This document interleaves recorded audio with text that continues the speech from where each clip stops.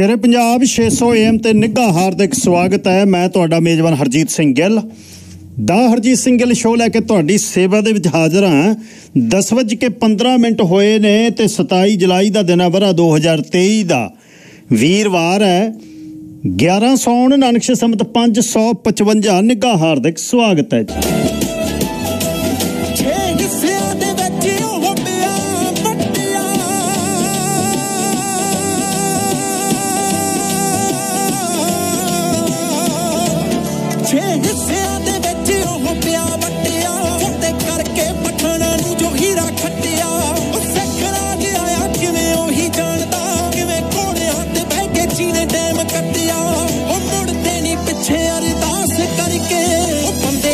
ਬੰਦੇ ਜਿਹੜੇ ਚਿੜੀਆਂ ਤੋਂ ਬਾਜ ਹੋ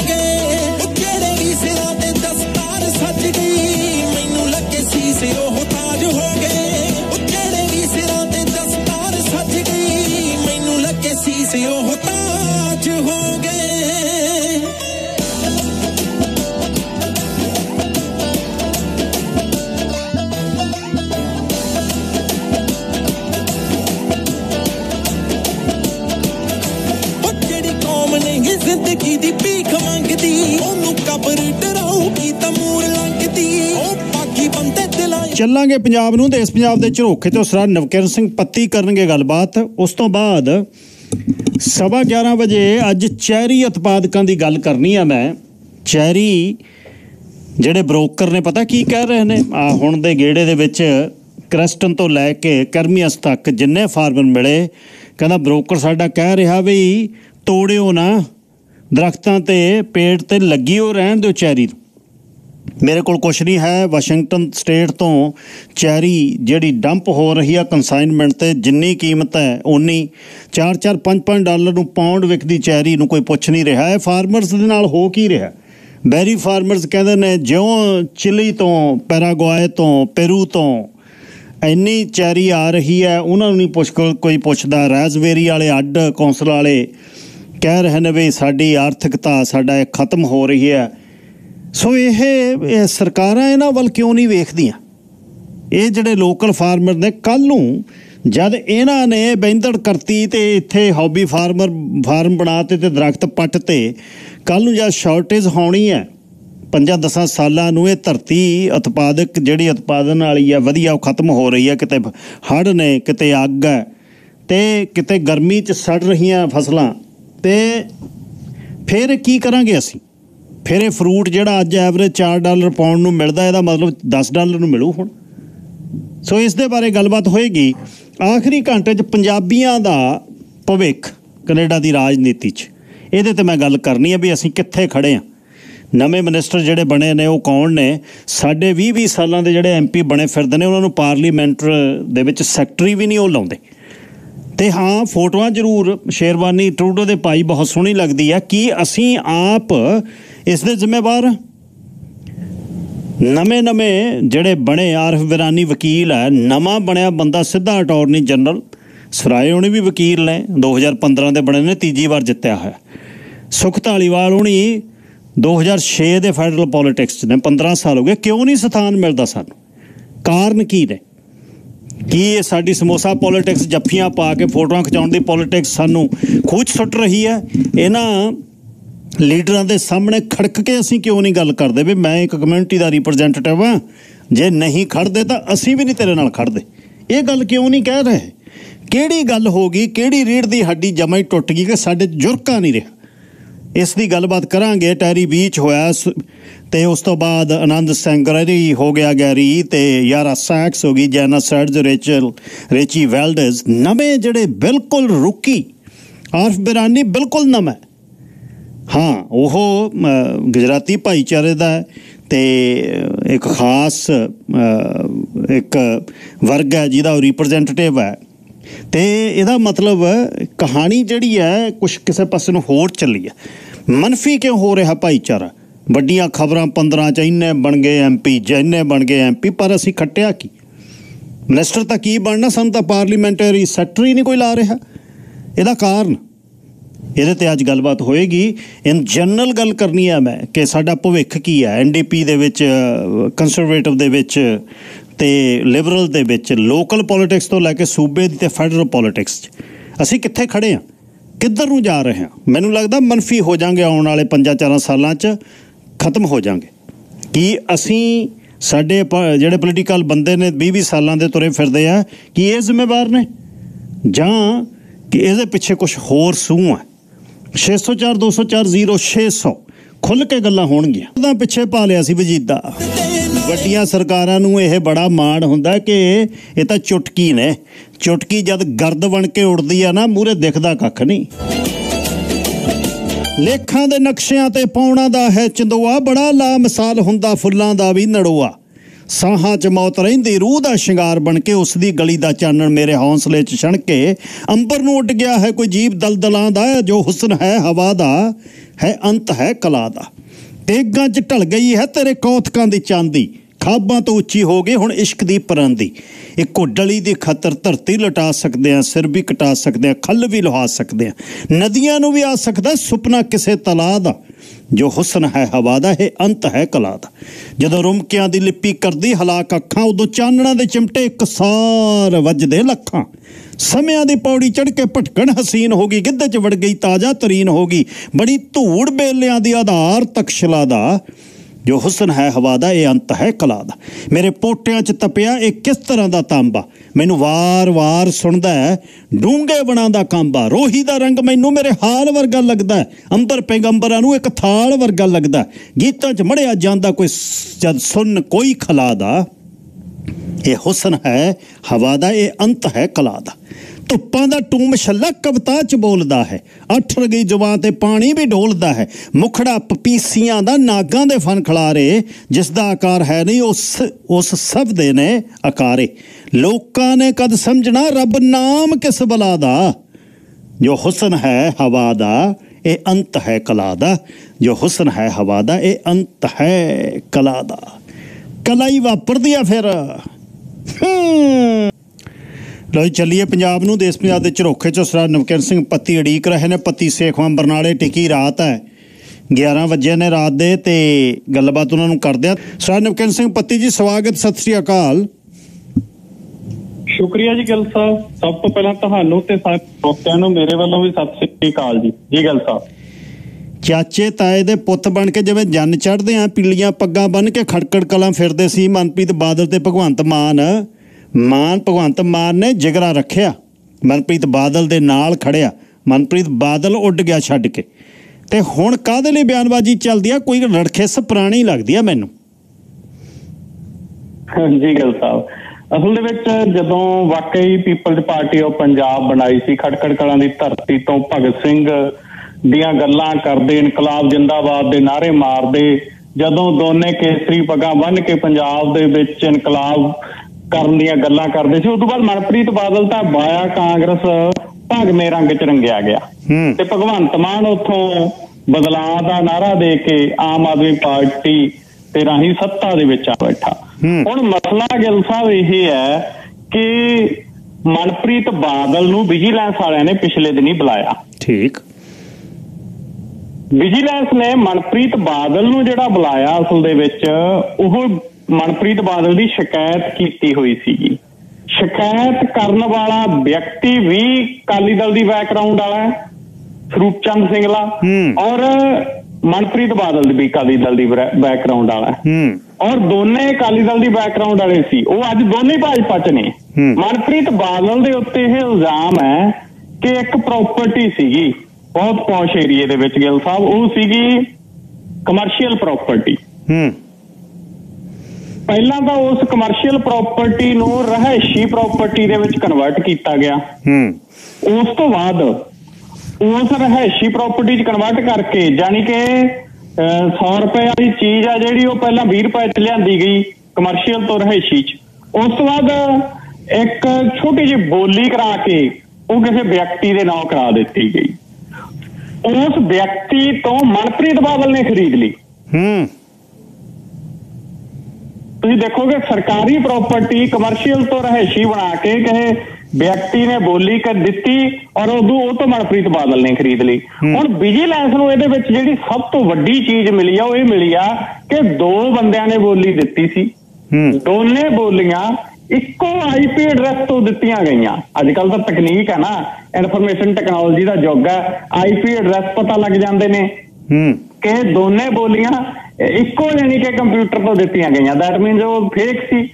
ਔਰ ਇਸ ਵਿਸ਼ੇ ਦੇ ਉੱਤੇ ਜਦੋਂ ਵਿਜੀਲੈਂਸ ਵਾਲਿਆਂ ਨੇ ਮਨਪ੍ਰੀਤ ਬਾਦਲ ਤੋਂ ਕੀਤੀ ਪੁੱਛਗਿੱਛ ਕਹਿੰਦੇ ਖਾਲਸਾ ਕੁਝ ਨਿਕਲਿਆ ਹੂੰ। ਉਦੋਂ ਬਾਅਦ ਇਸ ਗੱਲ ਤੋਂ ਖਫਾ ਹੋ ਕੇ ਮਨਪ੍ਰੀਤ ਬਾਦਲ ਨੇ ਕਿਹਾ ਕਿ ਭਗਵੰਤ ਜਿੰਨਾ ਤੈਥੋਂ ਜ਼ੋਰ ਲੱਗਦਾ ਲਾ ਇਹ ਤੈਨੂੰ ਵਹਿਮ ਨਾ ਰਹੇ ਕਿ ਤੂੰ ਮੁੱਖ ਮੰਤਰੀ ਬਣਿਆ ਸੀ ਤੇ ਤੂੰ ਮਨਪ੍ਰੀਤ ਬਾਦਲ ਦਾ ਨੁਕਸਾਨ ਨਹੀਂ ਕਰ ਪਾਇਆ। ਕਿ ਤੂੰ ਜਿੰਨਾ ਮੇਰਾ ਕਰ ਸਕਦਾ ਕਰ। ਔਰ ਮਨਪ੍ਰੀਤ ਬਾਦਲ ਨੇ ਆਪਣੇ ਆਪ ਨੂੰ ਮੀਡੀਆ ਦੇ ਸਾਹਮਣੇ ਇੱਕ ਬਹੁਤ ਇਮਾਨਦਾਰ ਬੰਦੇ ਵਜੋਂ ਪੇਸ਼ ਕੀਤਾ। ਦੇਖੋ ਜੀ ਮੈਂ ਸਿਕਿਉਰਿਟੀ ਨਹੀਂ ਲੈਂਦਾ। ਦੇਖੋ ਜੀ ਮੈਂ ਸਰਕਾਰੀ ਗੱਡੀ ਨਹੀਂ ਵਰਤਦਾ ਮੈਂ ਗੱਡੀ 'ਚ ਸਰਕਾਰੀ ਤੇਲ ਨਹੀਂ ਪਵਾਉਂਦਾ ਮੈਂ ਟੋਲ ਪਲਾਜ਼ੇ ਦੀ ਫੀਸ ਦਿੰਨਾ ਮੈਂ ਕੋਈ ਉਹ ਸਹੂਲਤਾਂ ਨਹੀਂ ਮੰਨਦਾ ਉਹਨੇ ਮਤਲਬ ਮਨਪ੍ਰੀਤ ਬਾਦਲ ਸ਼ੇਰੋ ਸ਼ਾਇਰੀ ਕਰਕੇ ਇੱਕ ਵੱਖਰਾ ਜਿਹਾ ਅੰਦਾਜ਼ ਆ ਜਿਹੜਾ ਉਹ ਪੇਸ਼ ਕਰਦਾ ਰਹਿੰਦਾ ਜਦੋਂ ਪਿੱਛੇ ਜੇ ਮਨਪ੍ਰੀਤ ਬਾਦਲ ਵਿੱਤ ਮੰਤਰੀ ਬਣਿਆ ਸੀ ਉਦੋਂ ਦੋ ਪੁਲਿਸ ਵਾਲਿਆਂ ਨੂੰ ਛੋਟੀ ਜੀ ਕਰਪਸ਼ਨ ਦੇ ਮਸਲੇ ਦੇ ਵਿੱਚ ਫੜ ਕੇ ਬੜਾ ਇਮਾਨਦਾਰ ਬੰਦਾ ਸੀ। ਹਾਲਾਂਕਿ ਵੱਡੇ ਵੱਡੇ ਕਰਪਸ਼ਨਾਂ ਨੇ ਜਿਹੜੀਆਂ ਇਹਦੇ ਕਾਰਜਕਾਲ ਦੇ ਦੌਰਾਨ ਉਹ ਹੁੰਦੀਆਂ ਰਹੀਆਂ ਨੇ। ਲੇਕਿਨ ਉਹ ਇਸ ਮਸਲੇ ਦੇ ਉੱਤੇ ਹੁਣ ਭਗਵੰਤ ਮਾਨ ਨੇ ਜਿਹੜੀ ਭਾਜੀ ਮੋੜੀ ਅੱਜ ਭਗਵੰਤ ਮਾਨ ਨੇ ਕਿਹਾ ਕਿ ਮਨਪ੍ਰੀਤ ਬਾਦਲ ਜੀ ਇਮਾਨਦਾਰੀ ਦੀਆਂ ਬਹੁਤੀਆਂ ਧਾਰਨਾ ਨਾ ਦਿਓ। ਮੈਨੂੰ ਪਤਾ ਤੁਹਾਡੇ ਬਾਗਾਂ ਦੇ ਕੱਲੇ ਕੱਲੇ ਕੀਨੂ ਦਾ ਪਤਾ ਹੈ। ਓ। ਆਪਣੀ ਗੱਡੀ ਆਪ ਚਲਾਉਣਾ ਟੋਲ ਟੈਕਸ ਦੇਣਾ ਇਹ ਸਭ ਡਰਾਮੇ ਨੇ। ਤੁਹਾਡੀ ਭਾਸ਼ਾ 'ਚ ਸ਼ੇਅਰ ਹਾਜ਼ਰ ਹੈ ਜਵਾਬ ਦੀ ਢੀਕ ਰਹੇਗੀ। ਭਗਵੰਤ ਮਾਨ ਹੋਰਾਂ ਨੇ ਮਨਪ੍ਰੀਤ ਬਾਦਲ ਨੂੰ ਸ਼ੇਅਰ ਲਿਖਿਆ ਤੂੰ ਇਧਰ ਉਧਰ ਕੀ ਨਾ ਬਾਤ ਕਰ ਇਹ ਬਤਾ ਕਾਫਿਲਾ ਲੂਟਾ ਕਿਉਂ ਹੂੰ मुझे रहजनों से गिला नहीं तेरी तहवरी का सवाल है ਹੂੰ ਔਰ ਇਹ ਜਿਹੜਾ ਅਹ, ਭਗਵੰਤ ਮਾਨ ਹੋਰਾਂ ਨੇ ਕਿਹਾਗਾ ਕਿ ਮੁਝੇ ਰਹਿਜਨੋਂ ਸੇ ਗਿਲਾ ਨਹੀਂ ਤੇਰੀ ਰਹਿਬਰੀ ਕਾ ਕਾ। ਸਵਾਲ ਹੈ ਹੂੰ। ਇਹ ਰ- ਰਹਿਬਰੀ ਕਾ ਇਹ ਸਵਾਲ ਆ ਜਿਹੜਾ ਇਹ ਭਗਵੰਤ ਮਾਨ ਹੋਰਾਂ ਨੇ ਮਨਪ੍ਰੀਤ ਬਾਦਲ ਨੂੰ ਉਸੇ ਦੇ ਨਾਲ ਚ ਕੋਈ ਸ਼ੇਰ ਆ ਸ਼ੇਰੋ ਸ਼ਾਇਰੀ ਮਨਪ੍ਰੀਤ ਬਾਦਲ ਨੂੰ ਬੜੀ ਸੁਣਾਉਂਦੇ ਰਹਿੰਦੇ ਆ, ਉਰਦੂ ਦੀਆਂ ਚਾਰ ਕੁ ਗੱਲਾਂ ਕਰਕੇ। ਆਪਣੇ ਆਪ ਨੂੰ ਮਤਲਬ ਬੜਾ ਮਨਪ੍ਰੀਤ ਬਾਦਲ ਆਨੈਸਟ ਦੇ ਤੌਰ ਤੇ ਪੇਸ਼ ਕਰਦਾ ਹੈ। ਤਾਂ ਹੁਣ ਪੂਰੀ ਤਣਾ ਤਣੀ ਦਾ ਮਾਹੌਲ ਹੈ ਕਿਤੇ ਤਣਾ ਤਣੀ ਦਾ ਮਾਹੌਲ ਗਿੱਲ ਸਾਹਿਬ ਐ ਤਾਂ ਨਹੀਂ ਵੀ ਮਨਪ੍ਰੀਤ ਬਾਦਲ ਨੂੰ ਭਾਜਪਾ ਚ ਸ਼ਾਮਲ ਹੋਏ ਨੂੰ ਕੋਈ ਪੁੱਛ ਨਹੀਂ ਸੀ ਰਿਹਾ। ਤੇ ਹੁਣ ਉਹਦੀ ਚੜ੍ਹਾਈ ਹੋ ਗਈ। ਹੂੰ। ਤੋ ਇਹ ਵੀ ਚਰਚਾ ਕਿਉਂਕਿ ਮੀਡੀਆ 'ਚ ਚਰਚਾ 'ਚ ਬਣੇ ਰਹਿਣਾ ਇੱਕ ਖਾਸੀ ਵੱਡੀ ਗੱਲ ਹੁੰਦੀ ਹੈ। ਮਨਪ੍ਰੀਤ ਬਾਦਲ ਚਰਚਾ 'ਚ ਬਣ ਗਿਆ। ਪਰ ਗੱਲ ਇਹ ਹੈ ਵੀ ਤਾਏ ਦੇ ਭੋਗ ਤੇ ਵੀ ਤਾਏ ਦੇ ਮੁੰਡੇ ਦੇ ਨਾਲ ਜੱਫੀਆਂ ਪੈਂਦੀਆਂ ਸੀ। ਉਦੋਂ ਵੀ ਲੱਗਦਾ ਸੀ ਕਿ ਅਕਾਲੀ ਦਲ ਦੇ ਨਾਲ ਇਹਦੀ ਨੇੜਤਾ ਜਿਹੜੀ ਆ ਉਹ ਬਣਦੀ ਹੈਗੀ। ਪਰ ਪਤਾ ਮਨਪ੍ਰੀਤ ਬਾਦਲ ਦਾ ਕੋਈ ਨਹੀਂ ਕਿੱਧਰੋਂ ਕਿੱਧਰ ਨੂੰ ਯੂ ਟਰਨ ਮਾਰਦਾ ਕਿੱਧਰੋਂ ਕਿੱਧਰ ਨੂੰ ਤੁਰਦਾ ਕਿੱਧਰੋਂ ਕਿੱਧਰ ਨੂੰ ਜਾਂਦਾ। ਜੀ। ਪੱਗ ਪੱਕੀ ਗੁਲਾਬੀਆ ਚਿੱਟਾ ਕੁੜਤਾ ਪਜਾਮਾ ਗਜ਼ਲਾਂ ਉਹਨੂੰ ਆਉਂਦੀਆਂ ਨੇ। ਤੇ ਅਗਲੀ ਗੱਲ ਇਹ ਦੱਸੋ ਵੀ ਕਾਲੇ ਕੱਪੜੇ ਪਾ ਕੇ ਭਾਜਪਾ ਵਾਲਿਆਂ ਨੇ ਚਿੱਟੇ ਸੂਟ ਲਾ ਤੇ ਲਾਜਵਰ ਦੇ ਕੇ ਲਿਜਾਂਦੇ ਹੁੰਦੇ ਆ ਪਾ ਕੇ ਤੇ ਹੁਣ ਕਾਲੇ ਪਾ ਕੇ ਜਾ ਵੜੇ। ਜੀ ਗੱਲ ਸਾਹਿਬ। ਅੱਜ ਸੰਸਦ ਦੇ ਵਿੱਚ ਜਿੰਨੇ ਵੀ ਭਾਜਪਾ ਵਿਰੋਧੀ ਸੀ ਸਾਰੇ ਕਾਲੇ ਸੂਟ ਪਾ ਕੇ ਗਏ। ਅਸਲ ਦੇ ਵਿੱਚ ਉੱਥੇ ਰਾਘਵ ਚੱਡਾ ਵੀ ਕਾਲੇ ਕੱਪੜੇ ਪਾਈ ਫਿਰਦਾ ਸੀ ਸੰਜੇ ਸਿੰਘ ਵੀ ਕਾਲੇ ਕੱਪੜੇ ਪਾਈ ਫਿਰਦਾ ਸੀ। ਬਾਕੀ ਜਿਹੜੇ ਕਾਂਗਰਸ ਦੇ ਸੰਸਦ ਮੈਂਬਰ ਨੇ ਉਹ ਵੀ ਕਾਲੇ ਕੱਪੜੇ ਪਾਈ ਫਿਰਦੇ ਸੀ ਦਰਅਸਲ ਜਿਹੜਾ ਪਿਛਲੇ ਦਿਨੀ ਆਈਐਨਡੀਆਈਏ ਇੰਡੀਆ ਨਾਂ ਦਾ ਮੰਚ ਬਣਾਇਆ ਨਾ ਵਿਰੋਧੀ ਧਿਰਾਂ ਨੇ ਉਹਦੇ ਵੱਲੋਂ ਸੱਦਾ ਦਿੱਤਾ ਗਿਆ ਸੀ ਕਿ ਮਨੀਪੁਰ ਦੇ ਮਸਲੇ ਦੇ ਉੱਤੇ ਪ੍ਰਧਾਨ ਮੰਤਰੀ ਦੀ ਖਾਮੋਸ਼ ਨੇ ਪ੍ਰਧਾਨ ਮੰਤਰੀ ਬੋਲ ਨਹੀਂ ਰਹੇ ਸੰਸਦ ਦੇ ਵਿੱਚ ਪ੍ਰਧਾਨ ਮੰਤਰੀ ਆ ਨਹੀਂ ਰਹੇ। ਇੱਕ ਪਾਸੇ ਸੰਸਦ ਦਾ ਮੌਨਸੂਨ ਸੈਸ਼ਨ ਚੱਲ ਰਿਹਾ ਦੂਜੇ ਪਾਸੇ ਪ੍ਰਧਾਨ ਮੰਤਰੀ ਸਾਹਿਬ ਜਹਾਜ਼ ਲੈ ਕੇ ਇੱਧਰ ਲੰਘ ਜਾਂਦੇ ਨੇ ਉੱਧਰ ਲੰਘ ਜਾਂਦੇ ਨੇ ਸੰਸਦ ਦੇ ਵਿੱਚ ਪਹੁੰਚ ਨਹੀਂ ਰਹੇ। ਸੋ ਇਹ ਸਾਰੇ ਮਸਲੇ ਨੂੰ ਅੱਜ ਕਾਲੇ ਕੱਪੜੇ ਪਾ ਕੇ ਜਿਹੜਾ ਮੈਂਬਰ ਪਾਰਲੀਮੈਂਟਾਂ ਨੇ ਠਾਇਆ। ਭਗਵੰਤ ਮਾਨ ਵੀ ਸਪੈਸ਼ਲ ਤੌਰ ਦੇ ਉੱਤੇ ਅੱਜ ਸੰਸਦ ਦੇ ਵਿੱਚ ਪਹੁੰਚੇ ਹੋਏ ਸੀ। ਉਹ ਸੰਸਦ ਮੈਂਬਰ ਨਹੀਂ, ਪਰ ਉਹ ਪ੍ਰੋਟੈਸਟ ਦੇ ਵਿੱਚ ਸ਼ਾਮਲ ਹੋਣ ਦੇ ਲਈ ਸੰਸਦ ਪਹੁੰਚੇ। ਔਰ ਉਹਨਾਂ ਨੇ ਵੀ ਆਮ ਆਦਮੀ ਪਾਰਟੀ, ਕਾਂਗਰਸ ਤੇ ਬਾਕੀ ਸਾਰੇ ਜਿਹੜੇ ਭਾਜਪਾ ਵਿਰੋਧੀ ਸੰਸਦ ਮੈਂਬਰ ਨੇ, ਉਹਨਾਂ ਦੇ ਸੰਘਰਸ਼ ਦੇ ਵਿੱਚ ਸ਼ਮੂਲੀਅਤ ਹੈ ਜਿਹੜੀ ਉਹ ਕੀਤੀ ਹੈ। ਤੋ ਇਸ ਵਿਸ਼ੇ ਦੇ ਉੱਤੇ ਗੱਲ ਸਾਹਿਬ ਇਹ ਵੀ ਹੈ ਕਿ ਲੋਕ ਸਭਾ ਦੇ ਵਿੱਚ ਮੋਦੀ ਸਰਕਾਰ ਖਿਲਾਫ ਬੇਭਰੋਸਗੀ ਦਾ ਮਤਾ ਵੀ ਲਿਆਂਦਾ ਜਾ ਰਿਹਾ ਅਸਾਮ ਤੋਂ ਸੰਸਦ ਮੈਂਬਰ ਨੇ ਗੌਰਵ ਗਗੋਈ ਕਾਂਗਰਸ ਦੇ ਉਹਨਾਂ ਨੇ ਜਿਹੜਾ ਵਿਰੋਧੀ ਪਾਰਟੀਆਂ ਦੇ 50 ਮੈਂਬਰਾਂ ਦੇ ਨਾਲ ਸੰਸਦ ਦੇ ਵਿੱਚ ਇਸ ਮਸਲੇ ਦੇ ਉੱਤੇ ਅਹ, ਜਿਹੜਾ ਬੇਭਰੋਸਗੀ ਮਤਾ ਰੱਖਣਾਗਾ ਔਰ ਸੰਸਦ ਦੇ ਵਿੱਚ ਮਣੀਪੁਰ ਦਾ ਮਸਲਾ ਚਰਚਾ ਦਾ ਵਿਸ਼ਾ ਬਣਿਆ ਹੋਇਆ ਹੈ। ਸੰਸਦ ਦਾ ਸੈਸ਼ਨ ਆ ਜਿਹੜਾ ਉਹ ਲਗਾਤਾਰ ਅੱਗੇ ਪਾਉਣਾ ਪੈ ਰਿਹਾ ਕਿਉਂਕਿ ਮਣੀਪੁਰ ਦੇ ਮਸਲੇ ਦੇ ਉੱਤੇ ਭਾਜਪਾ ਨੂੰ ਸਵਾਲ ਨਹੀਂ ਆਉਣ ਰਿਹਾ। ਜਿਹੋ ਜੀ ਹਾਲਤ ਮਣੀਪੁਰ ਦੇ ਵਿੱਚ ਬਣੀ ਹੋਈ ਆ ਕੱਲ ਵੀ 30 ਘਰਾਂ ਨੂੰ ਅੱਗ ਲਾਈ ਗਈ। ਮੋਰੇ ਦੇ ਵਿੱਚ ਸੁਰੱਖਿਆ ਬਲਾਂ ਤੇ ਉੱਥੋਂ ਦੇ ਲੋਕਾਂ ਦੇ ਵਿਚਾਲੇ ਗੋਲੀਬਾਰੀ ਹੋਈ ਹੈਗੀ।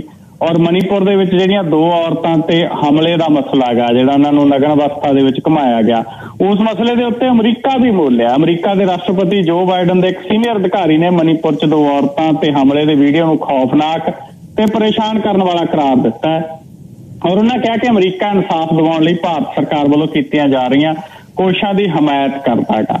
ਸੋ ਇਹ ਸਵਾਲ ਜਿਹੜਾ ਮਣੀਪੁਰ ਦੇ ਮਸਲੇ ਦੇ ਉੱਤੇ, ਜਿੱਥੇ ਕੁਕੀ ਭਾਈਚਾਰੇ ਦੇ ਵਿਰੁੱਧ ਇੱਕ ਵੱਡੀ ਜਿਹੜੀ ਹੈਗੀ ਵਿਆਪਕ ਦਬਾਅ ਬਣਾਇਆ ਜਾ ਰਿਹਾ ਹੈਗਾ, ਉਹ ਉਹਦੇ ਤੇ ਸੰਸਦ ਦੇ ਵਿੱਚ ਵੀ ਮਸਲਾ ਉੱਠਿਆਗਾ ਜੀ। ਤੇ ਐਂ ਦੱਸਿਓ ਬਈ ਰਾਜਪਾਲ ਹਲੇ ਵਿਗੜਿਆ ਹੋਇਆ, ਮੈਨੂੰ ਲੱਗਦਾ ਸੂਤ ਨਹੀਂ ਆ ਰਿਹਾ। ਪਾਟੇ ਜੀ, ਭਗਵੰਤ ਮਾਨ ਕਹਿ ਰਹੇ ਨੇ ਕਿ ਬਿੱਲਾਂ ਦੇ ਉੱਤੇ ਦਸਤਖਤ ਕਰੋ, ਬਿੱਲ ਪਾਸ ਕਰੋ, ਬਿੱਲ ਪਾਸ ਕਰਨੇ ਪੈਣਗੇ। ਔਰ ਰਾਜਪਾਲ ਸਾਹਿਬ ਨੇ ਅੱਜ ਫੇਰ ਕਿਹਾ, ਉਹ ਕਹਿੰਦੇ ਜਦੋਂ ਵਿਧਾਨ ਸਭਾ ਦਾ ਇਜਲਾਸ ਹੀ ਜਿਹੜਾ ਹੈਗਾ, ਉਹ ਗੈਰ ਸੰਵਿਧਾਨਕ ਹੈ, ਤੁਸੀਂ ਜਿਹੜਾ ਵਿਸ਼ੇਸ਼ ਸੈਸ਼ਨ ਬੁਲਾਇਆ, ਉਹੀ ਗੈਰ ਸੰਵਿਧਾਨਕ ਹੈ, ਤਾਂ ਬਿੱਲ ਵੀ ਗੈਰ ਸੰਵਿਧਾਨਕ ਹੋਏ, ਕਹਿੰਦੇ। ਬਿੱਲ ਕਿਵੇਂ ਪਾਸ ਕਰ ਦਈਏ? ਤੋ ਗਵਰਨਰ ਸਾਹਿਬ ਤਾਂ ਇਹ ਵੀ ਕਹਿ ਰਹੇ ਨੇ ਜਿਹੜਾ ਉਹਨਾਂ ਨੇ ਕੱਲ ਦੌਰਾ ਕੀਤਾਗਾ ਸੰਗਰੂਰ ਜ਼ਿਲ੍ਹੇ ਦੇ ਵਿੱਚ, ਪਿੰਡਾਂ ਦੇ ਵਿੱਚ ਵਾਇਆ ਸੜਕ, ਰੋਡ ਗਏ ਨੇ ਉਹ। ਔਰ ਉੱਥੇ ਜਾ ਕੇ ਉਹਨਾਂ ਨੇ ਲੋਕਾਂ ਨੂੰ ਕਿਹਾ ਕਿ ਸੈਂਟਰ ਦੇ ਵੱਲੋਂ ਟੀਮ ਆਏਗੀ ਤੁਹਾਨੂੰ ਸੈਂਟਰ ਦੇ ਵੱਲੋਂ ਜਿਹੜੀਆਂ ਹੈਗੀਆਂ ਉਹ ਆਉਣ ਵਾਲੇ ਦਿਨਾਂ ਦੇ ਵਿੱਚ ਇਸ ਵਿਸ਼ੇ ਦੇ ਉੱਤੇ ਟੀਮ ਆ ਕੇ ਐਲਾਨ ਕਰੇਗੀ। ਤਾਂ ਕਿਸੇ ਨਾ ਕਿਸੇ ਰੂਪ ਦੇ ਵਿੱਚ ਗਿੱਲ ਸਾਹਿਬ, ਪੰਜਾਬ ਦੇ ਵਿੱਚ ਇਦਾਂ ਦਾ ਮਾਹੌਲ ਬਣਿਆ ਹੋਇਆ ਕਿ ਪੰਜਾਬ ਦੇ ਮੁੱਖ ਮੰਤਰੀ ਇੱਕ ਪਾਸੇ ਸਰਕਾਰ ਚਲਾ ਰਹੇ ਨੇ ਦੂਜੇ ਪਾਸੇ ਗਵਰਨਰ ਸਾਹਿਬ, ਉਵੇਂ ਜਿਵੇਂ ਪੋਲੀਟੀਕਲ ਬਿਆਨ ਦੇ ਰਹੇ ਨੇ, ਆਮ ਤੌਰ ਦੇ ਉੱਤੇ ਨਹੀਂ, ਪਹਿਲਾਂ ਹੀ ਹੁੰਦਾ ਸੀ ਗਵਰਨਰ ਦਾ ਪਤਾ ਹੀ ਨਹੀਂ ਸੀ ਹੁੰਦਾ ਗਵਰਨਰ ਕੌਣ ਹੈ। ਗਵਰਨਰ ਸਾਹਿਬ ਜਾਂ ਤਾਂ ਵਿਧਾਨ ਸਭਾ ਦੇ ਵਿੱਚ ਭਾਸ਼ਣ ਦੇਣ ਲਈ ਜਾਂਦੇ ਹੁੰਦੇ ਸੀ, ਜਾਂ ਕਦੇ ਕਦੇ ਕੋਈ ਸਨਮਾਨ ਸਮਾਰੋਹ ਹੁੰਦਾ ਕਿਸੇ ਯੂਨੀਵਰਸਿਟੀ ਦੇ ਵਿੱਚ ਕਨਵੋਕੇਸ਼ਨ ਦੇ ਉੱਤੇ ਉੱਥੇ ਡਿਗਰੀਆਂ ਵੰਡਣ ਜਾਂਦੇ ਹੁੰਦੇ। ਅਦਰਵਾਈਜ਼ ਗਵਰਨਰ ਸਾਹਿਬ ਨਹੀਂ ਸੀ ਬੋਲਦੇ। ਪੋਲੀਟੀਕਲ ਤਾਂ ਮਤਲਬ ਹੀ ਨਹੀਂ ਸੀ। ਔਰ ਹੁਣ ਤਾਂ ਗਵਰਨਰ ਸਾਹਿਬ ਲਗਾਤਾਰ ਮਤਲਬ ਪੋਲੀਟੀਕਲ ਬਿਆਨ ਦੇ ਰਹੇ ਨੇ। ਜੀ। ਇੱਕ ਅਗਲਾ ਦੱਸਿਓ ਜੀ ਬਈ, ਡੀਜੀਪੀ ਦੇ ਦਫ਼ਤਰ ਏਐਸਆਈ ਜਾ ਵੜਿਆ ਕਿ ਛੋਟਾ ਥਾਣੇਦਾਰ ਵਾਕਈ ਜੀ, ਇਹ ਗਿੱਲ ਸਾਹਿਬ ਮਸਲਾ ਬੜਾ ਵਾਰਿਆ ਉੱਥੇ ਜਾ ਕੇ ਕਹਿੰਦਾ ਜੀ, ਆਹ ਲਓ ਮੇਰਾ ਅਸਤੀਫਾ, ਨਾਲ ਆਪਦੀ ਕੁੜੀ ਨੂੰ ਲੈ ਗਿਆ ਕਿ ਮੈਂ ਏਐਸਆਈ ਬਣੇ ਦਾ ਕੀ ਫਾਇਦਾ ਜੇ ਆਪਦੀ ਕੁੜੀ ਨੂੰ ਇਨਸਾਫ ਨਾ ਦਵਾ ਸਕਿਆ। ਉਹ ਕਹਿੰਦਾ ਜੀ, ਮੇਰੀ ਕੁੜੀ ਮੈਂ ਵਿਆਹੀ ਸੀਗੀ ਔਰ ਉਹਦੇ ਸਹੁਰੇ ਦਹੇਜ ਮੰਗਦੇ ਆ, ਤੰਗ ਕਰਦੇ ਆ। ਕੁੜੀ ਨੂੰ ਲਗਾਤਾਰ ਪਰੇਸ਼ਾਨ ਕੀਤਾ ਜਾਂਦਾ। ਕੁੜੀ ਪ੍ਰੈਗਨੈਂਟ ਹੋ ਗਈ, ਫਿਰ ਵੀ ਉਹਨੂੰ ਪਰੇਸ਼ਾਨ ਕੀਤਾ ਗਿਆ।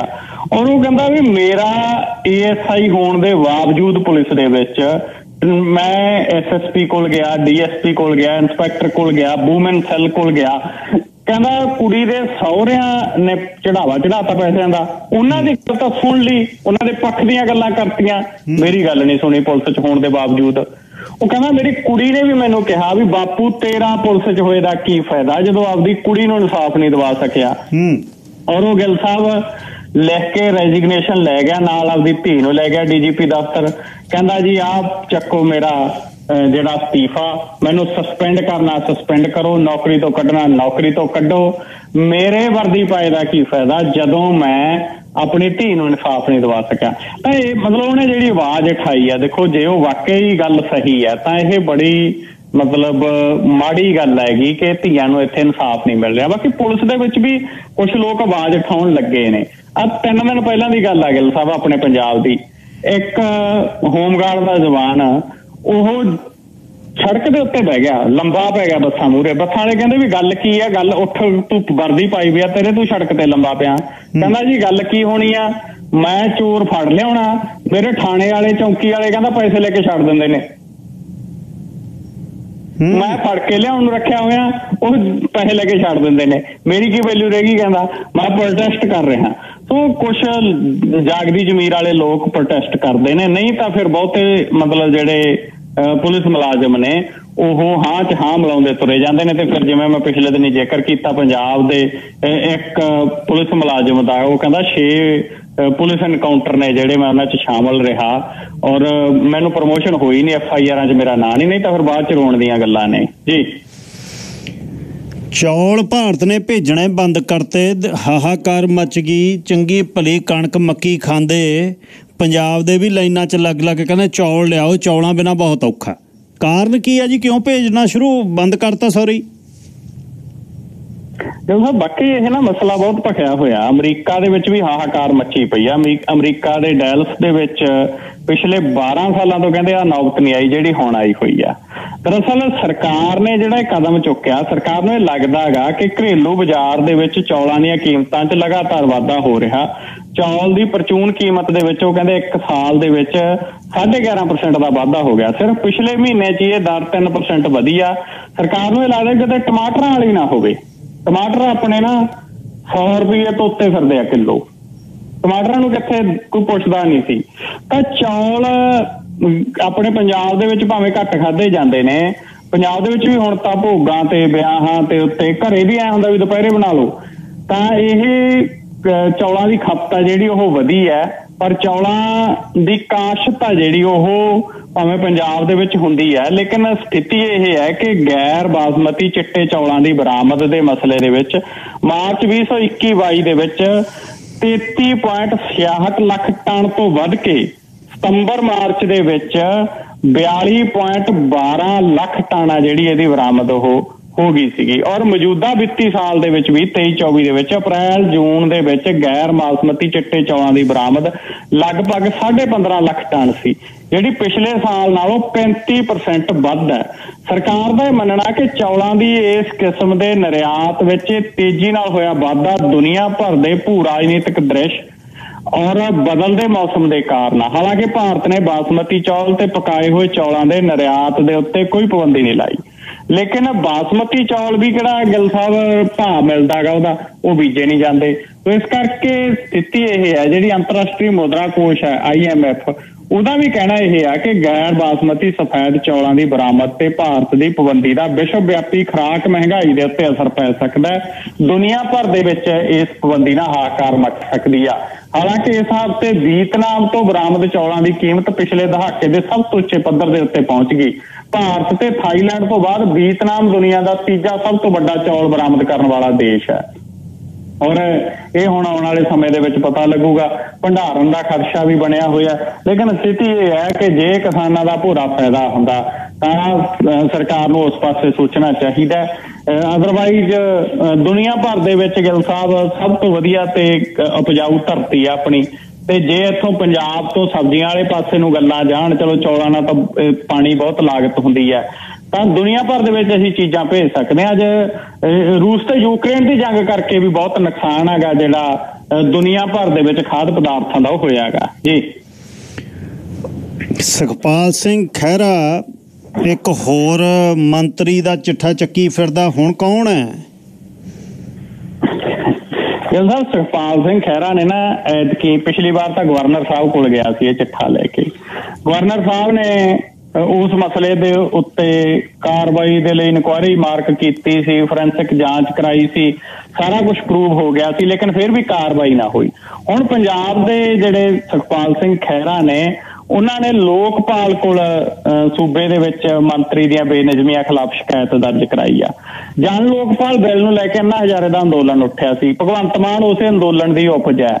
ਪਰ ਪੰਜਾਬ ਦੇ ਵਿੱਚ ਜਨ ਲੋਕਪਾਲ ਬਿੱਲ ਉਸ ਰੂਪ ਦੇ ਵਿੱਚ ਲਾਗੂ ਨਹੀਂ ਹੋਇਆ। ਇੱਥੇ ਲੋਕਪਾਲ ਤਾਂ ਬਣਾਤਾ ਇੱਕ ਰਿਟਾਇਰਡ ਜਸਟਿਸ ਨੂੰ ਲੋਕਪਾਲ ਤਾਂ ਲਾਤਾ ਪਰ ਉਹਦੇ ਕੋਲੇ ਕੋਈ ਉਵੇਂ ਦੀ ਜਿਹੜੀ ਹੈਗੀ ਟੀਮ ਨਹੀਂ ਹੈ। ਲੇਕਿਨ ਫਿਰ ਵੀ ਸੁਖਪਾਲ ਸਿੰਘ ਖਹਿਰਾ ਅ, ਉੱਥੇ ਪਹੁੰਚੇ। ਔਰ ਉੱਥੇ ਲੋਕਪਾਲ ਐਕਟ 1966 ਦੀ ਧਾਰਾ 19 ਦੇ ਤਹਿਤ ਉਹਨਾਂ ਨੇ ਸ਼ਿਕਾਇਤ ਕਰਨ ਦੀ ਕੋਸ਼ਿਸ਼ ਕੀਤੀ ਆ ਔਰ ਲੋਕਪਾਲ ਦੇ ਫੈਸਲੇ ਦੀ ਉਹ ਕਹਿੰਦੇ ਉਡੀਕ ਕਰਾਂਗੇ। ਖਹਿਰਾ ਨੇ ਕਿਹਾ ਕਿ ਆਮ ਆਦਮੀ ਪਾਰਟੀ ਦੇ ਅਰਵਿੰਦ ਕੇਜਰੀਵਾਲ ਤੇ ਭਗਵੰਤ ਮਾਨ ਹੋਰਾਂ ਨੂੰ ਵੀ ਮੈਂ ਜਿਹੜੀ ਅਪੀਲ ਉਹ ਕਰਦਾ ਕਿ ਕਾਰਵਾਈ ਕਰੋ। ਇਹ ਜਿਹੜਾ ਹੁਣ ਕੈਬਨਿਟ ਮੰਤਰੀ ਗਿੱਲ ਸਾਹਿਬ ਭਾਵੇਂ ਖਹਿਰਾ ਨੇ ਅਜੇ ਤੱਕ ਨਾਂ ਨਹੀਂ ਲਿਆ ਉਹਦਾ ਨਾਂ ਜਨਤਕ ਨਹੀਂ ਕੀਤਾ, ਪਰ ਪਤਾ ਲੱਗਿਆ ਕਿ ਇਹ ਕਟਾਰੂ ਚੱਕੀ ਆ। ਔਰ ਕਟਾਰੂ ਚੱਕ ਦੇ ਖਿਲਾਫ ਇਹ ਮਸਲਾ ਹੋਰ ਹੈ। ਜਿਹੜਾ ਪਹਿਲਾਂ ਵਾਲਾ ਸੀਗਾ ਉਹ ਹੋਰ ਸੀ, ਉਹ ਤਾਂ ਇੱਕ ਨੌਜਵਾਨ ਦੇ ਨਾਲ ਜੁੜਿਆ ਹੋਇਆ ਸੀ, ਬੜੀ ਇਤਰਾਜ਼ਯੋਗ ਗੱਲ ਜੀ ਸੀਗੀ ਉਹ ਤਾਂ। ਜਿਹੜਾ ਹੋਣ ਵਾਲਾਗਾ, ਇਹ ਇਸ ਪਾਸੇ ਨੂੰ ਕਹਾਣੀ ਤੁਰਦੀ ਆ ਵੀ ਜਿਹੜਾ ਘਰ ਆ ਨਾ ਕੈਬਨਿਟ ਮੰਤਰੀ ਦਾ, ਜਿਹਦੀ ਸ਼ਿਕਾਇਤ ਕਰਕੇ ਆਇਆ ਖਹਿਰਾ ਸਾਹਿਬ, ਉਹ ਘਰ ਹੀ ਕਹਿੰਦੇ ਸਰਕਾਰੀ ਜਗ੍ਹਾ 'ਚ ਬਣਿਆ ਹੋਇਆ, ਦੱਬ ਕੇ।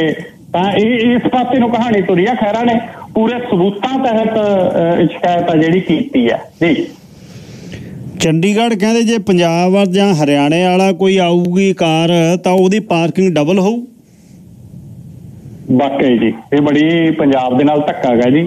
ਹੁਣ ਮੈਂ ਐਂ ਦੱਸਣਾ ਵੀ ਪੰਜਾਬ ਦੀ ਰਾਜਧਾਨੀ ਆ ਚੰਡੀਗੜ੍ਹ, ਤੇ ਰਾਜਧਾਨੀ ਦੇ ਵਿੱਚ ਬਹੁਤੇ ਦਫ਼ਤਰ ਨੇ। ਕਿਸੇ ਨੇ ਕੋਈ ਵੀ ਕੰਮ ਜਾਣਾ ਸੈਕਟਰੀਏਟ ਜਾਣਾ ਜਾਂ ਹੋਰ ਕਿਤੇ ਜਾਣਾ, ਤਾਂ ਉਹ ਚੰਡੀਗੜ੍ਹ ਹੀ ਜਾਊਗਾ। ਤੇ ਚੰਡੀਗੜ੍ਹ ਦੇ ਵਿੱਚ ਚੰਡੀਗੜ੍ਹੀਆਂ ਲਈ ਪਾਰਕਿੰਗ ਫੀਸ ਘੱਟ ਤੇ ਪੰਜਾਬੀਆਂ ਲਈ ਵੱਧ। ਚਲੋ ਹਰਿਆਣੇ ਵਾਲਿਆਂ ਲਈ, ਦੂਜਿਆਂ ਲਈ ਤਾਂ ਹੋ ਜੇ ਵੱਧ, ਉਹਦਾ ਕੋਈ ਪ੍ਰੋਬਲਮ ਨਹੀਂ ਹੈ। ਪ੍ਰੋਬਲਮ ਪੰਜਾਬ ਦੀ ਆ, ਕਿਉਂਕਿ ਚੰਡੀਗੜ੍ਹ ਤੇ ਪੰਜਾਬ ਦਾ ਹੱਕ ਆ। ਪੰਜਾਬ ਦੇ ਪਿੰਡਾਂ ਨੂੰ ਜਾੜ ਕੇ ਵਸਾਇਆ ਗਿਆ ਚੰਡੀਗੜ੍ਹ। ਪੰਜਾਬ ਨੂੰ ਕੇਂਦਰ ਸਰਕਾਰ ਨੇ ਦੇਣ ਦਾ ਵਾਅਦਾ ਕੀਤਾ ਸੀ ਪੰਜਾਬ ਨੂੰ ਨਹੀਂ ਦਿੱਤਾ ਗਿਆ।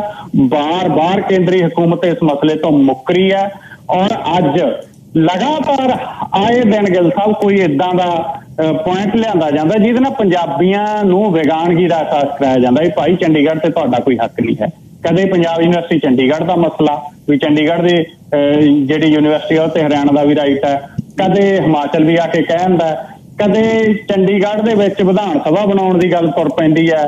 ਚੰਡੀਗੜ੍ਹ ਦਾ ਪ੍ਰਸ਼ਾਸਕ ਗਵਰਨਰ ਸਾਹਿਬ ਨੂੰ ਲਾਇਆ ਹੋਇਆਗਾ ਲੇਕਿਨ ਸਵਾਲ ਇਹ ਹੈਗਾ ਕਿ ਜਦੋਂ ਪੰਜਾਬ ਦੀਆਂ ਕਾਰਾਂ ਚੰਡੀਗੜ੍ਹ ਜਾਣਗੀਆਂ, ਤੇ ਚੰਡੀਗੜ੍ਹ ਦੇ ਵਿੱਚ ਪੰਜਾਬ ਦੀਆਂ ਕਾਰਾਂ ਤੋਂ ਵੱਧ ਪਾਰਕਿੰਗ ਫੀਸ ਲੈਣਗੇ ਔਰ ਚੰਡੀਗੜ੍ਹ ਆਏ ਤੋਂ ਘੱਟ, ਇਹਦਾ ਮਤਲਬ ਚੰਡੀਗੜ੍ਹ ਵੱਖਰੀ ਚੀਜ਼ ਹੋ ਗਈ, ਪੰਜਾਬ ਵੱਖਰੀ ਚੀਜ਼ ਹੋ ਗਈ। ਤੋਂ ਵੱਖਰੀ ਚੀਜ਼ ਤਾਂ ਹੈ ਨਹੀਂ ਸੀ। ਤੋਂ ਇਹ ਕਿਤੇ ਨਾ ਕਿਸੇ ਰੂਪ ਦੇ ਵਿੱਚ ਚੰਡੀਗੜ੍ਹ ਤੇ ਸਾਡਾ ਜਿਹੜਾ ਹੱਕ ਹੈ ਉਹਨੂੰ ਮਾਈਨਸ ਕੀਤਾ ਜਾ ਰਿਹਾ ਹੈ। ਇਹ ਨਾ ਇੱਕ ਬਹੁਤ ਵੱਡੀ ਪਲੈਨਿੰਗ ਹੋਈ ਹੈ ਪਿੱਛੇ ਜੇ ਜਿਹਦੇ ਤਹਿਤ ਚੰਡੀਗੜ੍ਹ ਦੇ ਵਿੱਚੋਂ ਬਹੁਤ ਸਾਰੇ ਦਫ਼ਤਰ ਚੱਕ ਕੇ ਮਹਾਲੀ ਲਿਆਂਦੇ ਗਏ। ਹੂੰ। ਮਹਾਲੀ ਨੂੰ ਚੰਡੀਗੜ੍ਹ ਦੇ ਨਾਲ ਜੋੜਿਆ ਗਿਆ। ਕਲੋਨਾਈਜ਼ਰਾਂ ਨੇ ਉੱਥੇ ਕਲੋਨੀਆਂ ਕੱਟ-ਕੱਟ ਜਿਹੜਾ ਹੈਗਾ ਚੰਡੀਗੜ੍ਹ ਤੇ ਮਹਾਲੀ ਨੂੰ ਤਾਂ ਮਿਲਾਤਾ ਔਰ ਦਫ਼ਤਰ ਵੀ ਮੋਸਟਲੀ ਚੰਡੀਗੜ੍ਹੋਂ ਲਿਆਂਦੇ ਮਹਾਲੀ ਦੇ ਵਿੱਚ। ਔਰ ਜਿਹੜੀਆਂ ਕੈਬਨਿਟ ਦੀਆਂ ਮੀਟਿੰਗਾਂ ਵੀ ਚੰਡੀਗੜ੍ਹੋਂ ਬਾਹਰ ਹੋਣੀਆਂ ਸ਼ੁਰੂ ਹੋ ਗਈਆਂ, ਹਰਿਆਣੇ ਵਾਲੇ ਕਹਿੰਦੇ ਨੇ ਸਾਨੂੰ ਵਿਧਾਨ ਸਭਾ ਲਈ ਜਗ੍ਹਾ ਦੇ ਦਿਓ, ਉਹਦੇ ਲਈ ਵੀ ਕੇਂਦਰ ਸਰਕਾਰ ਵੱਖਰੀ ਵਿਧਾਨ ਸਭਾ ਦੇ ਲਈ ਮਨਜ਼ੂਰੀ ਲਗਭਗ ਦੇ ਦੇ ਹੀ ਚੁੱਕਿਆ ਹੈਗਾ। ਰੇਲਵੇ ਦੀ ਬਹੁਤ ਮਹਿੰਗੀ ਜ਼ਮੀਨ ਆ ਜਿਹੜੀ ਰੇਲਵੇ ਲਾਈਨ ਦੇ ਨਾਲ, ਉਹ ਦੇਣ ਦੀ ਤਿਆਰੀ ਆ। ਸੋ ਇਹ ਚੰਡੀਗੜ੍ਹ ਦੇ ਪੰਜਾਬ ਦਾ ਹੱਕ ਹੈਗਾ ਜਿਹੜਾ ਉਹ ਖੋਹਿਆ ਜਾ ਰਿਹਾ ਹੈ। ਵਿੰਗੀ ਟੇਡੀ ਸਿਆਸਤ ਹੋ ਰਹੀ ਹੈ ਇਸ ਮਸਲੇ ਤੇ। ਜੀ। ਲਓ ਜੀ ਬਾਕੀ ਫਿਰ ਕੱਲ ਨੂੰ ਕਰਦੇ ਹਾਂ ਗੱਲਬਾਤ। ਆਪਣਾ ਖਿਆਲ ਰੱਖਿਓ ਧੰਨਵਾਦ।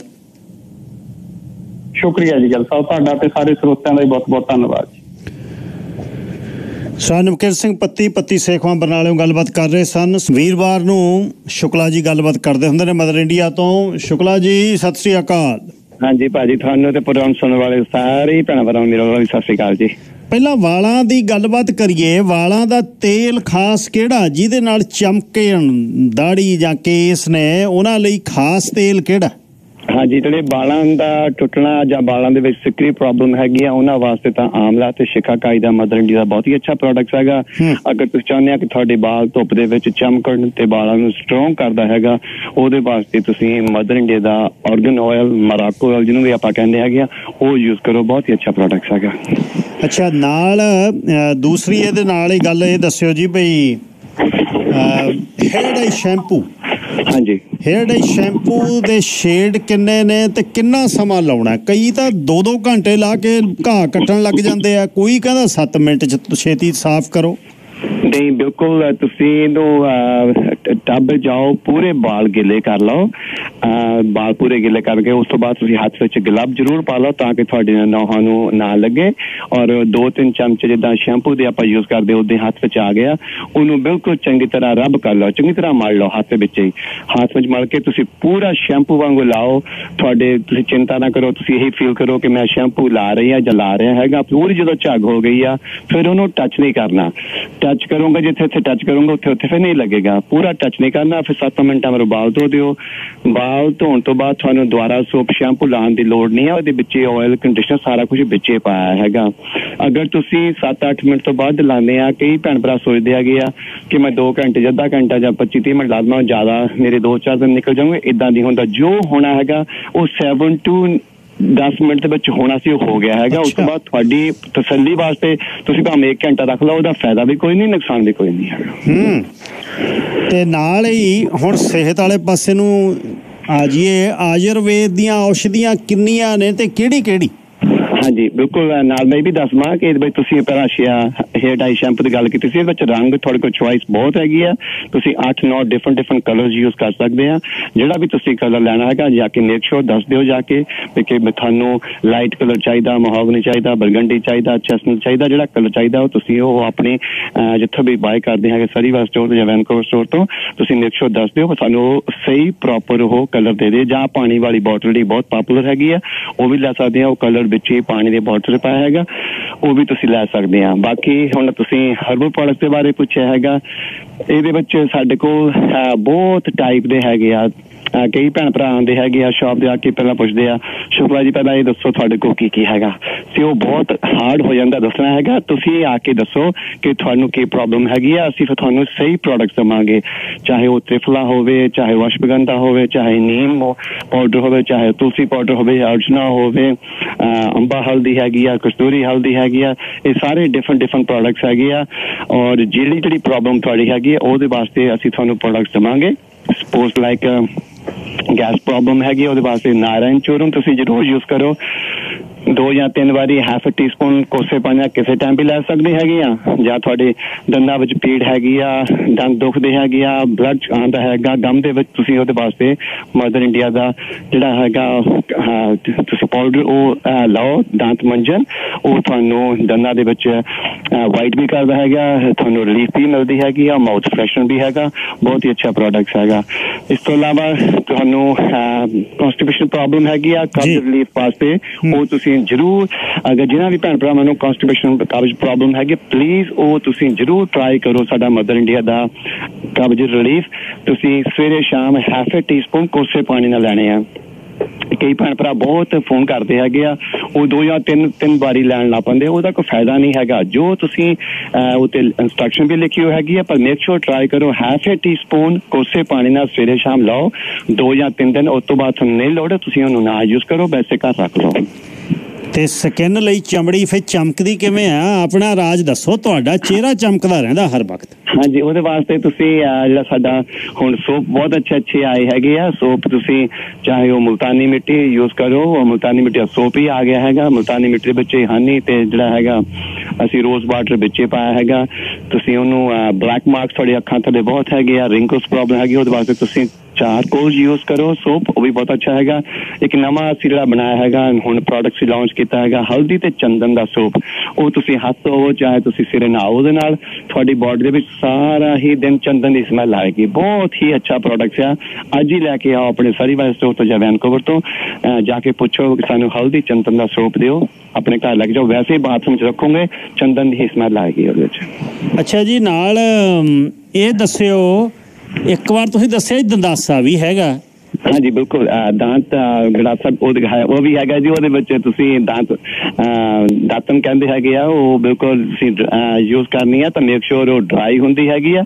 ਰਾਤ ਨੂੰ ਪਾਣੀ ਵਿੱਚ ਭੇਜ ਦਿਓ ਤੇ ਤਾਂ ਕਿ ਉਹ ਸੌਫਟ ਹੋ ਜਵੇ ਪਲੱਸ ਉਹਦੇ ਵਿੱਚ ਰੰਗ ਫਿਰ ਘੱਟ ਲੱਗੇ ਤੁਹਾਡੇ ਦੰਦਾਂ ਨੂੰ ਤੇ ਉਹ ਵੀ ਤੁਹਾਨੂੰ ਮਿਲ ਜਾਂਦਾ ਹੈਗਾ ਮਦਨ ਇੰਡੀਆ ਸਟੋਰ ਤੇ ਤੁਸੀਂ ਆ ਕੇ ਲਿਜਾ ਸਕਦੇ ਹੈਗੇ ਆ। ਅੱਛਾ ਨਾਲ ਜਿਹੜਾ ਧੂਫਾਂ ਦਾ ਤੇ ਇਤਰਾਂ ਦਾ ਸਮੇਲ ਆ, ਇਹ ਵੀ ਦੱਸੋ। ਹਾਂਜੀ, ਸਾਡੇ ਕੋਲੇ ਅਤਰ ਹੈਗੇ ਆ, ਉਹ ਅਸੀਂ ਪੈਕਿੰਗ ਵੀ ਚੇਂਜ ਕਰਤੀ ਹੈਗੀ ਆ ਕੁਆਂਟੀ ਵੀ ਡਬਲ ਡਬਲ ਤੋਂ ਜ਼ਿਆਦਾ ਕਰਤੀ ਹੈ ਪਹਿਲਾਂ 2 ml ਦੀ ਬੋਟਲ ਸੀ, ਹੁਣ 5 ml ਦੀ ਬੋਟਲ ਆ। ਉਹ ਤੁਹਾਡੇ ਕੋਲ ਚੁਆਇਸ ਹੈਗੀ ਆ ਬਿਲਕੁਲ ਲੀਕ ਨਹੀਂ ਕਰਦਾ ਹੈਗਾ, ਬਹੁਤ ਹੀ ਅੱਛਾ ਪ੍ਰੋਡਕਟ ਹੈਗਾ। ਔਰ ਸਪੈਸ਼ਲੀ ਜਿਹੜਾ ਮੇਰਾ ਫੇਵਰਟ ਹੈਗਾ, ਉਹ ਵਾਈਟ ਮਸਕ ਵਾਈਟ ਮਸਕ ਬਹੁਤ ਹੀ ਜੈਂਟਲ ਅਤਰ ਹੈਗਾ। ਬਾਕੀ ਤੁਸੀਂ ਤੁਹਾਡੀ ਆਪਣੀ ਚੁਆਇਸ ਹੈਗੀ ਆ ਚਾਹੇ ਜੈਸਮਿਨ ਲਓ ਰੋਜ਼ ਲਓ ਲੈਵੈਂਡਰ ਲਓ, ਚੰਦਨ ਲਓ। ਪਰ ਵਾਈਟ ਮਾਸਕ ਵੀ ਜੋ ਟਰਾਈ ਕਰੋ। ਕਈ ਭੈਣ ਭਰਾ ਪੁੱਛਦੇ ਹੈਗੇ ਆ ਕਿ ਇਹ ਵੀਰਾਂ ਵਾਸਤੇ ਹੀ ਆ, ਭੈਣਾਂ ਵੀ ਯੂਜ਼ ਕਰ ਸਕਦੇ ਕੋਈ ਵੀ ਯੂਜ਼ ਕਰ ਸਕਦਾ ਹੈਗਾ। ਅਸਰ ਤਾਂ ਅਤਰ ਹੀ ਆ, ਤੁਸੀਂ ਇਸ ਪਰਫਿਊਮ ਨੂੰ, ਅਹ ਕੋਈ ਵੀ ਯੂਜ਼ ਕਰ ਸਕਦਾ। ਜ਼ਰੂਰ ਲੈ ਕੇ ਆਓ ਸਟੋਰ ਤੋਂ ਜਾ ਕੇ ਅਜੇ। ਇਸ ਦੇ ਨਾਲ ਤੁਹਾਡੇ ਕੋਲ ਅਗਰਬੱਤੀ, ਜਿਹਦੇ ਵਿੱਚ ਤੁਹਾਨੂੰ ਬਹੁਤ ਹੀ ਚੁਆਇਸ ਹੈਗੀ ਆ, ਚਾਹੇ ਉਹ ਰੋਜ਼ ਹੋਵੇ, ਚੰਦਨ ਲੈਵੈਂਡਰ ਮੋਗਰਾ ਜੈਸਮਿਨ ਪੀਸ ਮੈਡੀਟੇਸ਼ਨਸ ਓਮ ਔਰ ਚਾਹੇ ਉਹ ਕੋਨ ਵਿੱਚ ਲੈਣੀ ਹੈਗੀ ਆ, ਚਾਹੇ 2.5 ਘੰਟੇ ਵਾਲੀ ਅਗਰਬੱਤੀ ਲੈਣੀ ਹੈ ਜਿਹਦੇ ਵਿੱਚ ਕੋਈ ਕੈਮੀਕਲਸ ਨਹੀਂ, ਕਾਲਾ ਧੂਆਂ ਨਹੀਂ ਹੈ, ਆਪਣੀ ਚੁਆਇਸ ਦੀ ਜਿਹੜਾ ਕਿ ਫ੍ਰੈਗਰੈਂਸ ਤੁਸੀਂ ਲਾਈਕ ਕਰਦੇ ਆ, ਜਰੂਰ ਜਾ ਕੇ ਟਰਾਈ ਕਰੋ, ਅਗਰ ਤੁਸੀਂ ਵੈਨਕੂਵਰ ਸਟੋਰ ਤੋਂ ਵੀ ਲੈ ਸਕਦੇ ਆ, ਜਾਂ ਤੁਸੀਂ ਸਰੀ ਸਟੋਰ ਵਾਸਤੇ ਵੀ ਜਾ ਸਕਦੇ ਆ। ਸਰੀ ਦਾ ਐਡਰੈਸ 7475 135 ਸਟੇਟ ਯੂਰੋ ਨੰਬਰ 125 ਅੱਛਾ ਸ਼ੁਕਲਾ ਜੀ ਇੱਕ ਗੱਲ ਹੋਰ ਜਿਹੜੀ ਰਹਿ ਗਈ ਘਰ ਦੇ। ਵਿੱਚ ਹਾਂਜੀ ਸਜਾਉਣ ਦੇ ਲਈ ਤੁਹਾਡੇ ਕੋਲ ਛੋਟੇ ਛੋਟੀਆਂ ਚੀਜ਼ਾਂ ਨੇ ਜਿਹੜੀਆਂ ਕੰਧਾਂ ਤੇ ਆਪਣੇ ਇੱਕ ਕੋਈ ਕੰਸ ਹੋਵੇ ਕੋਈ ਥੋੜਾ ਜੀ ਕੋਈ ਟੇਬਲ ਹੋਵੇ ਉਹ ਤੇ ਰੱਖਣ ਲਈ ਉਹਨਾਂ ਬਾਰੇ ਵੀ ਦੱਸੋ ਹਾਂਜੀ ਬਿਲਕੁਲ ਉਹਨੂੰ ਚੌਂਕੀਆ ਕਹਿੰਦੇ। ਚੌਂਕੀ ਨੂੰ ਕਿਸੇ ਟਾਈਮ ਤੁਸੀਂ ਕਿਸੇ ਵੀ ਪਰਪਸ ਵਾਸਤੇ ਯੂਜ਼ ਕਰ ਸਕਦੇ ਹੈਗੇ ਚੌਂਕੀ ਦੇ ਡਿਫਰੈਂਟ ਡਿਫਰੈਂਟ ਸਾਈਜ਼ ਹੈਗੇ ਆ। ਚਾਹੇ ਉਹ 4 ਇੰਚ ਤੋਂ ਲੈ ਕੇ 6 ਇੰਚ ਤੱਕ ਜਾਂ ਇਵਨ ਤੁਸੀਂ ਬੜਾ ਕੋਈ ਬੜਾ ਪ੍ਰੋਡਕਟ ਰੱਖਣਾ ਹੈਗਾ ਵੈਸੇ ਘਰ ਵਿੱਚ ਡੈਕੋਰੇਸ਼ਨ ਕਰਨੀ ਹੈਗੀ ਆ ਲਿਵਿੰਗ ਰੂਮ ਵਿੱਚ ਰੱਖਣਾ ਮੰਗਦੇ ਹੈਗੇ ਆ ਉਹ ਡਿਫਰੈਂਟ ਡਿਫਰੈਂਟ ਟਾਈਪ ਦੇ ਵਿੱਚ ਚੌਂਕੀਆਂ ਆਉਂਦੀਆਂ। ਲੱਕੜ ਦੀਆਂ ਹੁੰਦੀਆਂ, ਕੱਪੜੇ ਨਾਲ ਵੀ ਡੈਕੋਰੇਟ ਕੀਤੀਆਂ ਹੁੰਦੀਆਂ, ਇੱਕ ਮੈਟਲ ਦੀਆਂ ਹੁੰਦੀਆਂ ਫॉर ਲਾਈਫ ਵਾਸਤੇ। ਇਹ ਸਾਰੀਆਂ ਚੌਂਕੀਆਂ ਤੁਹਾਨੂੰ ਮਦਰ ਇੰਡੀਆ ਸਟੋਰ ਤੇ ਮਿਲ ਜਾਣੀ ਹੋਰ ਡੈਕੋਰੇਸ਼ਨ ਦੀਆਂ ਆਈਟਮਾਂ ਚਾਹੇ ਪੂਜਾ ਦਾ ਸਮਾਨ ਹੋਵੇ, ਚਾਹੇ ਕੰਸ ਦੇ ਭਾਂਡੇ ਹੋਣ ਕਹੇ ਦੇ ਭਾਂਡੇ ਹੋਣ, ਬਰਾਸ ਦੇ ਕਾਪਰ ਦੇ, ਇਹ ਸਾਰਾ ਸਮਾਨ ਤੁਹਾਨੂੰ ਮਦਰ ਇੰਡੀਆ ਸਟੋਰ ਤੇ ਤਕਰੀਬਨ ਮਿਲ ਜਾਂਦਾ। ਅਗਰ ਕਿਸੇ ਕਾਰਨ ਸਾਡਾ ਸਮਾਨ ਤੁਹਾਡੇ ਸ਼ਹਿਰ ਜਾਂ ਟਾਊਨ 'ਚ ਨਹੀਂ ਮਿਲਦਾ please do call 604 430 6072 minimum order ਦਿਓ ਅਮਰੀਕਾ ਕੈਨੇਡਾ ਵਿੱਚ ਅਸੀਂ ਬਿਲਕੁਲ ਫ੍ਰੀ ਡਿਲੀਵਰੀ ਕਰਦੇ ਹਾਂ ਯੂਰਪ ਵਿੱਚ ਵੀ ਕਰਦੇ ਹੈਗੇ ਆ ਔਰ ਤੁਸੀਂ ਹੁਣ ਸਾਡਾ ਪ੍ਰੋਡਕਟ ਹਮੇਸ਼ਾ ਦੱਸਦੇ ਆ ਆਸਟ੍ਰੇਲੀਆ ਵਿੱਚ ਵੀ ਲੈ ਸਕਦੇ ਆ ਤੋਂ ਨੈਕਸਟ ਜਿਹੜੇ ਵੀ ਭੈਣ ਭਰਾ ਸਾਡੇ ਆਸਟ੍ਰੇਲੀਆ ਵਾਲੇ ਪ੍ਰੋਗਰਾਮ ਸੁਣਦੇ ਹੈਗੇ ਆ ਅਗਲਾ ਪ੍ਰੋਗਰਾਮ ਅਸੀਂ ਆਸਟ੍ਰੇਲੀਆ ਤੋਂ ਹੀ ਕਰਾਂਗੇ। ਤੁਹਾਡੇ ਨਾਲ ਤੇ ਉੱਥੋਂ ਫਿਰ ਬ੍ਰਿਸਬਨ ਤੋਂ ਜਿਹੜੇ ਵੀ ਭੈਣ ਭਰਾ ਆਣਗੇ ਸਟੋਰ ਦੇ ਉੱਥੇ ਉਹਨਾਂ ਨੂੰ ਮਿਲਾਂਗੇ ਵੀ ਤੇ ਨਾਲੇ ਆਸਟ੍ਰੇਲੀਆ ਤੋਂ ਹੀ ਅਸੀਂ ਨੈਕਸਟ ਥਰਸਡੇ ਪ੍ਰੋਗਰਾਮ ਕਰਾਂਗੇ। ਕਮਾਲ ਕਰਤੀ। ਤੇ ਫਿਰ ਜਾਂਦੇ ਹੋਏ ਸੁਣਾ ਜੋ ਰੱਬ ਲੱਗਦੀ।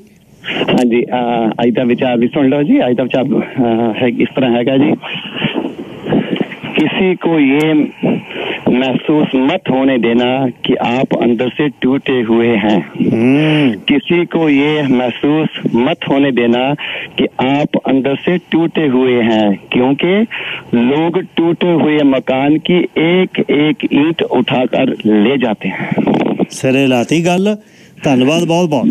ਥੈਂਕ ਯੂ ਸੋ ਮਚ ਸਤਿ ਸ਼੍ਰੀ ਅਕਾਲ ਜੀ। ਸਤਿ ਸ਼੍ਰੀ ਅਕਾਲ ਜੀ। ਸ਼ੁਕਲਾ ਜੀ ਗੱਲਬਾਤ ਕਰ ਰਹੇ ਸੀ ਮਦਰ ਇੰਡੀਆ ਤੋਂ ਸਟੋਰ 50 ਐਵਨਿਊ ਤੇ ਮੇਨ ਤੇ। ਸ਼ੁਕਲਾ ਜੀ ਨੂੰ ਬਹੁਤ ਸਮਾਂ ਹੋ ਗਿਆ ਮੇਨ ਸਟਰੀਟ ਤੇ ਹੀ ਸਾਰਾ ਬਿਜ਼ਨਸ ਕਰਦੇ। ਦੂਸਰਾ ਸਟੋਰ ਸਰੀ ਦਾ 7475 ਸਟਰੀਟ ਕੌਸਕੋ ਦੇ ਆਪੋਜ਼ਿਟ ਬੈਂਕ ਹਾਲ ਦੇ ਥੱਲੇ। 125 ਨੰਬਰ ਯੂਨਿਟ ਲੋ ਜੀ ਹੁਣ ਖਬਰਾਂ ਸਿਖਣਾ ਕੇ ਆ ਕੇ ਚੈਰੀ ਵਾਲਿਆਂ ਦੀ ਗੱਲ ਕਰਨੀ ਹੈ। ਮੈਂ ਗੱਲ ਜਦ ਵੀ ਕਰਦਾ ਹੈ, ਫਾਰਮਰ ਕਹਿ ਦਿੰਦੇ ਨੇ ਮੈਨੂੰ ਗੱਲ ਕਰ ਲਈ, ਪਰ ਸ਼ਾਮਲ ਹੋ ਕੇ ਆਪਣੀ ਦੱਸਦੇ ਨਹੀਂ, ਮੁਸ਼ਕਲ ਕੀ ਹੈ। ਇਸ ਵਾਰ ਦੇ ਟੂਰ ਦੇ ਵਿੱਚ ਮੋਟਰਸਾਈਕਲ ਦੇ ਸਾਰਿਆਂ ਨੂੰ ਮਿਲ ਕੇ ਆਇਆ, ਸਾਰੇ ਹੀ ਤੰਗ ਨੇ ਤੇ ਅੱਜ ਗੱਲ ਕਰਦੇ ਹਾਂ। ਲੋ ਜੀ, ਮੇਲਾ ਐਵਸਫੋਰਡ ਵਾਲਾ ਆ ਗਿਆ, ਇੰਡੋ ਕੈਨੇਡੀਅਨ ਯੂਥ ਕਲੱਬ ਦਾ। ਮਸ਼ਹੂਰ ਮੇਲਾ ਇਹ ਇਸ ਐਤਵਾਰ ਨੂੰ ਤੇ ਖੁੱਲਾ ਖਾੜਾ ਹੁੰਦਾ ਹੈ ਤੇ ਸਟੇਡੀਅਮ ਦੇ ਵਿੱਚ ਬਹਿ ਜਾਂਦੇ ਨੇ ਦਰਸ਼ਕ ਆ ਕੇ, ਧੁੱਪ ਨਹੀਂ ਲੱਗਦੀ ਤੇ ਮੂਹਰੇ ਖਾੜਾ ਫੇ ਖੁੱਲਾ ਲੱਗਦਾ। ਹਰਪ੍ਰੀਤ ਢਿੱਲੋਂ, ਜੱਸੀ ਕੌਰ, ਅਮਨ ਰੋਜ਼ੀ, ਗੀਤਾ ਜੈਲਦਾਰ, ਬਲਕਾਰ ਅਣਖੀਲਾ ਤੇ ਮਨਜਿੰਦਰ ਗੁਲਸ਼ਨ, ਬੁੱਕਣ ਜੱਟ, ਜੱਸਾ ਬਰਨਾਲੇ ਵਾਲਾ ਜੌਨ ਬੇਦੀ ਤੇ ਹੈਰੀ ਸੰਧੂ। ਇਹਨਾਂ ਨੇ ਗਾਉਣਾ। ਬਾਬਾ ਕਰਮ ਸਿੰਘ ਬੱਬਰ ਦੀ ਯਾਦ ਦੇ ਵਿੱਚ ਇਹ ਮੇਲਾ ਹੋ ਰਿਹਾ ਜੁਲਾਈ 30 ਨੂੰ। ਕੋਈ ਜਾਣਕਾਰੀ ਲੈਣੀ ਹੈ ਜੋਧਾ ਚੱਕਰ 604 825 8315 ਸੁਖਾ ਸ਼ੇਰਪੁਰ 7787790300 ਹਰਵਿੰਦਰ ਸਿੰਘ ਤੂਰ, ਸਵਦੀ ਨੈਣਾ ਦੀ 604 825 3839 ਇਹਨਾਂ ਨਾਲ ਗੱਲਬਾਤ ਕਰਿਓ। ਪਹਿਲੇ ਮੇਲੇ, ਪਹਿਲਾ ਜਿਹੜਾ ਮੇਲਾ ਇੰਡੋ ਕੈਨੇਡੀਅਨ ਯੂਥ ਕਲੱਬ ਨੇ ਸ਼ੁਰੂ ਕੀਤਾ ਹੈ। ਐਬਸਪੋਰਟ ਦੇ ਵਿੱਚ ਵੱਡਾ ਮੇਲਾ ਹੁੰਦਾ ਸੀ। ਤੇ ਤੁਸੀਂ ਇਹਨਾਂ ਨਾਲ ਗੱਲਬਾਤ ਕਰ ਸਕਦੇ ਹੋ, ਕੋਈ ਜਾਣਕਾਰੀ ਚਾਹੀਦੀ ਹੋਵੇ ਤਾਂ। ਤੇ ਕੱਲ ਨੂੰ ਗਵੰਤਰੀ ਵੀ ਆਉਣਗੇ। ਤਾਂ ਗੁਰਦੁਆਰਾ ਸਾਹਿਬ ਐਬਸਫੋਰਡ ਦਾ ਜਿਹੜਾ ਸਾਡਾ ਮਾਣ ਹੈ, ਸੱਜੇ ਬੰਨੇ। ਹੁਣ ਮੁੰਡਾ ਮਨਜਿੰਦਰ ਸਿੰਘ ਗਿੱਲ ਲੱਗਿਆ ਹੈ ਮੁੱਖ ਸੇਵਾਦਾਰ ਤੇ ਸਾਰੇ ਰਲ ਕੇ ਕੋਸ਼ਿਸ਼ ਕਰ ਰਹੇ ਨੇ ਕਿ ਪੈਰੀ ਸਾਰੀ ਗੱਲ ਕੀਤੀ ਜਾਵੇ, ਸਾਰਾ ਠੀਕ ਕੀਤਾ ਜਾਵੇ।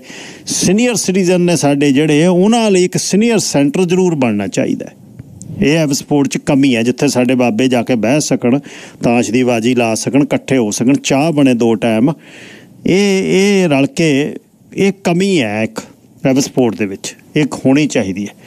ਗੁਰਦੁਆਰਾ ਸਾਹਿਬ 'ਚ ਜੇ ਪਿੱਛੇ ਜਗ੍ਹਾ ਉੱਥੇ ਹੀ ਬਣਾ ਦਿਓ ਚਾਹੇ। ਲਓ ਵੀ ਚੈਰੀਏ ਦੀ ਗੱਲ ਕਰਨੀ ਹੈ ਤੇ ਨਾਲੇ ਕੱਲ ਉਹਦੇ ਨਾਲ ਹੀ ਰਾਈਡ ਦਾ ਇੱਕ ਵਾਰ ਫੇਰ ਹਾਲ ਤੁਹਾਨੂੰ ਸ਼ਹਿਰਾਂ ਦੀ ਗੱਲ ਦੱਸਦਾ ਤੇ ਨਾਲੇ ਦੱਸਦਾ ਵੀ ਚੈਰੀ ਕਿਵੇਂ ਰੁਲ ਰਹੀ ਹੈ। ਹੁਣੇ ਮੁੜ ਕੇ ਆ ਕੇ ਤੇ ਜਿੰਨੇ ਚੈਰੀ ਗਰੋਅਰ ਨੇ, ਜਿੰਨੇ ਨੰਬਰ 3 ਦੇ ਨਾਲ ਨਾਲ ਨੇ ਕ੍ਰੈਸਟਨ ਤੋਂ ਲੈ ਕੇ ਕਰਮੀਅਸ ਤੱਕ, ਓਲੀਵਰ ਤੱਕ ਸੋਇਸ ਓਲੀਵਰ ਤੇ ਪ੍ਰਿੰਸਟਨ, ਪੈਂਟਿੰਗਟਨ ਦੇ ਏਰੀਆ 'ਚ ਜਿੱਥੇ ਵੀ ਚੈਰੀ ਉਤਪਾਦਕ ਨੇ 5-5 ਡਾਲਰ ਨੂੰ ਪਾਉਂਡ ਵਿਕਦੀ ਚੈਰੀ ਕੋਈ 2 ਡਾਲਰ ਨੂੰ ਨਹੀਂ ਲੈ ਰਿਹਾ, ਤੜਾਈ ਵੀ ਨਹੀਂ ਮਿਲ ਰਹੀ। ਇਸ ਦੀ ਗੱਲ ਕਰਦਾ ਆ ਕੇ ਹੁਣੇ। ਖਖੜੀਆਂ ਕਰੇਲੇ ਹੋਏ ਪਏ ਆ। ਕੋਈ ਕਿਸੇ ਦੀ ਸਾਰ ਨਹੀਂ ਲੈਂਦਾ। ਰਲ ਕੇ ਅਸੀਂ ਬਹਿੰਦੇ ਨਹੀਂ। ਚੱਕਾ ਜਾਮ ਕਰਨ ਵਾਲੀ ਸਾਡੇ ਕੋਲ ਸਿਚੁਏਸ਼ਨ ਹੈ ਨਹੀਂ। ਸ਼ਰੀਕੇਬਾਜੀ ਪੂਰੀ ਹੈ ਵੀ ਜਿਹੜਾ ਮੂਹਰੇ ਖੜਾ ਹੈ, ਇਹ ਤੇ ਕਚੂਮਰ ਕੱਢ ਰਹੇ ਨੇ ਪੈਸੇ ਬਣਾਉਣ ਵਾਲੇ। ਦੁੱਧ ਡੈਰੀਆਂ ਜਿਹੜੀਆਂ ਨੇ, ਗਾਵਾਂ ਦਿੰਦੀਆਂ ਇੱਥੇ। ਲੇਵੇ ਕਿੱਡੇ ਕਿੱਡੇ ਨੇ 25 25 ਲੀਟਰ ਇੱਕ ਵਾਰ ਭਰਦੀਆਂ ਦੋਣੀ। ਗਟਰ ਤਾਂ ਕਰ ਦੇਣਗੇ। ਜੇਠ ਨੂੰ ਮੱਸੀ ਦੀ ਮਿੱਸੀ ਦੀ ਰੋਟੀ ਨਹੀਂ ਦੇਣੀ, ਬਲਦ ਨੂੰ ਚਾਰ ਦੇਣਗੇ। ਉਹ ਕਹਾਣੀ ਹੈ, ਜਿਹੜਾ ਦੁੱਧ ਦਾ ਗਟਰ ਤਾਂ ਕਰ ਦੇਣਗੇ, ਪਰ 5.5 ਡਾਲਰ ਤੋਂ 4.5 ਦਾ ਨਹੀਂ ਕਰਨਾ, ਕਿਉਂਕਿ ਅਗਲੇ ਦਾ ਜ਼ੋਰ ਹੈ। ਮੁਰਗੀ ਖਾਨਾ, ਜਾਂ ਤਾਂ ਖੋਲ ਕੇ ਦਿਖਾ ਤੂੰ। ਕੋਟੇ ਮਿਲੇ ਹੋਏ ਨੇ।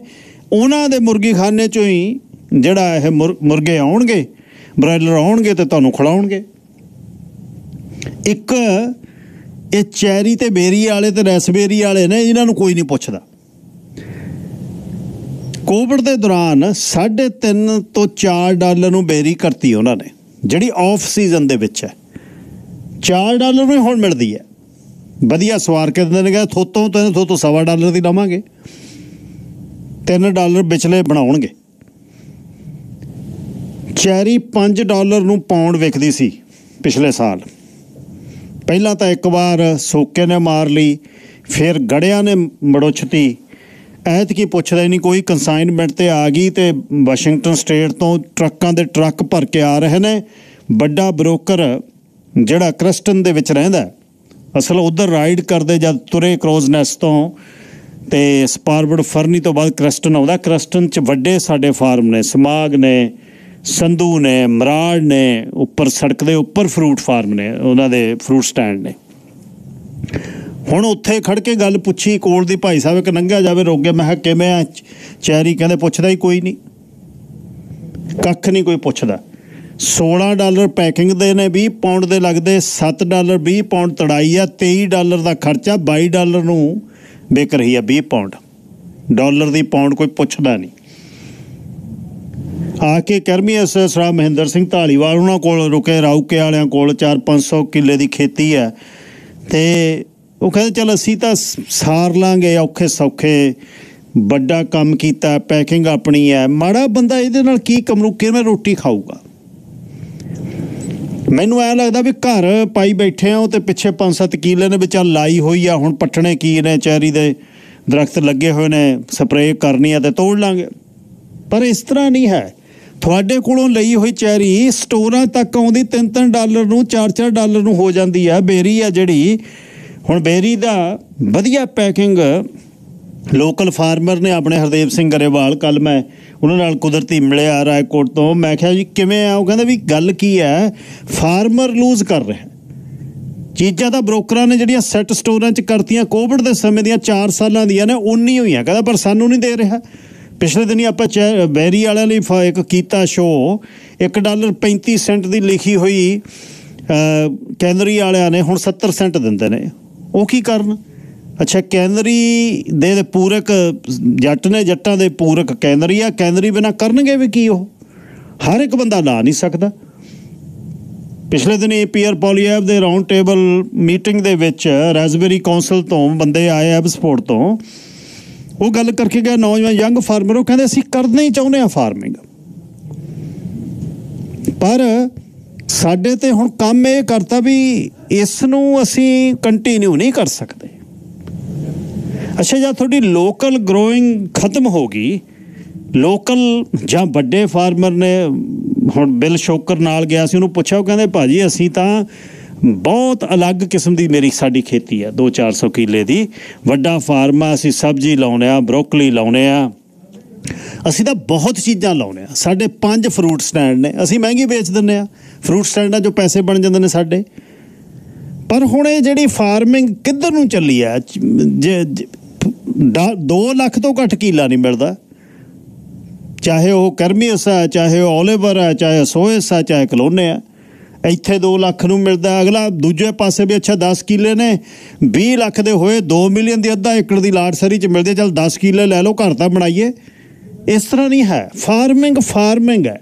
ਘਰ ਘਰ ਹੈ। ਪਰ ਇਹ ਜੱਟਾਂ ਦਾ ਜਿਹੜਾ ਹਾਲ ਹੋ ਰਿਹਾ ਇਹ ਤਾਂ ਅਸੀਂ ਤਾਂ ਉੱਥੇ ਤਾਂ ਪਿੱਟਦੇ ਸੀ। ਅਹ ਬਈ ਉੱਥੇ ਬਹੁਤ ਵੱਡੀ ਜਿਹੜੀ ਸਾਡੇ ਜੱਟਾਂ ਨੂੰ ਮਾਰ ਪੈ ਰਹੀ ਆ। ਪਰ ਇੱਥੇ ਜਿਹੜਾ ਕੁਝ ਹੋ ਰਿਹਾ ਉਹ ਵੀ ਦੇਖ ਲਓ। 604 204 0600 ਮੈਂ ਫਾਰਮਰਾਂ ਨੂੰ ਕਹਿਣਾ ਪਲੀਜ਼ ਖੇਤੀ ਵਾਲੇ ਨੇ ਜਿਹੜੇ ਉਹ ਸਿੱਧਾ ਫੋਨ ਕਰਕੇ ਦੱਸਣ ਗੜਬੜ ਕਿੱਥੇ ਆ? ਸਾਹਿਬ ਬਲਵਿੰਦਰ ਸਿੰਘ ਔਲਖ ਜੀ ਦੱਸੋ ਬਾਈ ਜੀ ਕਿੱਥੇ ਮੁਸ਼ਕਲ ਕੀ ਹੈ? ਸਤਿ ਸ਼੍ਰੀ ਅਕਾਲ ਬਾਈ ਜੀ। ਜੀ ਸਤਿ ਸ੍ਰੀ ਅਕਾਲ। ਆਪਾਂ ਦੋ ਤਿੰਨ ਵੀਕਾਂ ਹੋ ਗਈਆਂ ਉਦੋਂ ਵੀ ਗੱਲ ਕੀਤੀ ਸੀ। ਹੂੰ। ਤੇ ਇਹ ਬਾਈ ਪ੍ਰੋਬਲਮ ਤਾਂ ਉਹੀ ਆ ਜਿਹੜੀ ਤੁਸੀਂ ਦੱਸੀ ਜਾਂਦੇ ਆ ਵੀ ਪਹਿਲੀ ਗੱਲ ਤਾਂ ਜਿਹੜਾ ਰੇਟ ਹੈ ਨਾ ਲੈਂਡ ਦਾ ਉਹ ਬਹੁਤ ਹਾਈ ਆ। ਉਹ ਜਿਵੇਂ 3 ਤੋਂ 3.5 ਲੱਖ ਨੂੰ ਕਿੱਲਾ ਹੈ। ਹੂੰ। ਤੇ ਦੂਜੀ ਗੱਲ ਉਹੀ ਜਿਹੜੀ ਕਾਸਟ ਹੈ ਇਹਨੂੰ ਗਰੋ ਕਰਨ ਦੀ ਚੈਰੀ ਨੂੰ ਘੱਟੋ ਘੱਟ 1 ਡਾਲਰ ਤੋਂ ਸਵਾ ਡਾਲਰ ਦੇ ਵਿੱਚ ਵਿੱਚ ਇਹ ਕਾਸਟ ਹੁੰਦੀ ਹੈ। ਪੌਂਡ ਦੀ? ਪਾਉਂਡ ਦੀ। ਅੱਛਾ ਜੀ। ਜਿਹੜੀਆਂ ਸਪਰੇਆਂ ਅਸੀਂ ਉਹ ਅਸੀਂ ਕਰ ਨਹੀਂ ਸਕਦੇ ਜਿਹੜੀਆਂ ਅਮਰੀਕਾ ਕਰੀ ਜਾਂਦਾ ਹੈ। ਅੱਛਾ ਜੀ। ਤੇ ਉਹ ਬੈਨ ਹੈ। ਤੇ ਉੱਥੋਂ ਦੀ ਉਹਨਾਂ ਫੂਡ ਤੇ ਉਹੀ ਸਪਰੇਆਂ ਉੱਥੋਂ ਵਾਲੀਆਂ ਕੀਤੀਆਂ ਉਹ ਚੈਰੀ ਇੱਥੇ ਵਿਕੀ ਜਾਂਦੀ ਹੈ। ਹੂੰ। ਸਾਨੂੰ ਉਹ ਸਪਰੇਆਂ ਵੀ ਨਹੀਂ ਕਰਨ ਦਿੰਦੇ ਉਹ ਜਿਹੜੀਆਂ ਉਹ ਕਰ ਸਕਦੇ ਆ। ਫਿਰ ਇੱਥੇ ਹੁਣ ਉਹੀ ਗੱਲ ਤੁਹਾਡੇ ਵਾਲੀ 16 ਡਾਲਰ 14 ਤੋਂ 16 ਡਾਲਰ ਤਾਂ ਆਉਂਦੀ ਹੈ ਇਹਦੀ ਪੈਕਿੰਗ ਦੀ ਕਾਸਟ ਹੂੰ। 8 ਡਾਲਰ ਆ ਜਾਂਦੀ ਹੈ ਇਹਦੀ ਢਲਾਈ ਦੀ ਕਾਸਟ ਹੂੰ। 20 22 23 ਡਾਲਰ ਹੋ ਗਏ ਤੇ ਡਾਲਰ ਇਸ ਵੇਲੇ 20 ਤੋਂ 22 ਜਿਹਦੀ ਵਧੀਆ ਬਾਹਲੀ ਵਧੀਆ ਉਹਦੀ 25 ਡਾਲਰ ਨੂੰ ਉਹ ਵਿਕੀ ਜਾਂਦਾ ਬਕਸਾ ਜਿਹੜੀ ਥੋੜੀ ਮੋਟੀ ਹੈ ਹੂੰ। ਤੇ ਆਈ ਡੋਨਟ ਨੋ ਫਾਰਮਰਾਂ ਨੂੰ ਕੀ ਆਊਗਾ। ਕਿ ਬਿੱਲ ਹੀ ਆਉਣਗੇ। ਇੱਕ ਬਕਸੇ ਚੋਂ 20 ਤੋਂ 25 ਡਾਲਰ ਲੂਜ਼ ਕਰ ਰਹੇ ਆ ਇਹਦਾ ਮਤਲਬ। ਹਾਂਜੀ ਪਿਛਲੇ ਸਾਲ ਇਹੀ ਚੈਰੀ ਜਿਵੇਂ 80 90 ਡਾਲਰ ਨੂੰ ਬਕਸਾ ਸੀਗਾ ਜੀ। ਗੱਲਾ। ਹਾਂ ਐਤਕੀ ਉਹੀ ਡਾਲਰ ਵੇਖ ਲਓ ਵੀ ਆਪਾਂ ਇੰਡੀਆ ਨੂੰ ਮਾੜਾ ਕਹਿ ਦਿੰਦੇ ਆ ਉੱਥੇ ਐਟਲੀਸਟ ਪ੍ਰਾਈਸ ਤਾਂ ਫਿਕਸ ਹੈ ਨਾ ਝੋਨੇ ਕਣਕ ਦੀ ਇਹ ਤਾਂ ਲੱਗ ਹਾਂ ਮਿਨੀਮਮ ਮਿਨੀਮਮ ਪ੍ਰਾਈਸ ਤਾਂ ਹੈ ਨਾ ਪੰਜਾਬ 'ਚ ਬਿਲਕੁਲ ਇੱਥੇ ਠੀਕ। ਸਾਨੂੰ ਇਹ ਨਹੀਂ ਪਤਾ ਵੀ ਇਹ 20 ਸੈਂਟ ਆਉਣੇ ਆ ਕੀ ਕਿ ਡਾਲਰ ਆਉਣਾ ਹੈ ਕਿ 1.5 ਡਾਲਰ ਆਉਣਾ ਹੈ ਕਿ 2 ਡਾਲਰ ਆਉਣਾ ਹੈ। ਫਿਰ ਭਵਿੱਖ ਕੀ ਆ ਔਲਖ ਸਾਹਿਬ? ਕੀ ਹੋਊਗਾ ਇਹ ਖੇਤੀ ਜੇ ਲੋਕਲ ਗਰੋਇੰਗ ਖਤਮ ਹੋ ਗਈ? ਇਹ ਤਾਂ ਹੁਣ ਉਹੀ ਹੈ ਨਾ ਗਵਰਨਮੈਂਟ ਹੁਣ ਚਲੇ ਇਹ ਐਪਲਾਂ ਤੇ ਲਾ ਲਓ। ਹੂੰ। ਐਪਲ ਤੁਸੀਂ ਜਦੋਂ ਮਰਜ਼ੀ ਜਾ ਦਿਓ ਸਟੋਰ 'ਚ ਤੁਹਾਨੂੰ 2.5 ਡਾਲਰ ਤੋਂ ਘੱਟ ਕੋਈ ਐਪਲ ਨਹੀਂ ਨਹੀਂ ਮਿਲਦਾ ਕੋਈ ਨਹੀਂ ਮਿਲਦਾ। ਹਨਾ। ਇੱਥੇ ਜਿਹੜਾ ਵਧੀਆ ਤੋਂ ਵਧੀਆ ਐਪਲ ਹੈ ਉਹਦੀ ਰਿਟਰਨ ਗਰੋਵਰ ਨੂੰ 25 ਸੈਂਟ ਆਉਂਦੀ ਹੈ। ਓਹੋ। ਤੇ ਜਿਹੜਾ ਆਮ ਹੋ ਗਿਆ ਗਾਲਾ ਗੁੱਲਾ ਜਾਂ ਰੈੱਡ 골ਡਨ ਜੇ ਉਹਨਾਂ ਦੀ 5 ਤੋਂ 10 ਸੈਂਟ ਆਉਂਦੀ ਹੈ ਗਰੋਵਰ ਨੂੰ। ਓਹੋ। ਤੇ ਖਾਈ ਬਿਜਲੇ ਜਾਂਦੇ ਗਵਰਨਮੈਂਟ ਕਰ ਸਕਦੀ ਹੈ ਸਭ ਕੁਝ ਕਰਨ ਨੂੰ ਕੁਝ ਜੇ ਗਵਰਨਮੈਂਟ ਤੋਂ ਕੁਝ ਉਲਦਾ ਨਹੀਂ ਹੁੰਦਾ ਇਹ ਸਭ ਕੁਝ ਕਰ ਸਕਦੇ ਹੁੰਦੇ ਆ। ਵੀ ਇਹ ਮਿਡਲਮੈਨ ਹੀ ਖਾਈ ਜਾਂਦੇ ਬ੍ਰੋਕਰ ਹੋ ਗਏ। ਜਾਂ ਚੇਨ ਆ ਜਿਹੜੀ ਸਟੋਰਾਂ ਦੀ ਜਿਵੇਂ ਉਹ ਆਪਾਂ ਨੂੰ ਢਿੱਲੋਂ ਸਾਹਿਬ ਮੈਣੀ ਢਿੱਲੋਂ ਦੱਸ ਕੇ ਗਏ ਸੀਗੇ। ਹੂੰ। ਵੀ ਇਹ ਚਾਰ ਪੰਜ ਇਹ ਗਰੋਸ ਆਪਣੇ ਹੈਗੇ ਪ੍ਰੋਡਿਊਸ ਵਾਲੇ। ਹਾਂ ਚਾਰ ਬਿਲਕੁਲ। ਪੰਜ ਤੇਲ ਵਾਲੇ ਆ ਇਹੀ ਸਾਰਾ ਚਲਾਉਂਦੇ ਆ ਹਨਾ। ਤੇ ਉਹ ਚੀਜ਼ ਆ ਵੀ ਇਹਨਾਂ ਦਾ ਬਾਕੀ ਬਈ ਇੱਕ ਮੈਂ ਸਿੱਧੀ ਗੱਲ ਕਹਿਣਾ ਹੂੰ। ਵੀ ਜਿਹੜੇ ਵੀ ਬਿਜ਼ਨਸ ਚ ਨਾ ਆਪਣੇ 50 ਤੋਂ 60% ਤੋਂ ਉੱਤੇ ਲੋਕ ਹੋ ਜਾਂਦੇ ਆ ਉਹ ਬਿਜ਼ਨਸ ਤੋਂ ਪਾਸੇ ਹੋ ਜਾਂਦੇ। ਖਤਮ ਆ ਕੰਮ। ਹਾਂ ਕਿਉਂਕਿ ਅਸੀਂ ਰਲ ਕੇ ਬਹਿਣਾ ਅਸੀਂ ਨਹੀਂ ਜਾਣਦੇ। ਹੂੰ। ਜੋ ਜਮਾ ਕੰਮ ਹੋ ਜਾਂਦਾ ਫਿਰ ਅਸੀਂ ਰੌਲਾ ਪਾਉਣੇ ਆ ਬਗੈਰ ਗੱਲ ਹੀ ਕਿਸੇ ਨੂੰ ਜਾਂ ਕੋਈ ਬੰਦਾ ਮੂਹਰੇ ਲੱਗਦਾ ਅਸੀਂ ਉਹਨੂੰ ਜਰਦੇ ਨਹੀਂ ਵੀ ਇਹ ਬੰਦਾ ਮੂਹਰੇ ਲੱਗ ਕੇ ਚੱਲਦਾ ਵੀ ਇਹਦੀ ਅਸੀਂ ਗੱਲ ਸੁਣ ਲਈਏ ਕਿਸੇ ਦੀ ਅਸੀਂ ਗੱਲ ਨਹੀਂ ਸੁਣਨੀਗੀ ਕਿਉਂਕਿ ਕੋਈ ਕੋਈ ਕਿੰਨਾ ਪ੍ਰੋਡਿਊਸ ਆ ਬਾਈ ਜੀ ਤੁਹਾਡੀ ਬੈਲਟ ਚ ਓਕਨਾਗਨ ਤੋਂ ਲੈ ਕੇ ਕੋਟਨੀ ਤੱਕ ਕ੍ਰੈਸਟਨ ਤੱਕ। ਹਾਂਜੀ। ਸਾਰਾ ਕੁਝ ਤੁਸੀਂ ਕਰਦੇ ਹੋ ਯਾਰ ਕੋਈ ਵੀ ਨਹੀਂ ਪੁੱਛਦਾ ਤੁਹਾਡੀ ਕੋਈ ਵਧੀਆ ਜਥੇਬੰਦੀ ਨਹੀਂ ਸਰਕਾਰਾਂ ਨੂੰ ਮਿਲਣ ਦੀ ਕੋਈ ਗੱਲ ਨਹੀਂ ਜਿਹੜਾ ਮੂਹਰੇ ਆਉਂਦਾ ਉਹ ਮੜੁੱਛ ਕੇ ਤੁਰ ਜਾਂਦਾ। ਹੈ। ਉਹ ਬ- ਉਹਨੂੰ ਆਏ ਆ ਜੀ ਪਤਾ ਕੀ ਹੁੰਦਾ ਇੱਥੇ ਜੀ ਕਈ ਪਿੱਛੇ ਤਾਂ ਪਹਿਲਾਂ ਤਾਂ ਆਏ ਵੀ ਚੱਲ ਹੁਣ ਇੱਕ ਦੋ ਮੁੰਡੇ ਆਪਣੇ ਆਏ ਆ ਨਵੇਂ ਖੈਰ। ਪਹਿਲਾਂ ਤਾਂ ਆਏ ਹੁੰਦਾ ਸੀਗਾ ਵੀ ਜਿਹੜਾ ਵਿੱਚ ਵੜ ਗਿਆ ਪੈਕਿੰਗ ਹਾਊਸ ਚ ਵੱਡੇ ਚ ਵੜ ਗਿਆ ਉਹਦੀ ਪੈਗ ਆਊਟ ਆਪ ਦੀ ਵਧੀਆ ਆ ਜਾਣੀ ਆ। ਉਹਨੂੰ ਉਹਦੇ ਮਾੜੇ ਐਪਲ ਵੀ ਚੰਗੇ ਪੈਕ ਕਰ ਦਿਖਾ ਦੇਣੇ ਆ ਵੀ ਤੇਰੇ ਬਹੁਤ ਵਧੀਆ ਪੈਕ ਹੋ ਗਏ ਟੈਸਟ ਉਹਨੇ ਕੀ ਬੋਲਣਾ ਮੁੜ ਕੇ ਬਈ? ਚਲੋ ਜੀ। ਮਾਤਲ ਉੱਥੇ ਰਹਿ ਗਿਆ। ਹਨਾ? ਹੂੰ। ਵੀ ਉਹਦੇ ਉਹਦੇ ਚੰਗੇ ਵੀ ਮਾੜਿਆਂ ਚ ਪੈਕ ਦਿਖਾ ਦੇਣੇ ਆ। ਗੱਲ ਹੈ ਬਈ। ਇੱਥੋਂ ਮੁਸ਼ਕਲ ਆਹ ਆਉਂਦੀ ਆ ਬਸ ਜਦ ਜਿੱਥੋਂ ਰਲ ਕੇ ਤੁਰਨਾ ਉੱਥੋਂ ਅੰਦਰਲਾ ਜਿਹੜਾ ਜਥੇਬੰਦੀ ਦਾ ਵੱਡਾ ਉਹ ਛੋਟੇ ਨੂੰ ਖਾ ਜਾਂਦਾ। ਹਾਂ ਬਸ ਹੁਣ ਜਥੇਬੰਦੀਆਂ ਵੀ ਬਾਈ ਖਤਮ ਹੋਣ ਤੇ ਹੀ ਬੈਠੀਆਂ ਉਹ ਵੱਡਾ ਪੈਕਿੰਗ ਹਾਊਸ ਸੀ ਸਾਡੇ ਇਹ ਵੀ ਹੁਣ ਆਲਮੋਸਟ ਡਨ ਆ। ਹੂੰ। ਤੇ ਉਹ ਆਦੇ ਸਾਰੇ ਜਿਹੜੇ ਪੁਰਾਣੇ ਐਸੜ ਉਹ ਵੇਚ ਵੇਚ ਕੇ ਖਾਈ ਜਾਂਦੇ ਆ। ਹੂੰ। ਕੋਈ ਗੱਲ ਨਹੀਂ ਕੋਈ ਬਾਤ ਨਹੀਂ ਇੱਕ ਆਇਆ ਨਾ ਨਵਾਂ ਜਵਾਕ ਆਪਣਾ ਹੁਣ ਕੋਈ ਬਹੁਤ ਔਖੇ ਤਾਈਆਂ ਫਾਰਮਿੰਗ 'ਚ ਵੜਦੇ ਹੋ ਕਹਿੰਦੇ ਆ, ਤੁਸੀਂ ਮੂਰਖ ਹੈ ਲੈੜੀ ਤੁਸੀਂ ਇਹ ਵਿੱਚ ਮਰੀ ਜਾਂਦੇ ਆ ਤੁਹਾਨੂੰ ਪਤਾ ਹੀ ਨਹੀਂਗਾ ਵੀ ਸਾਨੂੰ ਐਂਡ ਆਫ ਦਾ ਡੇ ਕੀ ਆਉਣਾ ਕੀ ਨਹੀਂ। ਅਜਾ ਕੋਈ ਨਵਾਂ ਜਵਾਕ ਵਿੱਚ ਨਹੀਂ ਵੜਦਾ ਫਾਰਮਿੰਗ ਦੇ ਤੇ ਫਿਰ ਭਵਿੱਖ ਕੀ ਆ ਔਲਖ ਸਾਹਿਬ? ਇਹ ਖੇਤਾਂ ਦਾ ਕੀ ਬਣੂ? ਭਵਿੱਖ ਤਾਂ ਬਾਈ ਉਹੀ ਆ ਹੁਣ ਜਿੰਨਾ ਚਿਰ ਅਸੀਂ ਹੈਗੇ ਆ ਅਸੀਂ ਤਾਂ ਬਸ ਐਂ ਸਰਜਾ ਫਸਾ ਕੇ ਤੁਰੇ ਜਾਵਾਂਗੇ। ਹੂੰ। ਕਿਉਂਕਿ ਅਸੀਂ ਛੱਡ ਵੀ ਨਹੀਂ ਸਕਦੇ ਕਿਉਂਕਿ ਨਾ ਤਾਂ ਹੁਣ ਕੋਈ ਨਾ ਜ਼ਿੰਦਗੀ ਲੱਗੀ ਸਾਰੀ। ਹਾਂ ਬਿਲਕੁਲ। ਹੈਨਾ? ਹੂੰ। 25 25 30 30 ਸਾਲ ਹੋ ਗਏ 40 40 ਅਸੀਂ ਇੱਥੇ ਬੈਠੇ ਆ। ਹੂੰ ਹੂੰ ਨਾਲੇ ਹੁਣ ਤਿੰਨ ਤਿੰਨ ਚਾਰ ਚਾਰ ਲੱਖ ਨੂੰ ਕਿੱਲੇ ਲਏ ਵੇ ਇਹਨਾਂ ਨੂੰ ਹੁਣ ਛੱਡ ਗਏ ਵੀ ਕਿਵੇਂ? ਹੂੰ ਹੂੰ ਵੀ ਅਸੀਂ ਤਾਂ ਹੁਣ ਸਰਜਾ ਬਸਾਵਾਂਗੇ ਜਿਹੜੇ 10 15 ਸਾਲ ਹੈਗੇ ਆ। ਹੂੰ ਹੂੰ ਉਸ ਤੋਂ ਬਾਅਦ ਬਈ ਪਤਾ ਨਹੀਂ ਕੀ ਹੋਣਾ ਇੱਥੇ ਕੀ ਨਹੀਂ। ਕਿਉਂਕਿ ਇੱਥੇ ਪਹਿਲਾਂ ਦੱਸਦੇ ਹੁੰਦੇ ਆ ਪਹਿਲਾਂ ਇੱਥੇ ਚੀਨੇ ਸੀ ਫਿਰ ਇੱਥੇ ਗੋਰੇ ਆਏ ਫਿਰ ਇੱਥੇ ਦੂਜੇ ਪੁਰਤਗੀਜੀ ਆਏ ਪੁਰਤਗੀਜੀਆਂ ਤੋਂ ਬਾਅਦ ਹੁਣ ਆਪਾਂ ਆਏ ਆ। ਆਪਣੇ ਤੋਂ ਬਾਅਦ ਫਿਰ ਕੋਈ ਹੋਰ ਕਮਿਊਨਿਟੀ ਆਊ ਇਹਦਾ ਮਤਲਬ? ਹੁਣ ਕੋਈ ਵੱਡੀਆਂ ਜਿਵੇਂ ਆਉਂਦੇ ਆ ਰਹੇ ਆ ਵੱਡੀਆਂ ਹੁਣ ਜਿਵੇਂ ਇੰਡੀਆ ਪਰ ਰੌਲਾ ਪਾਉਂਦੇ ਸੀ ਵੱਡੀਆਂ ਫਰਮਾਂ ਆ ਰਹੀਆਂ ਵੱਡੀਆਂ ਜਿਵੇਂ ਕੰਪਨੀਆਂ ਨਾ ਉਹ ਜ਼ਮੀਨਾਂ ਲੈ ਰਹੀਆਂ ਨੇ। ਉਹ ਜ਼ਮੀਨਾਂ ਲੈ ਰਹੀਆਂ। ਮੈਂ ਓਲੀਵਰ ਤੇ ਅਸੋਇਸ ਦੇਖਿਆ ਤੁਹਾਡੇ ਵਿਨਯਾਰਡ ਬਾਹਰਲੇ ਚਾਈਨੀਜ਼ ਵੱਡੀਆਂ ਕੰਪਨੀਆਂ ਲੈ ਰਹੀਆਂ ਬਹੁਤ। ਹਾਂਜੀ ਲੈ ਰਹੀਆਂ ਜੀ ਬਹੁਤ ਲੈ ਰਹੀਆਂ। ਉਹਨਾਂ ਦੇ ਹੁਣ ਜਿਵੇਂ 5 5 700 ਹਜ਼ਾਰ ਹਜ਼ਾਰ ਏਕੜ ਹੈਗੇ ਆ ਉਹ ਬਾਏ ਕਰੀ ਜਾ ਰਹੇ ਆ। ਬਸ ਠੀਕ ਹੈ ਫਿਰ ਜਿੱਦਣ ਉਹਨਾਂ ਦੇ ਹੱਥ 'ਚ ਆ ਗਿਆ ਫਿਰ ਵੇਚਣਗੇ ਅਗਲੇ ਸਵਾਦ ਦੇ ਨਾਲ? ਹਾਂ ਹਾਂ ਫਿਰ ਉਹਨਾਂ ਨੇ ਤਾਂ ਆਪਦਾ ਬਈ ਉਵੇਂ ਬਣਾ ਕੇ ਕਿਉਂਕਿ ਸਿਆਣੇ ਬੰਦੇ ਆ ਉਹ ਬਹਿ ਵੀ ਜਾਣਗੇ ਜੁੜ ਕੇ ਉਹਨਾਂ ਨੂੰ ਸਭ ਕੁਝ ਆਉਂਦਾ ਹੈ। ਉਹਨਾਂ ਨੂੰ ਗੱਲ ਕਰਨੀ ਵੀ ਆਉਂਦੀ ਹੈ ਗੱਲ ਸੁਣਨੀ ਵੀ ਆਉਂਦੀ ਹੈ। ਹੂੰ ਸਾਨੂੰ ਨਾ ਗੱਲ ਕਰਨੀ ਆਉਂਦੀ ਹੈ ਨਾ ਸੁਣਨੀ। ਆਉਂਦੀ ਹੈ। ਬਿਲਕੁਲ ਠੀਕ ਹੈ ਬਿਲਕੁਲ ਠੀਕ ਹੈ ਥੈਂਕ ਯੂ ਔਲ ਸਾਹਿਬ thank you okay bye. Sahib Singh Aulakh ਗੱਲ ਕਰਦੇ ਸੀ, ਪਰ ਚਲੋ ਸਾਡੀ ਯੂਨਿਟੀ ਹੈ ਨਹੀਂ, ਪਰ ਸਰਕਾਰਾਂ ਵੀ ਨਹੀਂ ਸਾਡੇ ਵੱਲ ਦੇਖਦੀਆਂ, ਇਹਦਾ ਮਤਲਬ ਸਾਡੀ ਯੂਨਿਟੀ ਹੈ ਨਹੀਂ, ਤਾਂ ਨਹੀਂ ਸਰਕਾਰਾਂ ਦੇਖਦੀਆਂ। ਇਹਨਾਂ ਨੂੰ ਫਾਰਮਰਸ ਦੇ ਲਈ, ਇਹਨਾਂ ਦੇ ਐਮਪੀ ਨੇ, ਇਹਨਾਂ ਦੇ ਐਮਐਲਏ ਨੇ, ਇਹਨਾਂ ਨੂੰ ਕੋਈ ਨਹੀਂ, ਇਹਨਾਂ ਦੀ ਵਿਚਾਰਿਆਂ ਦੀ ਸੁਣਦਾ। ਪੱਟ ਲੈਂਦੇ ਨੇ, ਧੋ ਲੈਂਦੇ ਨੇ, ਫਿਰ ਵੇ ਖਰੀਦਦਾ ਨਹੀਂ ਕੋਈ। ਹੁਣ ਪਤਾ ਕੀ ਕਹਿ ਰਿਹਾ ਬ੍ਰੋਕਰ ਉਹ ਕਹਿੰਦਾ, ਤੋੜਿਓ ਨਾ, ਚੈਰੀ ਦਰਖਤਾਂ ਤੇ ਇਹਨਾਂ ਤੇ ਲੱਗੀ ਰਹਿਣ ਦਿਓ। ਕਿਉਂਕਿ 23 ਡਾਲਰ ਖਰਚਾ ਆ ਰਿਹਾ, ਤੋੜਨ ਤੇ ਪੈਕ ਕਰਨ ਦਾ 22 ਡਾਲਰ ਨੂੰ 20 ਪਾਉਂਡ ਵਿਕ ਰਹੀ ਹੈ। ਸਾਢੇ 2.5 ਡਾਲਰ ਤੋਂ ਘੱਟ ਪਾਉਂਡ ਹੈ ਨਹੀਂ ਸਟੋਰ 'ਚ। ਹਲੇ 1 ਡਾਲਰ ਪਾਉਂਡ ਦਾ ਗਰੋਇੰਗ ਦਾ ਖਰਚਾ ਦੱਸ ਕੇ ਗਏ ਨੇ ਔਲਖ ਸਾਹਿਬ 20 ਡਾਲਰ 20 ਪਾਉਂਡ ਦੇ ਉਹ ਹੋ ਗਏ ਤੇ 22 ਉਹ ਹੋ ਗਏ 42 ਜੇ ਅੱਗੇ 80 ਨੂੰ ਵਿਕਦੀ ਸੀ 40 ਡਾਲਰ ਉੱਪਰ ਜਾਂਦੇ ਸੀ, ਹੁਣ ਤਾਂ ਜਾਂਦੇ ਨਹੀਂ। ਪਰ ਫਿਰ ਹੁਣ ਗੱਲ ਉਹ ਗੱਲ ਕਹਿ ਕੇ ਜਿਵੇਂ ਔਲਖ ਸਾਹਿਬ ਨੇ ਕਿਹਾ ਸਿਰ ਫਸਾਇਆ ਹੋਇਆ ਤੁਰੇ ਹੀ ਜਾਂਦੇ ਆ ਘਰ ਬਣਿਆ ਹੋਇਆ ਤੇ ਸਬਜ਼ੀਆਂ ਬੀਜੀਆਂ ਹੋਈਆਂ ਪਿੱਛੇ ਵੀ। ਹੁਣ ਕਰੀਏ ਕਿ ਤੁਰੇ ਵੀ ਕਿੱਧਰ ਨੂੰ ਬੰਦਾ 25 30 ਸਾਲ ਖੇਤੀ ਕਰਕੇ ਹੁਣ ਕਿਹੜਾ ਕੰਮ ਨਵਾਂ ਸੇੜੇ ਉਹ? ਗੱਲ ਠੀਕ ਹੈ ਉਹਨਾਂ ਦੀ। ਅਮਰਤਪਾਲ ਸਿੰਘ ਔਜਲਾ ਜੀ ਲਾਈਨ ਨੰਬਰ 1 ਹਾਂਜੀ ਹਰਜੀਤ ਭਾਈ ਸਤਿ ਸ੍ਰੀ ਅਕਾਲ। ਸਤਿ ਸ਼੍ਰੀ ਅਕਾਲ ਔਜਲਾ ਸਾਹਿਬ। ਅੱਛਾ ਭਾਈ ਇੱਕ ਹੋਰ ਕਨਸਰਨ ਆ ਮੰਨ ਲਓ ਜੇ ਫਾਰਮ ਹਾਊਸ ਦੇ ਵਿੱਚ ਇਹ ਕਨਫਰਮ ਕਰਿਓ ਹੂੰ। ਮੰਨ ਲਓ ਕੋਈ ਜਣਾ ਉੱਥੇ ਉਹਨਾਂ ਦੇ ਕੰਮ ਕਰਦਾ ਉਹਨੇ ਸੀਟ ਬੈਲਟ ਨਹੀਂ ਲਾਈ ਹੋਈ। ਹੂੰ। ਇਹ ਇਹ ਉਹਦੇ ਓਨਰ ਨੂੰ ਟੈਕਸ ਦਿੰਦੇ ਆ ਜਦੋਂ ਕਿ ਆਈਸੀਬੀਸੀ ਚ ਡਰਾਈਵਰ ਨੂੰ ਮਿਲਦੀ ਆ। 40000 ਦੇ 40000 ਡਾਲਰ ਦੀ ਟੈਕਸ ਆ ਦੇਖ ਲਓ ਨਾ ਸੀਟ ਬੈਲਟ ਕਾਦੀ ਜੀ? ਮੰਨ ਲਓ ਜੇ ਤੁਸੀਂ ਉੱਥੇ ਕੋਈ ਛੋਟਾ ਆਪਣਾ ਕੰਮ ਕਰਦੇ ਆ ਕੋਈ ਟਰੱਕ ਦੇ ਨਾਲ ਕੁਝ ਮੂਵ ਕਰਦੇ ਆ. ਜਿੱਦਾਂ ਜਿਹੜਾ ਉਹਦੇ 'ਚ ਜੇ ਡਰਾਈਵਰ ਨੇ ਸੀਟ ਬੈਲਟ ਨਹੀਂ ਲਾਈ ਤਾਂ ਉਹ ਓਨਰ ਕੰਪਨੀ ਨੂੰ ਇਹ ਟੈਕਟ ਦਿੰਦੇ ਆ। WCV ਵਾਲੇ। ਅੱਛਾ। ਕੰਮ ਤੇ ਆ ਕੇ ਜਦੋਂ ਚੈੱਕ ਕਰ ਲੈਣ ਮਾਲਕ ਨੂੰ ਟਿਕਟ ਦੇਣੀ ਆ ਵਰਕਰ ਨੂੰ ਨਹੀਂ? ਵਰਕਰ ਨੂੰ ਨਹੀਂ। ਹੂੰ।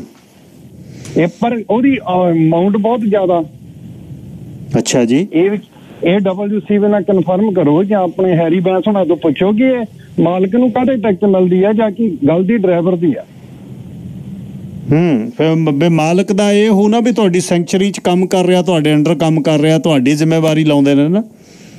ਪਰ ਦੂਜੇ ਆਪਣੇ ਹਰਜੀਤ ਭਾਜੀ ਪ੍ਰੋਬਲਮ ਤਾਂ ਇਹ ਆ ਹੁਣ ਵਿਚਾਰਾ ਓਨਰ ਕੱਲੇ ਕੱਲੇ ਡਰਾਈਵਰ ਨਾਲ ਤਾਂ ਕਿੱਥੇ ਫਿਰੇ। ਹੂੰ ਬਿਲਕੁਲ ਠੀਕ ਹੈ ਬਿਲਕੁਲ ਠੀਕ ਹੈ ਤੁਹਾਡੀ ਗੱਲ। ਮੈਂ ਕਰਾਂਗਾ ਜੀ ਗੱਲ। ਅੱਛਾ ਚੈਰੀ ਉਤਪਾਦਕ ਕੋਈ ਕ੍ਰਿਸਟਨ ਦੇ ਵਿੱਚ ਸੁਣਦਾ ਹੋਵੇ ਤੁਸੀਂ ਮਿਲ ਕੇ ਤਾਂ ਦੱਸ ਦਿੰਦੇ ਹੋ ਜਦ ਮੈਂ ਸਮਾਂ ਦਿੰਨਾ ਤੁਸੀਂ ਆ ਕੇ ਬੋਲਦੇ ਨਹੀਂ। ਸੰਗ ਜਾਂਦੇ ਹੋ ਗੱਲ ਨਹੀਂ ਕਰਦੇ ਕੋਈ ਓਲੀਵਰ ਸੁਣਦਾ ਹੋਵੇ ਕੋਈ ਚੈਰੀ ਵਾਲੇ ਬਹੁਤ ਹੋ ਤੁਸੀਂ। ਹੁਣ ਕਹਿ ਕੇ ਤੁਸੀਂ ਇਹ ਗੱਲ ਕਰਾਈ ਹੈ ਇੱਕ 604 204 0600 ਤੇ ਫੋਨ ਕਰਕੇ ਦੱਸੋ ਬਈ ਇਹਦਾ ਹੱਲ ਕੀ ਹੈ। ਇਹ ਸਰਕਾਰਾਂ ਚਲੋ ਇਹ ਮੈਂ ਮੰਨਦਾ ਗੱਲ ਅਹ, ਤੇ ਇਹ ਗੱਲ ਮੈਂ ਮੰਨਦਾ ਕਿ ਇੱਥੇ ਮੁਸ਼ਕਲਾਂ ਨੇ ਪਰ ਘੱਟੋ ਘੱਟ ਸਰਕਾਰ ਜਿਹੜੀ ਇੰਪੋਰਟ ਹੋ ਰਹੀ ਸੀਜ਼ਨਲ ਬੇਰੀ ਬੈਰੀ ਤੇ ਚੈਰੀ ਹੈ ਇਹਨੂੰ ਕਿਉਂ ਨਹੀਂ ਤਿੰਨ ਮਹੀਨੇ ਰੋਕਦੇ ਯਾਰ? ਹੁਣ ਅ, ਪੈਰੂ ਤੋਂ ਚੈਰੀ ਆ ਰਹੀ ਆਪਣੇ ਬੈਰੀ ਬੇਰੀ ਆ ਰਹੀ ਹੈ। ਉਹਨੂੰ 3 ਮਹੀਨੇ ਰੋਕ ਦੋ ਤਾਂ ਸਾਰਾ ਸਾਲ ਬੇਰੀ ਹੁੰਦੀ ਹੈ ਉੱਥੇ ਤਾਂ ਉੱਥੇ ਤਾਂ ਧੁੱਪ ਇੰਨੀ ਹੈ ਤੇ ਉੱਥੇ ਤਾਂ ਸਾਰਾ ਸਾਲ ਹੋਈ ਜਾਂਦੀ ਹੈ। 9 ਮਹੀਨੇ ਆਈ ਜਾਵੇ ਜਾਂ ਸਾਡੀ ਲੋਕਲ ਮੁੱਕ ਗਈ। ਸਰਕਾਰ ਜਿਨ੍ਹਾਂ ਤੋਂ ਟੈਕਸ ਲੈਂਦੀ ਆ ਜਿਨ੍ਹਾਂ ਦੀ ਬੀਸੀ ਗਰੋਨ ਬੀਸੀ ਗਰੋਨ ਲਿਖ ਲਿਖ ਕੇ ਹਰੇ ਭਰੇ ਪਏ ਨੇ ਗ੍ਰੀਨ ਇਨੀਸ਼ੀਏਟਿਵ ਜੀ ਜੇ ਤੇ ਬੇ ਇਹਨਾਂ ਦਾ ਖਿਆਲ ਕੌਣ ਰੱਖੂਗਾ? ਦੂਜਿਆਂ ਦਾ ਕਿਵੇਂ ਰੱਖਦੇ ਹੋ? ਆ ਪ੍ਰੇਰੀ ਚ ਹੜ ਆਏ ਸੀ। ਸਾਡੇ ਬੇਰੀ ਫਾਰਮਰ ਤਾਂ ਰੁੜ ਗਏ। ਜਿਹੜੇ ਚਿਕਨ ਵਾਲੇ ਸੀ, ਸੂਰਾਂ ਵਾਲੇ ਸੀ, ਗਾਵਾਂ ਵਾਲੇ ਸੀ, ਉਹ ਕਹਿੰਦੇ ਤੁਸੀਂ ਆਪਣਾ ਖਿਆਲ ਕਰੋ, ਸਾਡੇ ਵੱਲ ਨਹੀਂ ਕੋਈ ਝਾਕ ਸਕਦਾ ਸਾਨੂੰ ਤਾਂ ਸਭ ਕੁਝ ਮਿਲਣਾ। ਸਾਰਾ ਕੁਝ ਲੈ ਲਿਆ ਉਹਨਾਂ ਨੇ। ਅਸੀਂ ਹਾੜੇ ਕੱਢੇ ਆ ਗੁਰਦੁਆਰੇ ਇਕੱਠ, ਉੱਥੇ ਗੁਰਦੁਆਰੇ ਇਕੱਠ, ਇੱਥੇ ਇਕੱਠ, ਉਹ ਦੇ ਦਿਓ ਅਸੀਂ ਪੱਟੇ ਗਏ, ਉਹ ਬੂਟੇ ਪੱਟੋ ਜੀ, ਆਹ ਪੱਟੋ ਜੀ। ਜਿਨ੍ਹਾਂ ਦੇ ਕੋਲ ਯੂਨੀਅਨ ਜਿਨ੍ਹਾਂ ਦੇ ਕੋਲ ਆਰਗੇਨਾਈਜੇਸ਼ਨ ਪੂਰੀ ਆ, ਜਾਂ ਤਾਂ ਕੋਈ ਮੁਰਗੇ 10 15 ਤੋਂ ਵੱਧ ਕੋਈ ਯਾਰ 'ਚ ਛੱਡ ਕੇ ਦਿਖਾਓ, ਗਾਂ ਰੱਖ ਕੇ ਦਿਖਾਓ ਕੋਈ। ਫਾਰਮ ਦੇ ਵਿੱਚ ਤੁਸੀਂ ਗਾਵਾਂ ਨਹੀਂ ਰੱਖ ਸਕਦੇ ਇੱਥੇ। ਤੇ ਉਹ ਦੁੱਧ ਉਹਨਾਂ ਕੋਲ ਵਧਿਆ ਚਾਹੇ 1000 ਲੀਟਰ ਹੋਵੇ। ਉਹ ਕਹਿੰਦੇ ਜਾਣਾ ਉਨਾ ਹੀ ਹੈ ਜਿੰਨਾ ਤੁਹਾਨੂੰ ਕੋਟਾ ਇਹਨੂੰ ਗਟਰ ਕਰੋ। ਹਜ਼ਾਰਾਂ ਲੀਟਰ ਪਰ 5.5 ਡਾਲਰ ਤੋਂ ਘੱਟ ਗੈਲਨ ਨਹੀਂ ਮਿਲੂਗੀ। ਸਰਜੀਤ ਗੋਸਲ ਜੀ ਲਾਈਨ ਨੰਬਰ 1 ਹਾਂਜੀ ਗਿੱਲ ਸਾਹਿਬ ਜੀ ਗੱਲ ਮਸਲਾ ਦੱਸਾ ਜੀ ਕੀ ਆ? ਦੱਸੋ। ਗੱਲ ਉੱਥੇ ਆ ਜਾਂਦੀ ਪ੍ਰੋਟੈਕਸ਼ਨਿਜ਼ਮ ਦੀ ਹੈ ਨਾ ਚਾਹੇ ਇੰਡੀਆ 'ਚ ਆਪਾਂ ਐਮਐਸਪੀ ਲਾ ਲਈਏ ਵੀ ਚਲੋ ਘੱਟੋ ਘੱਟ ਮਿਨੀਮਮ ਪ੍ਰਾਈਸ 2000 ਤਾਂ ਹੈਗੀ ਆ ਨਾ ਬੰਦਾ। ਬਚ ਗਿਆ ਤੇ ਚਲੋ ਇੰਨੇ ਕੁ ਤਾਂ ਮੈਨੂੰ ਵਜੂਗੇ। ਜੀ। ਹੁਣ ਇੱਥੇ ਜਿੱਦਾਂ ਤੁਸੀਂ ਗੱਲ ਕਰਦੇ ਸੀ ਵੀ ਜਿਹੜੀਆਂ ਤਾਂ ਕੋਟੇ ਦੇ ਅੰਡਰ ਆ ਉਹ ਤਾਂ ਬਚੇ ਹੋਏ ਆ ਚਾਹੇ ਪੋਲਟਰੀ ਲਾ ਲਓ ਡੈਰੀ ਫਾਰਮ ਲਾ ਲਓ ਤਾਂ ਹੁਣ ਜਿੱਦਾਂ ਬੇਰੀ ਲਾ ਲਓ ਚੈਰੀ ਲਾ ਲਓ ਇਹਨਾਂ ਤਾਂ ਖੁੱਲੇ ਮੈਦਾਨ 'ਚ ਛੱਡ ਦਿੱਤਾ ਨਾ ਹੂੰ। ਹਾਂਜੀ। ਮੈਂ ਇੱਕ ਵਾਰੀ ਅਸੀਂ ਇੱਥੇ ਮਿਨਿਸਟਰ ਨਾਲ ਗੱਲ ਕੀਤੀ ਸੀ ਵੀ ਜਾਂ ਤਾਂ ਸਾਰਿਆਂ ਦਾ ਕੋਟਾ ਤੋੜੋ ਤਾਂ ਖੁੱਲੇ ਮੈਦਾਨ 'ਚ ਸਾਰਿਆਂ ਨੂੰ ਛੱਡੋ ਹਨਾ? ਬਿਲਕੁਲ ਠੀਕ ਹੈ।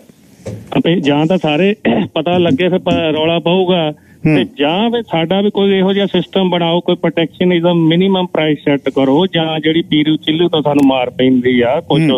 ਕੁਛ ਨਾ ਕੁਛ ਕਰੋ। ਪਰ ਗਵਰਨਮੈਂਟ ਦਾ ਧਿਆਨ ਹੈ ਨਹੀਂ ਜੀ ਇਸ ਪਾਸੇ ਇਸ ਤਾਂ ਕਰਕੇ ਇੰਡਸਟਰੀ ਡੇ ਬਾਏ ਡੇ ਹੇਠਾਂ ਨੂੰ ਜਾ ਰਹੀ ਆ ਤੇ ਖਤਮ ਹੋ ਜੀ ਜੀ ਇੱਕ ਦਿਨ ਖਤਮ ਹੀ ਆਲਮੋਸਟ ਹੁਣ। ਗੱਲ ਆ ਮੈਂ ਬੰਦਿਆਂ ਜੀ ਬੈਠਾ ਆ ਤੇ 100 ਖੱਤੇ ਦੀ ਮੈਂ ਖੇਤੀ ਕਰਦਾ ਮੇਰੀ ਵਾਈਫ ਬਾਹਰ ਕੰਮ ਕਰਦੀ ਤਾਂ ਮੁੰਡਾ ਮੇਰਾ ਬਾਹਰ ਕੰਮ ਕਰਦਾ ਹਾਂਜੀ। ਓਹੋ। ਅਤੇ ਹੁਣ ਉੱਥੋਂ ਬੰਦਾ ਉਹ ਸਿਰਫ ਕਰਦੇ ਕਰਦੇ ਆ? ਵੀ ਚਲੋ ਘਰ ਦਾ ਕੰਮ ਤਾਂ ਚੱਲੀ ਜਾਊ ਜੇ ਇੱਥੋਂ ਪੈਸੇ ਨਾ ਬਚੇ ਤਾਂ ਹਨਾ। ਹੂੰ ਹੂੰ ਹੂੰ ਹੂੰ ਹੂੰ ਹੂੰ। ਸੋ ਇਸ ਕਰਕੇ ਜਿਹੜੀ ਹੈ ਨਾ ਓਪਨ ਮਾਰਕੀਟ ਆ ਇਹਦੀ ਕੁਛ ਨਾ ਕੁਛ ਇੱਥੇ ਰੈਸਟ੍ਰਿਕਸ਼ਨ ਚਾਹੀਦੀ ਆ। ਹੁਣ ਆਸਟ੍ਰੇਲੀਆ ਦੀ ਮਾਰਕੀਟ ਦੇਖ ਲਓ ਜੀ। ਹੂੰ। 8 ਡਾਲਰ ਨੂੰ ਫਾਰਮਰ ਦੀ ਖੱਤੇ ਚੋਂ ਭੇਰੀ ਜਾਂਦੀ ਆ। ਵਾਹ। 25 ਡਾਲਰ ਫਾਰਮਰ ਘੰਟੇ ਦੀ ਤੜਾਈ ਦਿੰਦਾ ਘੰਟਿਆਂ ਦੇ ਤੜਾਉਂਦਾ ਚਾਹੇ 100 ਪਾਉਂਡ ਵੀ ਤੋੜੀ ਤਾਂ ਉਹਨੂੰ 800 ਪਾਉਂਡ 250 ਪ- ਪਿੱਕਰ ਲੈ ਗਿਆ ਤਾਂ 600 ਡਾਲਰ ਫਾਰਮਰ ਨੂੰ ਛੱਡ ਗਿਆ ਉਹ। ਹੂੰ ਹੂੰ ਹੂੰ। ਤੇ 20 ਡਾਲਰ ਨੂੰ ਸਟੋਰ 'ਚ ਚੱਲ ਬਚਦੀ ਆ ਸੌਰੀ ਵਿਕਦੀ ਆ ਨਾ। ਇੱਥੇ ਨਾ ਪਿੱਕਰ ਦਾ ਬਣ ਰਿਹਾ ਕੁਛ ਤਾਂ ਨਾ ਫਾਰਮਰ ਦਾ ਵੀ ਧੱਕੇ ਖਾ ਰਹੇ ਸਾਰੇ ਕੁੱਲ ਮਿਲਾ ਕੇ। ਕੁਛ ਗੋਸਲ ਸਾਹਿਬ ਸਾਈਡ ਜੌਬਸ ਰੱਖੀਆਂ ਹੋਈਆਂ ਨੇ ਉਹਨਾਂ ਨਾਲ ਘਰ ਚੱਲਦਾ। ਆ ਸਾਈਡ ਜੌਬ ਸਾਰਿਆਂ ਦੀਆਂ ਹੀ ਤਕਰੀਬਨ ਜੀ। ਤੁਸੀਂ ਇਹ ਦੇਖ ਲਓ ਜੇ 50 ਖੱਤੇ ਦੀ ਖੇਤੀ ਕਰਦਾ ਉਹ ਜਿਹੜਾ ਓਨਰ ਆ ਉਹਨੂੰ ਬਾਹਰ ਕੰਮ ਕਰਨਾ ਪੈਣਾ। ਅੱਜ ਤੋਂ 10 ਸਾਲ ਪਹਿਲਾਂ 25 ਖੱਤੇ ਵਾਲਾ ਬੰਦਾ ਜਿਹੜਾ ਸੀਗਾ ਉਹ ਫੁੱਲ ਟਾਈਮ ਆਪਣੀ ਲਿਵਿੰਗ 25 ਖੱਤਿਆਂ ਤੇ ਰੱਖ ਸਕਦਾ ਸੀ। ਖਰਚੇ ਘੱਟ ਸੀ ਬੇਰੀ ਦੀ ਪ੍ਰਾਈਸ 1.5 2 2.5 1 30 35 ਤੋਂ ਘੱਟਦੀ ਨਹੀਂ ਸੀਗੀ। ਜੀ। ਹੁਣ ਤਾਂ ਤੁਸੀਂ ਦੇਖ ਲਓ ਪਿਛਲੀ 2 ਵੀਕਾਂ ਦੀ ਇੱਕ ਵੀ ਤਾਂ ਵਧੀ ਨਹੀਂ। ਹੂੰ ਹੂੰ ਹੂੰ ਤੇ ਸਟੋਰਾਂ 'ਚ 10 ਤੋਂ ਘਟੀ ਨਹੀਂ ਗਈ ਨਾ ਚਾਹੇ ਆਕਸੀਜਨ ਲਾ ਲਓ ਤੇ ਚਾਹੇ ਆਹ ਨੋ ਘਟਾਉਂਦੇ ਨਹੀਂ ਲਾ। ਜੀ ਜਿਹੜਾ ਕੋਵਿਡ ਦੇ ਦੌਰਾਨ ਇੱਕ ਰੇਟ ਉਹਨਾਂ ਨੇ ਫਿਕਸ ਕਰਤਾ ਉਹਨਾਂ ਨੇ ਘਟਾਇਆ ਹੀ ਨਹੀਂ 4 ਸਾਲ ਹੋ ਗਏ। ਹਾਂਜੀ ਤੁਸੀਂ ਦੇਖੋ ਮੈਂ ਪਿਛਲੀ ਵਾਰ ਵੀ ਗੱਲ ਕੀਤੀ ਸੀ ਵੀ ਜਿਹੜਾ 7 ਡਾਲਰ ਦਾ ਪਲੇ ਰਾਉਂਡ ਆ ਕਿੱਥੇ ਆ? ਇਹ ਡਿਸਟ੍ਰੀਬਿਊਟਰ ਚ ਬੈਠੇ ਜਿਹੜੇ ਕੈਲੀਫੋਰਨੀਆ ਦੀਆਂ ਵੱਡੀਆਂ ਬਿਲਡਿੰਗਾਂ 'ਚ ਮੈਂ ਨਾਂ ਤਾਂ ਨਹੀਂ ਲੈਣਾ। ਜੀ। ਜਿਹੜੇ ਸਾਰੀ ਵਰਲਡ ਮਾਰਕੀਟ ਨੂੰ ਕੰਟਰੋਲ ਕਰ ਰਹੇ ਆ ਫਰੂਟ ਦੀ ਨੂੰ। ਇਹ ਜਾਂ ਤਾਂ ਉਹਨਾਂ ਦੀ ਜੇਬ 'ਚ 5 ਡਾਲਰ ਪਾਉਂਡ ਮਗਰ ਜਾ ਰਹੇ ਆ ਤੇ ਜਾਂ ਸਟੋਰਾਂ ਵਾਲਿਆਂ ਦੇ ਜਾ ਰਹੇ ਆ। ਬਿਲਕੁਲ। ਕਿੱਡੀ ਗੱਲ ਤਾਂ 25 ਹਾਂਜੀ ਸਾਡਾ ਜੀ ਉੱਥੇ 1 ਡਾਲਰ 20 ਸੈਂਟ ਤੇ ਬੈਠੇ ਆ।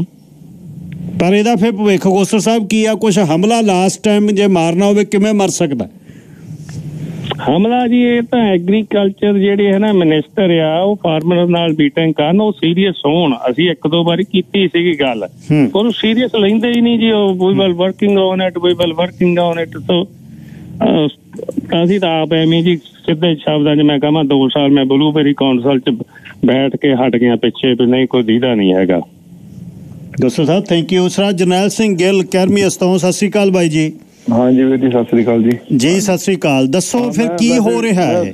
ਹਾਂਜੀ ਮੈਂ ਸੁਣ ਰਿਹਾ ਸੀ ਤੁਹਾਡਾ ਪਹਿਲਾਂ ਵੀ ਫੀਡ ਹੀ ਲੈ ਰਿਹਾ ਸੀ ਕੀ ਕਿੱਥੇ ਜਾ ਗੱਲ ਚੱਲਦੀ ਹੈ। ਉਹ ਗੱਲ ਵੀ ਇਹ ਨਾ ਜਿਹੜਾ ਨਾ ਕੋਈ ਐਂਟੀ ਡੰਪਿੰਗ ਦਾ ਕੋਈ ਪ੍ਰੋਸੈਸ ਚਾਹੀਦਾ ਜੀ। ਠੀਕ ਆ ਕੰਪੀਟੀਸ਼ਨ ਨੂੰ ਇਹ ਤੋਂ ਰੋਕ ਸਕਦੇ ਹੁਣ ਜੇ ਆਪਾਂ ਕਹੀਏ ਬਾਰ ਬੰਦ ਕਰਕੇ ਅਸੀਂ ਆਪਦਾ ਹੀ ਕੰਮ ਕਰਨਾ। ਹੂੰ। ਜੇ ਜਦੋਂ ਆਪਾਂ ਵਰਲਡ ਲੈਵਲ ਤੇ ਜਾਂਦੇ ਆ ਜਦੋਂ ਆਪਾਂ ਸਾਰੇ ਭੇਜਦੇ ਚਾਰੀ ਹੂੰ। ਆਪਣੀ ਵੀ ਆਉਣੀ ਚਾਹੀਦੀ ਇਹ ਨਹੀਂ ਵੀ ਆਪਾਂ ਕਹਿੰਦੇ ਅਮਰੀਕਾ ਵੀ ਜਾਂ ਹੋਰ ਇੱਥੇ ਇੰਪੋਰਟ ਨਾ ਕਰੋ ਕੋਈ ਵੀ। ਹੂੰ। ਪਰ ਕੋਈ ਸਟੈਂਡਰਡ ਹੋਣਾ ਚਾਹੀਦਾ ਜੀ। ਹੂੰ। ਜੇ ਹੁਣ ਜਿਵੇਂ ਤੁਸੀਂ ਅੱਗੇ ਵੀ ਐਸਟੀਮੇਟ ਲਾਏ ਵੀ ਜੇ 50 ਡਾਲਰ ਤੋਂ 48 ਤੋਂ ਘੱਟ ਬੈਗ ਦੀ ਛਰੀ ਤਾਂ ਨਹੀਂ ਸਰਵਾਈਵ ਹੁੰਦਾ ਜੀ। ਨਹੀਂ ਸਰਵਾਈਵ ਕਰਦੇ ਬਿਲਕੁਲ। ਉਹ 18 ਡਾਲਰ ਦੀ ਦੇ ਜਾਂਦੇ ਡਿਲੀਵਰ ਆਪਣੇ ਅੰਟੈਰੀਓ ਤੇ। ਅੱਛਾ ਗਿਲ ਸਾਹਿਬ ਫਿਰ ਉਹ ਕਿਵੇਂ ਸਰਵਾਈਵ ਕਰਦੇ ਆ ਜੀ? ਅਮਰੀਕਾ ਵਾਲੇ 18 ਡਾਲਰ ਚ? ਪਤਾ ਨਹੀਂ ਉਹ ਉਹਦੀ ਉਹਦਾ ਜਿਵੇਂ ਹਾਰਟ ਫੰਡ ਹੈ ਸਾਰਾ। ਇਸ ਟਾਈਮ ਤੇ ਛੋਟਾ ਬੰਦਾ ਉੱਥੇ ਕੋਈ ਨਹੀਂਗਾ ਫਾਰਮਰ ਕੋਈ ਨਹੀਂ ਰਹਿ ਗਿਆ। ਹੂੰ। ਉਥੋਂ ਜਿਵੇਂ ਹਾਰਟ ਫੰਡ ਆ ਜਿਵੇਂ ਐਕਸਚੇਂਜ ਚ ਆਉਂਦੇ ਜਦੋਂ ਜਿਵੇਂ ਲਾ ਲਓ ਨਿਊਯਾਰਕ ਉਹ ਜਿਵੇਂ ਸ਼ੇਅਰ ਦੀ ਮਨੀ ਆ। ਠੀਕ। ਵੱਡੇ ਵੱਡੇ ਮਾਸ਼ਾ ਉਹ ਉਹਨਾਂ ਦੀ ਮਨੀ ਆ ਉਹ। ਹੂੰ। ਹੁਣ ਦੇ ਹਿਸਾਬ ਨਾਲ ਇਥੋਂ ਅੰਟੈਰੀਓ ਨੂੰ ਜਾਨੀ ਇੱਥੋਂ ਵਾਸ਼ਿੰਗਟਨ ਦਾ ਟਰੱਕ ਸਾਡੇ ਕੋਲੇ ਆਉਂਦਾ ਆਰਗੈਨਿਕ ਦੀ ਚੈਰੀ ਚੱਕਣ। ਹੂੰ। ਨਾ ਫੇਰ ਵੀ ਥੋੜਾ ਕਹਿੰਦਾ ਮੇਰੀ ਹੈਲਪ ਕੀਤੀ ਉਹ ਕਹਿੰਦੇ ਸਾਨੂੰ ਆਉਂਦੀ ਤਾਂ ਸਸਤੀ ਉਹ ਤਾਂ ਪਰ ਇੰਨੇ ਸਾਲ ਹੋ ਗਏ ਆਪਣੇ ਬਿਜ਼ਨਸ ਕਰਦੇ ਨੂੰ। ਉਹਦੇ ਲੱਦ ਦਿਆ ਕਰ ਤਿੰਨ ਚਾਰ ਸਕਿੱਡਾਂ ਮਗਰ ਵੀ ਦੂਜੇ ਟਰੱਕ ਦੇ। ਠੀਕ। ਵੀ ਪਰ ਹੁਣ 24 ਸਕਿੱਡਾਂ ਜੀ 21 ਉੱਥੋਂ ਆਉਂਦੀਆਂ ਤਿੰਨ ਇੱਥੋਂ ਚੱਕਦੇ ਆ ਉਹ। ਹੂੰ। ਉਹ ਕਹਿੰਦਾ ਫ੍ਰੀ ਆਉਂਦੀਆਂ ਜੀ। ਅੱਛਾ ਤੇ ਆਰਗੈਨਿਕ ਫਾਰਮਿੰਗ ਦਾ ਕੋਈ ਸਕੋਪ ਹੈ ਜੀ? ਉਹ ਉਹ ਵੀ ਨੱਪੀ ਤੁਰੇ ਆਉਂਦੇ ਜੀ। ਉਹਦਾ ਜਿਵੇਂ ਲਾ ਲਓ ਵੀ ਲਿਹਾਜ਼ ਕਰਕੇ ਇੰਨਾ ਚਿਰ ਜਿਨ੍ਹਾਂ ਨੂੰ ਆਪਾਂ ਸਪਲਾਈ ਦਿੰਦੇ ਸੀਗੇ ਮੈਂ ਸਮਝ ਗਿਆ। ਐਵੇਂ ਫੇਵ ਫੇਵਰ ਹੀ ਕੀਤੀ ਜੀ ਉਹਨਾਂ ਨੇ ਐਡ ਕੀਤਾ ਅੱਛਾ ਤੇ ਇਹਨੂੰ ਆਰਗੇਨਾਈਜ਼ ਕਿਵੇਂ ਕੀਤਾ ਜਾ ਸਕਦਾ ਜੀ? ਕੁਛ ਹੰਬਲਾ ਮਾਰਿਆ ਜਾ ਸਕਦਾ? ਨਹੀਂ ਨਹੀਂ ਅਸੀਂ ਅੱਗੇ ਵੀ ਕੀਤੀ ਹੈ ਮੀਡੀਆ ਤੇ ਵੀ ਗੱਲ ਕੀਤੀ ਹੈ ਜੀ ਦੂਜਾ ਆਪਣੇ ਮੇਨ ਸਟ੍ਰੀਟ ਤੇ ਵੀ। ਹੂੰ। ਵੀ ਇਹਦਾ ਕੋਈ ਵੀ ਠੀਕ ਆ ਆਪਾਂ ਕੰਪੀਟੀਸ਼ਨ ਨੂੰ ਤੁਸੀਂ ਅਵੋਇਡ ਨਹੀਂ ਕਰ ਸਕਦੇ। ਹੂੰ। ਜਦੋਂ ਆਪਣੇ ਕੋਲ ਫ੍ਰੀ ਟ੍ਰੇਡ ਆ ਹੂੰ। ਸਾਰਾ ਜਦੋਂ ਸਾਈਨ ਕੀਤੇ ਹੋਏ ਉਹ ਉਹ ਨਹੀਂ ਕਹਿ ਸਕਦੇ ਬਾਰਡਰ ਬੰਦ ਕਰ ਦਿਓ। ਬਿਲਕੁਲ ਠੀਕ। ਪਰ ਉਹ ਉਹਨਾਂ ਦਾ ਕੋਈ ਸਟੈਂਡਰਡ ਚਾਹੀਦਾ ਜਿਹੜੀ ਚੀਜ਼ ਆਉਂਦੀ ਆ। ਵੀ ਉਹ- ਉਹਦੀ ਐਟਲੀਸਟ ਗਰੋਇੰਗ ਕਾਸਟ ਜੇ ਕਿਤੇ ਉਹ ਜਿਹਾ ਚੱਕਰ ਵੀ ਪੈਂਦਾ ਗਰੋਇੰਗ ਕਾਸਟ ਦਾ ਉਹਦੀ ਕਵਰ ਹੋਵੇ ਜੀ। ਹਾਂ ਘੱਟੋ ਘੱਟ 50 ਡਾਲਰ ਨੂੰ ਤਾਂ 20 ਡਾਲ 20 ਪਾਉਂਡ ਵਾਲਾ ਵਿਕੇ ਪੈਸੇ ਤਾਂ ਪੂਰੇ ਹੋਣ। ਵੀ ਆਉਂਦਾ ਚੱਲ 42 45 ਉਹਦਾ ਵਿਕੇ ਜੀ। ਹੂੰ ਹੂੰ ਹੂੰ। ਠੀਕ ਆ ਫੇਰ ਨਹੀਂ ਫੇਰ ਉਹ- ਉਹਦੇ ਨਾਲ ਜਦ ਨਹੀਂ ਪੈਸੇ ਬਣਦੇ ਸਰਵਾਈਵ ਹੁੰਦੇ ਤੁਸੀਂ। ਢਾਲੀਵਾਲ ਸਾਹਿਬ ਦੱਸ ਰਹੇ ਸੀ ਇਹ ਬਈ ਵਾਸ਼ਿੰਗਟਨ ਤੋਂ ਕੰਸਾਈਨਮੈਂਟ ਤੇ ਵੀ ਆ ਰਹੀ ਹੈ। ਨਹੀਂ ਉਹ ਉਦੋਂ ਮੈਂ ਦੱਸ ਰਹਾ ਜੀ ਇੱਥੋਂ 5 ਡਾਲਰ ਫਰੇਟ ਪੈਂਦਾ ਜੀ। ਹੂੰ। ਤੇ 18 ਡਾਲਰ ਨੂੰ ਯੂਐਸ ਨੂੰ ਉੱਥੇ ਉੱਥੇ ਡਿਲੀਵਰ ਕਰੀ ਜਾਂਦੇ ਹੁਣ ਹਿਸਾਬ ਲਾਓ 13 ਡਾਲਰ ਨੂੰ ਬਕਸਾ ਜੀ। ਓ ਹੋ ਹੋ ਹੋ ਹੋ। ਮੈਂ ਤੇ ਬਕਸਾ ਖੋਲ ਕੇ ਦਿਖਾਈ ਚੈਰੀ ਵੀ ਕੋਈ ਮਾੜੀ ਨਹੀਂ ਜੀ ਉਹ ਨਹੀਂ ਤਾਂ ਕਹਿ ਸਕਦੇ ਵੀ ਵੀ ਜੰਕ ਤੁਰਿਆ ਆਉਂਦਾ ਹੂੰ। ਚੈਰੀ ਵੀ ਠੀਕ ਆ। ਹੁਣ ਉਹ ਉੱਥੇ ਉਹਦੇ ਆਪਾਂ ਤਾਂ ਕੰਪੀਟ ਹੀ ਨਹੀਂ ਕਰ ਸਕਦੇ ਹੁਣ ਜਿਵੇਂ ਮੈਂ ਤਿੰਨ ਕੁ ਦਿਨ ਮੈਂ ਕ੍ਰਿਸਟਨ ਜਾ ਕੇ ਜੀ। ਹੂੰ। ਸਾਰੀ ਚੈਰੀ ਖੜੀ ਹੁਣ ਕੋ- ਹੁਣ ਕੋਈ ਐਵਨਿਊ ਨਹੀਂ ਲੱਭਦਾ ਉਹਨਾਂ ਨੂੰ ਮੈਂ ਰੋਕਿਆ ਜੀ ਆਉਣ ਵੇਲੇ ਮੈਂ ਮਿਲੇ ਕੁਦਰਤੀ ਮੈਨੂੰ ਆਹੀ ਗੱਲ ਉਹ ਦੱਸ ਰਿਹਾ ਸੀ ਕਹਿੰਦੇ ਅਸੀਂ ਤਾਂ ਤੋੜਨੋਂ ਡਰ ਲੱਗਦਾ ਵੀ ਤੋੜੀਏ ਵੀ ਜਾਂ ਨਾ ਨਹੀਂ ਉਹ ਉਹ ਜਿਵੇਂ ਪਾਰ ਵੀ ਨਹੀਂ ਹੁੰਦਾ ਹੀ ਕੰਮ ਜਿਵੇਂ ਈਵਨ ਹੀ ਨਹੀਂ ਹੁੰਦਾ ਗਾ ਕੰਮ ਤੇ ਭਵਿੱਖ ਕੀ ਹੈ ਫੇ ਗਿਲ ਸਾਹਿਬ ਇਹ ਕੀ ਹੋਊਗਾ ਫਾਰਮਿੰਗ ਦਾ ਪਰ ਦੇਖੋ ਜੀ, ਤਾਂ ਹੁਣ ਜਿਵੇਂ ਅੱਗੇ ਅੱਗੇ ਬਲਵੰਦਰ ਕਹੇ ਗਿਆ ਇਹ ਤਾਂ। ਫਸੇ ਹੋਏ ਆ। ਜਿਵੇਂ ਸਾਡੇ ਕੋਲ ਤਾਂ ਅਸੀਂ ਤਾਂ 8 10 10 ਮਿਲੀਅਨ ਤੇ ਬੈਠੇ ਜੀ ਇੱਥੇ ਘਰ ਪਾਈ ਬੈਠੇ ਆ ਜਾਈਏ ਕਿੱਧਰ ਨੂੰ? ਹੂੰ। ਮੁੰਡੇ ਨਾਲ ਕੰਮ ਕਰਦੇ ਹੀ ਪਰ ਇਹ ਤਾਂ ਇਹ ਤਾਂ ਹਿੱਲ ਜਾਂਦੇ ਆ, ਇੱਕ ਸਾਲ ਦੇ ਜੇ ਨਾ ਪੈਸੇ ਬਣੇ ਤਾਂ ਨਾ ਬੱਚੇ ਨਹੀਂ ਜੀ ਬੱਚਿਆਂ ਨੇ ਤਾਂ ਉਸੇ ਸਾਲ ਕਹਿਣਾ ਕੈਲਕੂਲੇਟਰ ਨਾਲ। ਇਧਰ ਇੱਧਰ ਕਰ ਲਾਂਗੇ ਇਧਰ ਇੱਧਰ ਕਰ ਲਾਂਗੇ। ਹੂੰ ਹੂੰ। ਇਹ ਤਾਂ ਹੁਣ ਯਾਰ ਕੀ ਪੈਸੇ ਬਣੇ ਯਾਰ ਕੀ ਹਿੱਲਿਆ ਪਿਆ ਕੰਮ। ਉਦੋਂ ਜੇ ਹੁਣ ਕ੍ਰੈਡਿਟ ਲਾਈਨ ਚੱਕਦੇ 7% ਤੇ ਉਹ ਕਰਤੀ ਉਹਨਾਂ ਨੇ। ਨਾ ਜੀ ਕ੍ਰੈਡਿਟ ਲਾਈਨ ਤਾਂ ਚੱਕ ਕੇ ਉਹ ਉਹ ਉਹ ਤਾਂ ਜਿਹੜੇ ਆਪਣੇ ਥੋਬੇ ਭਰਦੇ ਆਏ ਆ ਆਪਾਂ ਉਹਦੇ ਚ ਫਿਰ ਦੇਖ ਲਓ ਕੰਗਾਲ ਹੋ ਗਏ ਪਿੱਛੇ ਖੁਦਕਸ਼ੀਆਂ ਹੋ ਰਹੀਆਂ ਨੇ ਉਹੀ ਰਾਹ ਇੱਥੇ ਤੁਰਾਂਗੇ ਆਪਾਂ? ਨਹੀਂ ਉਹ ਚੱਲ ਨਹੀਂ ਉਹ ਚੱਲ ਮਹਾਰਾਜ ਦੀ ਕਿਰਪਾ ਹੀ ਮੈਂ ਤਾਂ ਆਪਾਂ ਤਾਂ ਟਿਕੇ ਬੈਠੇ ਹੀ ਬਾਹਲਾ ਨਹੀਂ ਇਨਵੈਸਟ ਕੀਤੇ ਪੈਸੇ। ਕੋਈ ਉਹ ਉਹ ਪੌੜੀ ਤੇ ਪੌੜੀ ਨਹੀਂ ਲਾਈ। ਤੇ ਪਰ ਜਿਵੇਂ ਆਮ ਕੰਮ ਖਰਾਬ ਹੋਇਆ ਪਿਆ ਜੀ ਹੁਣ। Thank you Gill Sahib. Rajinder Singh Brar ji line number 3 ਹਾਂਜੀ ਗਿੱਲ ਸਾਹਿਬ ਜੀ ਸਤਿ ਸ੍ਰੀ ਅਕਾਲ। ਸਤਿ ਸ਼੍ਰੀ ਅਕਾਲ ਬਰਾੜ ਸਾਹਿਬ। ਹਾਂਜੀ ਸਰ ਤੋਂ ਪਹਿਲਾਂ ਤਾਂ ਗਿੱਲ ਸਾਹਿਬ ਨੂੰ ਤੁਹਾਨੂੰ ਜਨਰਲ ਬਾਈ ਨੇ ਵੀ ਦੱਸਿਆ ਤੇ ਬਲਵਿੰਦਰ ਔਲਖ ਨੇ ਬਾਈ ਨੇ ਦੱਸਿਆ ਸੀ। ਹੂੰ। ਤੇ ਕਿਵੇਂ ਉਹ ਡਾਲਰ ਦਾ ਜਿਵੇਂ ਆਪਣੀ ਫਾਰਮਰ ਦੀ ਕਾਸਟ ਪੈ ਜਾਂਦੀ ਸਾਨੂੰ। ਠੀਕ। ਹੈਨਾ ਤੇ ਜਿਵੇਂ ਹੁਣ ਇਹ ਵੇਚੀ 21 22 ਡਾਲਰ ਨੂੰ ਜਾਂਦੇ ਕੀ ਇਹ ਆਪਦੀ ਕਾਸਟ ਤਾਂ ਪੂਰੀ ਕਰ ਲੈਣਗੇ? ਕੀ ਫਾਰਮਰ ਨੂੰ ਦੇਣਗੇ? ਅਸੀਂ ਇੱਕ ਐਕਸਪੈਂਸਿਵ ਜਿਹੜੇ ਇੰਨੀ ਲੇਬਰ ਦਿੱਤੀ ਅਸੀਂ ਕਿੱਥੋਂ ਕਵਰ ਕਰਾਂਗੇ? ਬਿਲਕੁਲ ਠੀਕ ਹੈ। ਹਨਾ ਜਿਹੜੇ ਹੁਣ ਅਮਰੀਕਾ ਤੋਂ ਕੀ ਹੈਗਾ ਇੱਥੇ ਡੰਪ ਕਰੀ ਜਾਂਦੇ ਕੋਈ ਉਹਨਾਂ ਦਾ ਸਪਰੇਆਂ ਦਾ ਨਹੀਂ ਕੋਈ ਉਹਨਾਂ ਦਾ ਫੂਡ ਸੇਫਟੀ ਦਾ ਨਹੀਂ ਕੈਨੇਡਾ 'ਚ ਆਹ ਫੂਡ ਸੇਫਟੀ ਆਹ ਸਪਰੇ ਨਹੀਂ ਕਰ ਸਕਦੇ। ਹਨਾ? ਹੂੰ। ਤੇ ਉਹ ਸਾਡੇ ਤੇ ਬਾਲਾ ਲਾਗੂ ਹੁੰਦਾ। ਜੇ ਹੁਣ ਆਪਾਂ ਕਹਦੇ ਅਮਰੀਕਾ ਨੇ ਐਗਤੀ ਡੰਪ ਕਰਤੀ ਜੇ ਸਾਡਾ ਕੀ ਫਿਊਚਰ ਹੈ ਹਰ ਸਾਲ ਹੀ ਐਂ ਕਰਦੀ ਰਹੀ ਅਸੀਂ ਫਾਰਮਰ ਕਿੱਧਰ ਨੂੰ ਜਾਵਾਂਗੇ? ਨਹੀਂ ਜੀ ਬੰਦ ਹੋ ਜੂ ਕੰਮ ਇਹ ਤਾਂ ਪੱਟ ਛੱਡਣਾ ਪੈਣਾ। ਪਹਿਲਾ ਪਹਿਲਾਂ ਵਿੰਟਰ ਦੇ ਵਿੱਚ ਗ੍ਰੇਪਾਂ ਵਾਲੇ ਵਿਚਾਰੇ ਉਹਨਾਂ ਦੇ ਗ੍ਰੇਪ ਸੀ ਆ ਹੁਣ ਗੇੜਾ ਦੇ ਕੇ ਵੇਖਿਆ ਗ੍ਰੇਪ ਵਿਚਾਰੇ ਉਹ ਮਰ ਗਏ। ਬਹੁਤ ਔਖਾ ਹੈ ਵਿਨਜਾਰਡ ਵੀ ਔਖਾ ਹੈ ਇਸ ਵਾਰ। ਹਾਂ, ਜਿਹੜੇ ਹੁਣ ਕ੍ਰੈਸਟਨ ਆ ਕਲੋਨਾ ਉਹ ਚੈਰੀ ਉਵੇਂ ਉੱਤੇ ਪਈ ਆ ਜਦੋਂ ਉੱਤੇ ਹੁਣ ਫਸਲ ਪੁੱਤਾਰ ਕੀ ਉਵੇਂ ਪਈ ਸਾਰਾ ਸਾਲ ਆਪਾਂ ਪਾਲੀ ਨਾ ਜਾਂਦੇ ਆ, ਬਹੁਤ ਔਖਾ। ਮੈਂ ਕ੍ਰੈਸਟਨ ਵੇਖਿਆ ਜੀ ਤੋੜ ਨਹੀਂ ਰਹੇ ਕ੍ਰੈਸਟਨ ਚ। ਹਾਂਜੀ ਫੇਰ ਬਾਹਰ ਨਿਕਲਣ ਨੂੰ ਜੀ ਨਹੀਂ ਕਰਦਾ ਫਿਰ ਸਟ੍ਰੈਸ ਵਧਣੀ ਆ ਬਲੱਡ ਪ੍ਰੈਸ਼ਰ ਵੱਧਦੇ ਫਿਰ ਅੰਦਰ ਜਾ ਕੇ ਵੜ ਕੇ ਪੈ ਜਾਂਦਾ ਵੀ ਕੀ ਕਰੀਏ ਹੁਣ? ਬੜਾ ਦੁੱਖ ਦੀ ਗੱਲ ਆ ਜੀ। ਹਾਂਜੀ ਇਹ ਹੁਣ ਜੇ ਅਮਰੀਕਾ 'ਚ ਦੇਖੋ ਹੀ ਹਾਲ ਆ ਅਮਰੀਕਾ ਨੂੰ ਆਪਾਂ ਰੋਕ ਤਾਂ ਨਹੀਂ ਸਕਦੇ ਠੀਕ ਆ। ਜਿਹੜੇ ਆਪਣੇ ਹੁਣ ਇੱਥੇ ਹੈਗੇ ਆ ਇਹਨਾਂ ਦੇ ਗਵਰਨਮੈਂਟ ਮਾੜਾ ਮੋਟਾ ਕੋਈ ਕੈਪ ਲਾ ਸਕਦੀ ਆ ਵੀ ਤੁਸੀਂ 60% 50% 70% ਪਹਿਲਾਂ ਤੁਸੀਂ ਲੋਕਲ ਇੱਥੋਂ ਫਰੂਟ ਲੋਕਲ ਲਓ ਬਾਕੀ ਤੁਸੀਂ ਬਾਹਰੋਂ ਲੈ ਸਕਦੇ ਬਿਲਕੁਲ ਠੀਕ ਹੈ। ਹਾਂ ਜੋ ਲੋਕਲ ਲੱਗੂ ਤਾਂ ਫੇਰ ਆ ਉਧਰ ਤਾਂ ਇੰਟਰਸਟ ਰੇਟ ਚੱਕਤਾ। ਉਧਰ ਹੁਣ ਗਰੋਸਰੀ ਦਾ ਫਿਕਰ ਪਿਆ ਉਧਰ ਹੁਣ ਗਵਰਨਮੈਂਟ ਸੀਬਾ ਦਾ ਧੂਆ ਦੇਈ ਜਾਂਦੀ ਆ ਵੀ 31 ਦਸੰਬਰ ਤੱਕ ਸੀਬਾ ਦੇ ਪੈਸੇ ਮੋੜੋ ਹਾਂ ਮੋੜੋ ਮੋੜੋ ਯੈਸ ਉਧਰ ਸਤੰਬਰ ਦੇ ਵਿੱਚ ਜਵਾਕਾਂ ਨੇ ਸਕੂਲ ਜਾਣਾ ਉਹਨਾਂ ਦੀਆਂ ਫੀਸਾਂ ਭਰੋ ਗਰੋਸਰੀ ਲੈ ਗਏ ਕਿ ਸੀਬਾ ਦੇ ਮੋੜ ਗਏ ਕਿ ਪੇਮੈਂਟ ਦੇ ਗਏ ਕਿ ਜਿਹੜੀ ਲੇਬਰ ਦਿੱਤੀ ਹੈ ਕਰਨ ਲਈ ਉਹ ਦੇ ਗਏ ਹੁਣ ਫਾਰਮਰ ਨੂੰ ਕੀ ਕਰੇ ਹੁਣ? ਬਿਲਕੁਲ ਗਵਰਨਮੈਂਟ। ਹੁਣ ਆਉਣਗੇ ਹੁਣ ਆਉਣਗੇ ਵੋਟਾਂ ਵੇਲੇ ਆਉਣਗੇ ਚਾਹ ਪਾਣੀ ਪੀ ਕੇ ਸਮੋਸੇ ਹਾਂ ਮੁੜ ਕੇ ਜਾਣਗੇ ਬਸ। ਹਾਂ ਸਮੋਸੇ ਖਿਲਾ ਕੇ ਹਾਂ। ਉਹ ਜੇ ਉਹ ਜੇ ਸਾਡੇ ਲੋਕ ਆ ਜਿਹੜੇ ਸਮੋਸੇ ਖਵਾ ਕੇ ਫੋਟੋਆਂ ਲਵਾ ਕੇ ਨਾਲ ਮੇਰੇ ਘਰੇ ਫਲਾਨਾ ਐਮਪੀ ਆ ਅਸੀਂ ਫਲਾਨਾ ਤੇ ਅਸੀਂ ਇਹਨਾਂ ਤੋਂ ਇੱਥੇ ਹੀ ਕਰਾਉਣਾ ਜੋ ਸਾਡੇ ਨਹੀਂ ਭਾਈਚਾਰੇ ਦੁੱਖ ਸੁੱਖ ਦੀ ਬਾਹ ਫੜਦੇ। ਬਿਲਕੁਲ ਠੀਕ ਆ ਬਰਾੜ ਸਾਹਿਬ ਤੁਹਾਡੀ ਗੱਲ। ਪਹਿਲੀ ਪਹਿਲੀ ਗੱਲ ਤਾਂ ਜੀ ਗੱਲ ਸਾਹਿਬ ਜਿਹੜਾ ਆਪਣਾ ਪੰਜਾਬੀ ਭਾਈਚਾਰਾ ਨਾ ਇਹ ਤੋਂ ਤੁਸੀਂ ਮੈਂ ਸੌਰੀ ਪਰ ਕਹਿਣ ਲੱਗਿਆ ਇਹ ਤੋਂ ਤੁਸੀਂ ਬਰਸੀਆਂ ਮਨਾ ਲਓ ਤੇ ਲੰਗਰ ਲਵਾ ਲਓ ਸਾਂਝੇ ਕੰਮ ਨੂੰ ਜਿੰਨੇ ਮਰਜ਼ੀ ਕਰਾ ਲਓ।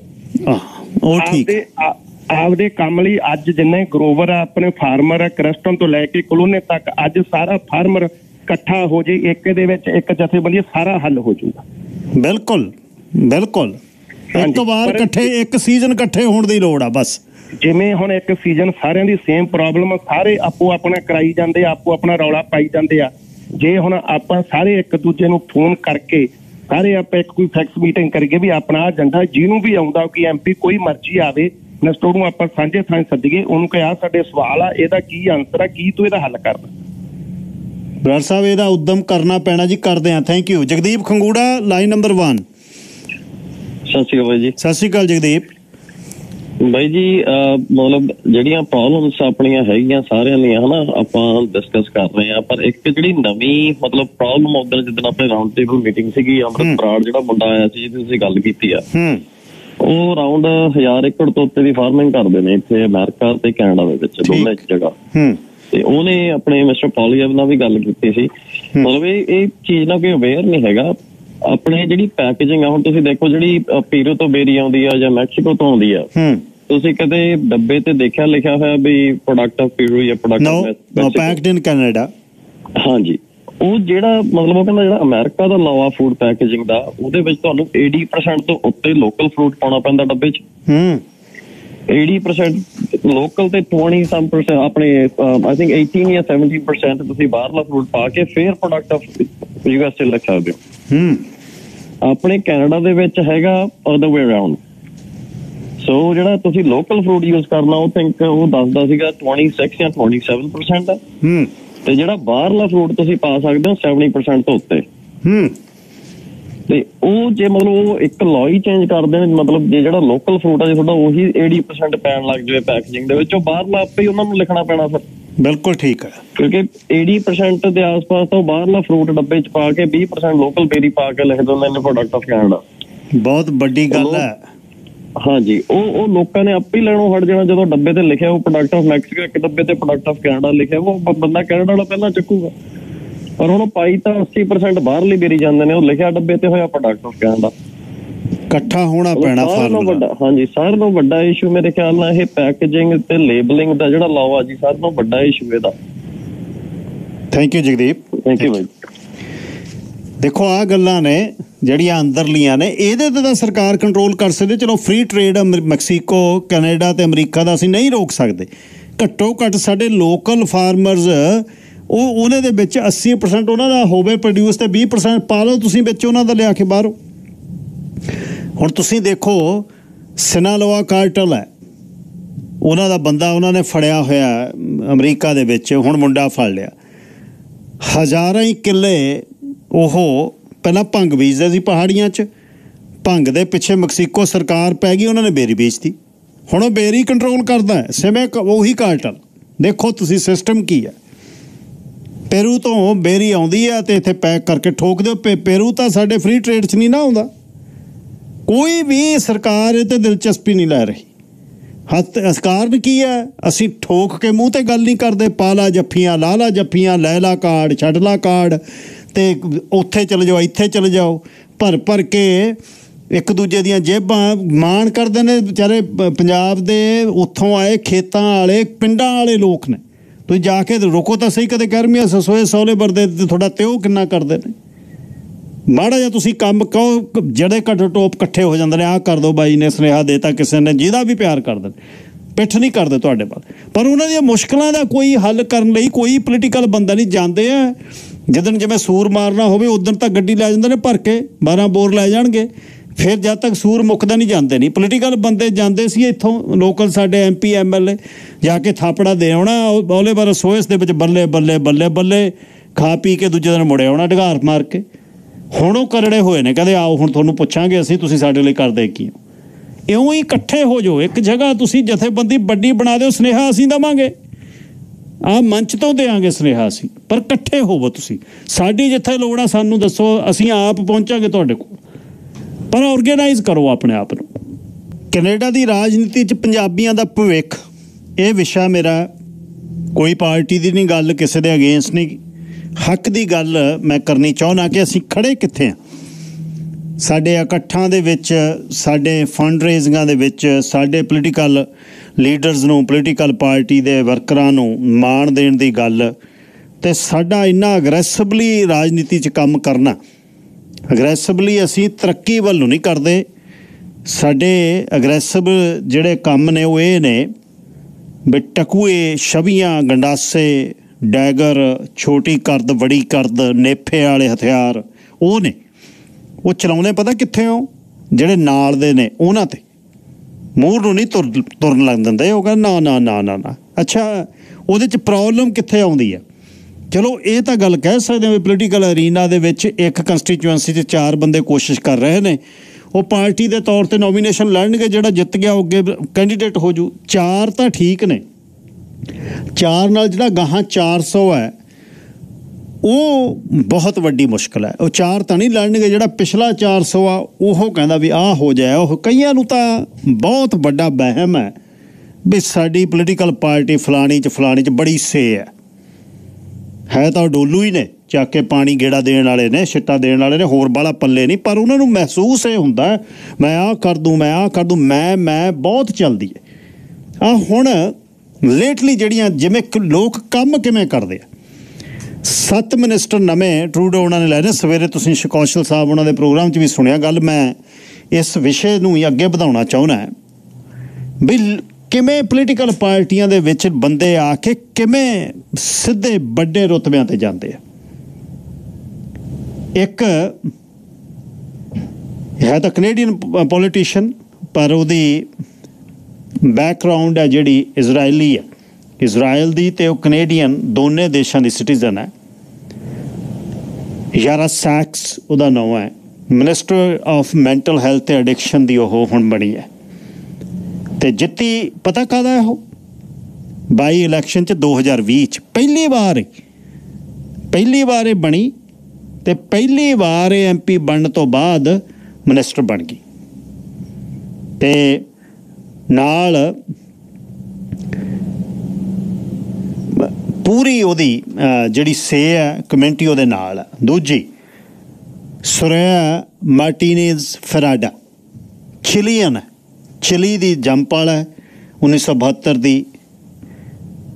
ਤੇ 2019 ਦੇ ਵਿੱਚ ਉਹ ਪਹਿਲੀ ਵਾਰ ਬਣੀ ਹੈ ਤੇ 21 ਚ ਦੂਜੀ ਵਾਰ ਬਣੀ ਹੈ 2 ਸਾਲ ਬਾਅਦ ਇਲੈਕਸ਼ਨ ਹੋ ਗਈ ਤੇ ਹੁਣ ਮਿਨਿਸਟਰ ਆਫ ਟੂਰਿਜ਼ਮ ਤੇ ਇਨਕੰਬੈਂਟ ਬੈਕਗ੍ਰਾਉਂਡ ਦੇਖੋ। ਤੇ ਉਸ ਤੋਂ ਅੱਗੇ ਟੈਰੀ ਬੀਚ ਟੈਰੀ ਬੀਚ ਸਭ ਤੋਂ ਛੋਟੀ ਉਮਰ ਦਾ ਨਨੈਮੋ ਦੇ ਵਿੱਚ ਕਾਉਂਸਲਰ ਬਣਿਆ ਸਿਟੀ ਕਾਉਂਸਲਰ ਉਹਦੇ ਬਾਅਦ ਆ ਕੇ ਉਹ ਬਰਨਵੀ ਨਾਰਥ ਤੋਂ ਉੱਪਰੋਂ ਜਿੱਤ ਗਿਆ 2015 ਚ। ਪਹਿਲੀ ਵਾਰ ਇਹ ਜਦ ਬਣ, ਬਣਿਆ, ਪਹਿਲਾਂ ਉਹ ਪਾਰਲੀਮੈਂਟਰੀ ਸੈਕਟਰੀ ਬਣਿਆ ਮਿਨਿਸਟਰ ਆਫ ਸਾਇੰਸ ਦਾ, ਫਿਰ ਮਿਨਿਸਟਰ ਆਫ ਫਿਸ਼ਰੀਜ਼ ਦਾ, ਫਿਰ ਮਿਨਿਸਟਰ ਆਫ ਟਰਾਂਸਪੋਰਟ ਦਾ, ਫਿਰ ਉਹ ਮਿਨਿਸਟਰ ਆਫ ਫਿਸ਼ਰੀਜ਼ ਓਸ਼ਨ ਤੇ ਕੈਨੇਡੀਅਨ ਕੋਸਟ ਗਾਰਡ ਦਾ, ਫਿਰ ਉਹ ਡਿਪਟੀ ਪ੍ਰਾਈਮ ਮਿਨਿਸਟਰ ਤੇ minister of finance Chrystia Freeland ਦਾ ਬਣਿਆ ਤੇ ਹੁਣ ਮਿਨਿਸਟਰ ਆਫ ਸਿਟੀਜ਼ਨ ਸਰਵਿਸ। ਇਹੋ ਉਹ ਚੜ੍ਹਦੇ ਅਗਲੇ ਪੌੜੀਆਂ। ਅੱਛਾ ਜੀ, ਅੱਗੇ ਆ ਜਾਓ। ਜੈਨਾ ਸਰਟਸ ਜੈਨਾ ਸਰਟਸ ਜਿਹੜੀ ਹੈ 2021 ਦੇ ਵਿੱਚ ਪਹਿਲੀ ਵਾਰ ਐਮਪੀ ਬਣੀ। ਜਿਹੜੀ ਜਦੋਂ ਬਣੀ ਕਨਾਟਾ ਨਾਰਥ ਤੋਂ, ਉਸ ਤੋਂ ਪਹਿਲਾਂ ਆਟੋਵਾ ਸਿਟੀ ਕੌਂਸਲ ਦੇ ਵਿੱਚ ਸੀ ਉਹ, ਡਿਪਟੀ ਮੇਅਰ ਵੀ ਬਣੀ ਤੇ ਹੁਣ ਉਹ ਮਿਨਿਸਟਰ ਆਫ ਚਿਲਡਰਨ ਤੇ ਸੋਸ਼ਲ ਡਿਵੈਲਪਮੈਂਟ। ਪਹਿਲੀ ਵਾਰ ਇਹ ਬਣੀ ਹੈ ਉਹ 2021 ਦੀਆਂ ਇਲੈਕਸ਼ਨ ਤੇ ਪਹਿਲੀ ਵਾਰ cabinet minister.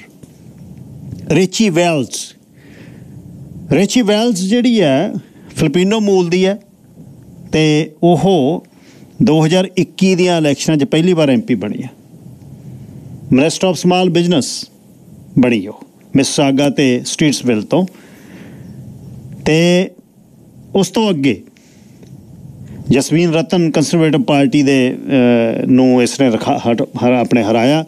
RF Virani RF Virani ਜਿਹੜਾ ਉਹ ਜੰਪਲ ਕੰਪਾਲਾ ਦਾ ਪਿੱਛੋਂ ਗੁਜਰਾਤ ਤੋਂ ਹੈ ਤੇ 15 ਦੇ ਵਿੱਚ ਉਹ ਜਿੱਤਿਆ ਪਾਰਕਡੇਲ ਹਾਈ ਪਾਰਕ ਦੇ ਵਿੱਚੋਂ। 19 ਦੀਆਂ ਇਲੈਕਸ਼ਨਾਂ ਫੇਰ ਜਿੱਤਿਆ ਉਹ 21 ਚ। ਹੁਣ ਉਹਨੂੰ ਅਹੁਦਾ ਦੇਖੋ ਕਿੱਡਾ ਮਿਲਿਆ ਮਿਨਿਸਟਰ ਆਫ ਜਸਟਿਸ ਤੇ ਅਟਾਰਨੀ ਜਨਰਲ ਆਫ ਕੈਨੇਡਾ ਵਕੀਲ ਆ ਉਹ ਵੀ। ਤੇ ਹਾਂ, ਪਰ ਉਹਦਾ ਗਰੁੱਪ ਪਤਾ ਕਿੱਡਾ ਵੱਡਾ? ਇਸਮਾਈਲੀ ਮੁਸਲਮਾਨ ਹੈ ਮੁੰਡਾ। ਇਸਮਾਈਲੀ ਆਗਾ ਖਾਨ, ਤੁਹਾਨੂੰ ਪਤਾ ਹੈ ਵੀ ਕਿੱਡਾ ਜ਼ੋਰ ਆ ਆਗਾ ਖਾਨ ਫਾਊਂਡੇਸ਼ਨ ਦਾ। ਉਹਦੇ ਕਰਕੇ ਵਿਵਾਦਾਂ ਦੇ ਵਿੱਚ ਟਰੂਡੋ ਹੋਣੀ ਗਏ ਸੀ। ਅੱਛਾ, ਸ਼੍ਰੀਲੰਕਾ ਦਾ ਜੰਪਲ ਗੈਰੀ ਆਨੰਦ ਸੈਂਗਰੀ। ਤੇ ਉਹ 2015 ਦੇ ਵਿੱਚ ਸਕਾਰਬਰੋ ਦੇ ਵਿੱਚੋਂ ਬਣਿਆ ਤੇ ਹੁਣ ਉਹ minister of crown indigenous relation ਦਾ ਜਿਹੜਾ ਮਿਨਿਸਟਰ ਬਣਿਆ। ਹੁਣ ਉਹਦੇ ਬਾਅਦ ਸਾਡੇ ਪ- ਜਿਹੜੇ ਪੋਲੀਟੀਕਲ ਬੰਦੇ ਨੇ, ਉਹਨਾਂ ਵੱਲ ਆ ਜਾਓ। ਸੁਖ ਧਾਲੀਵਾਲ ਹੁਣੀ 2004 ਦੇ ਵਿੱਚ ਪਹਿਲੀ ਇਲੈਕਸ਼ਨ ਲੜਦੇ ਨੇ ਨਿਊਟਨ ਨਾਰਥ ਡੈਲਟਾ ਦੇ ਵਿੱਚ।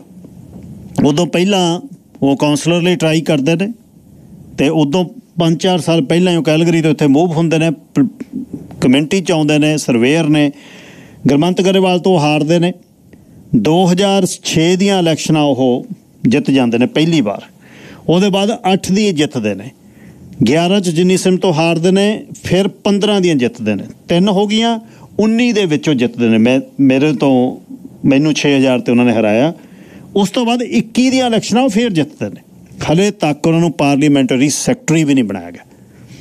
ਤੇ ਕਹਿੰਦੇ ਨਾ ਵੀ ਲਿਬਰਲ ਪਾਰਟੀ ਜੀ, ਪੰਜਾਬੀ ਜੀ ਟਰੂਡੋ ਸਾਡਾ ਪਿਆਰਾ ਜੀ। ਚਲੋ ਮੈਂ ਇਹ ਇਹ ਮੈਰਿਟਸ ਡਿਮੈਰਿਟਸ ਦੀ ਗੱਲ ਮੈਂ ਆਉਂਗਾ ਜਿਹੜੇ ਆ ਪਹਿਲੀ ਵਾਰੀ ਵਾਰ 21 ਵਿੱਚ ਜਿੱਤੇ ਨੇ, ਇਹਨਾਂ ਨੂੰ ਤੁਸੀਂ ਦੇਖੋ ਵੀ ਉਹਨਾਂ ਨੂੰ ਕਿੱਡੀਆਂ ਮਿਨਿਸਟਰੀਆਂ ਮਿਲੀਆਂ ਨੇ।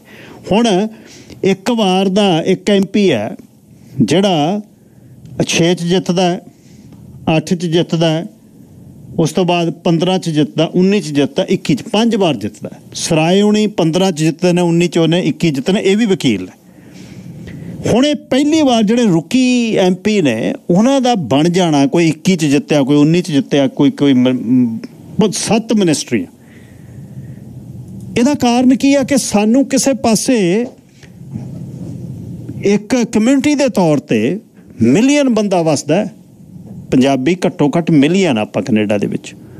ਬਹੁਤਾਤ ਉਹਦੇ ਦੇ ਦੇ ਵਿੱਚੋਂ ਆਪਾਂ ਪੰਜਾਬ ਤੋਂ ਆਬਵੀਅਸਲੀ ਪੰਜਾਬ ਤੋਂ ਐ ਭਾਰਤੀ ਵੀ ਹੋਣੇ ਨੇ, ਪਰ ਪੰਜਾਬ ਵੱਧ ਹੋਣੇ ਨੇ, ਪਰ ਪੰਜਾਬ ਦੇ 10 ਲੱਖ ਦੇ ਕਰੀਬ 3 ਲੱਖ ਦਾ ਅਸੀਂ ਲੋਅਰ ਮੇਨਲੈਂਡ 'ਚ ਬੈਠੇ ਹਾਂ। 3 ਲੱਖ ਦੇ ਕਰੀਬ ਗ੍ਰੇਟਰ ਟੋਰਾਂਟੋ 'ਚ ਬੈਠੇ 6 4 ਲੱਖ ਐਡਮਿੰਟਨ ਕੈਲਗਰੀ ਵਿਨੀਪੈਗ ਦੇ ਵਿੱਚ ਮਿਲੀਅਨ ਤਾਂ ਘੱਟੋ ਘੱਟ ਹੈ। ਪਰ ਸਾਡਾ ਅੱਗੇ ਨੂੰ ਨਾ ਜਾਣਾ, ਪਿੱਛੇ ਨੂੰ ਜਾਣਾ, ਇਹ ਕੀ ਕਹਾਣੀ ਹੈ? ਜਿਨ੍ਹਾਂ ਨੇ ਵੱਡੇ ਅਹੁਦੇ ਸੀ ਨਵਦੀਪ ਬੈਂਸ ਵਰਗੇ ਭਰਿਆ ਮੇਲਾ ਛੱਡ ਕੇ। ਕੀ ਉਹਨਾਂ ਕਰਕੇ ਘਾਟ ਪੈ ਗਈ ਬਈ? ਸਾਡੀ ਕੋਈ ਗੱਲ ਕਰਨ ਵਾਲਾ ਨਹੀਂ। ਜਾਂ ਗਰੁੱਪ ਨੇ ਜਿਹੜੇ ਸਾਡੇ ਪਾਰਟੀਆਂ ਦੇ ਵਿੱਚ, ਉਹ ਗਰੁੱਪ ਜਿਹੜੇ ਦੂਜੇ ਕਿਸੇ ਬੰਦੇ ਨੂੰ ਐਂਟਰ ਨਹੀਂ ਹੋਣ ਦਿੰਦੇ। ਇਹ ਕਾਰਨ ਆ। ਇਕੱਲੇ ਸੱਜਣੋਂ ਨਹੀਂ ਰਹਿ ਗਏ ਬਸ। ਹੋਰ ਤਾਂ ਸੀਨੀਅਰ ਮਿਨਿਸਟਰੀ ਕਮਲ ਖਹਿਰਾ ਕਮਲ ਖਹਿਰਾ, ਇਹ ਉਹੀ ਬੰਦੇ ਮਿਨਿਸਟਰੀਆਂ 'ਚ ਬੈਠੇ ਨੇ ਜਿਨ੍ਹਾਂ ਦਾ ਕੋਈ ਪੋਲੀਟੀਕਲ ਗੁਰੂ ਹੈ।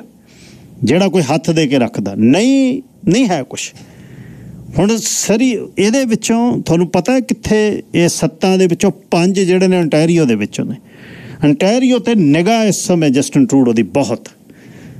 ਕੱਲ ਵੀ ਮੈਂ ਤੁਹਾਨੂੰ ਦੱਸਿਆ ਤੇ ਨਾਲ ਉਹਦੇ ਬਿਲਕੁਲ ਸਵੈ ਵਿਰੋਧੀ ਵਿਚਾਰ ਨੇ ਦੋਨਾਂ ਦੇ, ਡੱਗ ਫੋਰਡ ਦੇ ਤੇ ਟਰੂਡੋ ਦੇ। ਪਰ ਡੱਗ ਫੋਰਡ ਨੂੰ ਰਿਆਇਤਾਂ ਇੰਨੀਆਂ ਮਿਲ ਰਹੀਆਂ ਨੇ, ਫੈਕਟਰੀਆਂ ਲੱਗ ਰਹੀਆਂ ਨੇ, ਵੱਡੀਆਂ ਇੰਡਸਟਰੀਆਂ ਲੱਗਦੀਆਂ, ਗ੍ਰੀਨ ਇਨੀਸ਼ੀਏਟਿਵ, ਜੇ ਤੇ ਬੈਟਰੀਆਂ ਦੀ ਉਹਦੀ ਕਿਉਂਕਿ Doug Ford federal election, federal politics ਵੱਲ ਨੂੰ ਦੇਖ ਰਿਹਾ ਕੰਜ਼ਰਵੇਟਿਵ ਪਾਰਟੀ ਚੋਂ। ਤੇ ਉਹਨੂੰ ਹਾਲਾਂਕਿ ਉਹਦੀਆਂ ਸਾਰੀਆਂ ਫੈਕਟਰੀਆਂ 'ਚ ਯੂਨੀਅਨ ਹੈ, ਤੇ ਯੂਨੀਅਨ ਨੂੰ ਲਿਬਰਲ ਕਦੇ ਵੀ ਹੱਕ 'ਚ ਨਹੀਂ ਹੈ। ਯੂਨੀਅਨ ਦੇ ਨਾਲ ਐਨਡੀਪੀ ਕੰਮ ਕਰਦੀ ਹੈ, ਜਗਮੀਤ ਕਿਤੇ ਵੀ ਹੈ ਨਹੀਂ। ਪਰ ਡੱਗ ਫੋਰਡ ਤੇ ਜਸਟਨ ਟਰੂਡੋ ਦੀ ਪੂਰੀ ਕਿਉਂ ਖਿਚੜੀ ਆ ਹੁਣ। ਪੰਜ ਮਿਨਿਸਟਰ ਉਹਨੇ ontario ਚ ਲਾਏ ਨੇ, ਸਾਰੇ ਰੁਕੀ ਮਿਨਿਸਟਰ ਨੇ ਇਹ। ਟੈਰੀ ਬੀਚ ਨੇ ਤਾਂ ਲਿਆ ਕੇ- ਆ ਕੇ ਨਨੈਮੋ ਤੋਂ ਯੰਗੈਸਟ ਸੀ ਤੇ ਉਹਦੇ ਬਾਅਦ ਉਹਨੇ ਤਾਂ ਮਤਲਬ ਪਹਿਲੇ ਸਾਲ ਹੀ ਜਦੋਂ ਜਿੱਤਿਆ, ਪਹਿਲੇ ਸਾਲ ਇਹ ਪਾਰਲੀਮੈਂਟਰੀ ਸੈਕਟਰੀ 15 ਚ ਜਿੱਤਿਆ ਮਿਨਿਸਟਰ ਆਫ ਸਾਇੰਸ ਦਾ, ਉਹਦੇ ਬਾਅਦ ਫਿਰ ਉਹ ਮਿਨਿਸਟਰ ਆਫ ਫਿਸ਼ਰੀ ਓਸ਼ਨ ਦਾ, ਫਿਰ ਮਿਨਿਸਟਰ ਆਫ ਟਰਾਂਸਪੋਰਟ ਦਾ ਮਿਨਿਸ- ਫਿਰ ਮਿਨਿਸਟਰ ਆਫ ਫਿਸ਼ਰੀ ਓਸ਼ਨ ਤੇ ਕੈਨੇਡੀਅਨ ਕੋਸਟ ਗਾਰਡ ਦਾ, ਫਿਰ ਕ੍ਰਿਸਟੀਆ ਫਰੀਲੈਂਡ ਦੀ ਝੰਡੀ ਥੱਲੇ ਆ ਗਿਆ ਉਹ। ਫਿਰ ਉਹਦਾ ਤੇ ਹੁਣ ਉਹਨੂੰ ਮਿਨਿਸਟਰ ਆਫ ਸਿਟੀਜ਼ਨ ਸਰਵਿਸ ਬਣਾ ਦਿੱਤਾ। ਵਿਰਾਨੀ ਹੋਣੀ ਵਿਰਾਨੀ ਆਰਫ ਵਿਰਾਨੀ ਦਾ ਵੀ ਇਸ ਤਰ੍ਹਾਂ ਹੀ ਹੋਇਆ। ਉਹਨੇ ਵੀ ਪਹਿਲੇ ਸਾਲ ਜਦੋਂ ਜਿੱਤਿਆ 15 ਦੇ ਵਿੱਚ, ਤੇ ਜਦੋਂ ਹੀ ਉਹ ਪਾਰਲੀਮੈਂਟਰੀ ਸੈਕਟਰੀ ਬਣਾਇਆ ਮਿਨਿਸਟਰ ਆਫ ਇਮੀਗ੍ਰੇਸ਼ਨ ਰਿਫਿਊਜੀ ਦਾ minister of Canadian heritage the parliamentary secretary minister of justice ਤੇ ਅਟਾਰਨੀ ਜਨਰਲ ਹੁਣ ਦਾ ਪਾਰਲੀਮੈਂਟਰੀ ਸੈਕਟਰੀ ਹੁਣ ਉਹ ਮਿਨਿਸਟਰ ਆਫ ਜਸਟਿਸ ਤੇ ਅਟਾਰਨੀ ਜਨਰਲ ਬਣਿਆ। ਬਹੁਤ ਵੱਡੀ ਲੌਬੀ ਇਸ ਸਮਾਈਲੀ ਲੋਕਾਂ ਦੀ ਇੱਥੇ। ਅਸੀਂ ਕਿੱਥੇ ਨੂੰ ਚੱਲੇ ਆ? ਭਾਈਚਾਰੇ ਦੇ ਤੌਰ ਤੇ ਅਗਲਾ ਜਿਹੜਾ ਸਵਾਲ ਮੇਰਾ ਇਹ ਹੈ ਵੀ ਪੰਜਾਬੀ ਰਾਜਨੀਤੀ ਦੇ ਉੱਪਰੋਂ ਦਰਕਨਾਰ ਹੋ ਰਹੇ ਨੇ। ਇਹ ਸਵਾਲ ਤੁਹਾਨੂੰ ਆ। 604 204 0606 ਪੰਜ ਪੰਜ ਬਾਰ ਬਣੇ ਬਣੇ ਹੋਏ ਐਮਪੀ ਸਾਡੇ ਪਾਰਲੀਮੈਂਟਰੀ ਸੈਕਟਰੀ ਵੀ ਨਹੀਂ ਬਣ ਸਕੇ। ਹੁਣ ਜਸਟਿਸ ਮਿਨਿਸਟਰ ਆਰਫ ਬਨਾਨੀ ਬਣਾਇਆ ਸੀ ਤੇ ਅਹ, ਸਰਾਏ ਹੋਣੀ ਵਕੀਲ ਨੇ ਘੱਟੋ ਘੱਟ ਉਹਨਾਂ ਨੂੰ ਪਾਰਲੀਮੈਂਟਰੀ ਸੈਕਟਰੀ ਉਹ ਬਣਾਉਂਦੇ। ਨਹੀਂ ਬਣਾਇਆ। ਉਹ ਉਹ ਅਸੀਂ ਆ ਫਰੈਂਡਸ਼ਿਪ ਗਰੁੱਪ ਉਹ ਫਰੈਂਡਸ਼ਿਪ ਗਰੁੱਪ ਉਹ ਕੱਖ ਨਹੀਂ ਹੈ। ਉਹ ਕੁਛ ਨਹੀਂ ਹੈ ਗਰੁੱਪਾਂ ਦਾ ਦਾ ਫਲਾਣੇ ਗਰੁੱਪ ਦਾ ਮੈਂ ਮੈਂਬਰ ਆ ਉੱਥੇ ਦਾ ਮੈਂ ਪੈਸੀਫਿਕ ਫੋਰਮ ਦਾ ਇਹ ਵੋ ਉਹਨਾਂ 'ਚ ਕੱਖ ਨਹੀਂ ਹੈ। ਉਹ ਵੈਸੇ ਹੀ ਮਨ ਖੁਸ਼ ਕਰਨ ਦੀ ਕਹਾਣੀ ਹੈ। ਤੇ ਸਭ ਤੋਂ ਵੱਧ ਹਜ਼ਾਰ ਹਜ਼ਾਰ ਡਾਲਰ ਦਾ ਟੇਬਲ ਅਸੀਂ ਖਰੀਦ ਕੇ ਦੇ ਰਹੇ ਹਾਂ।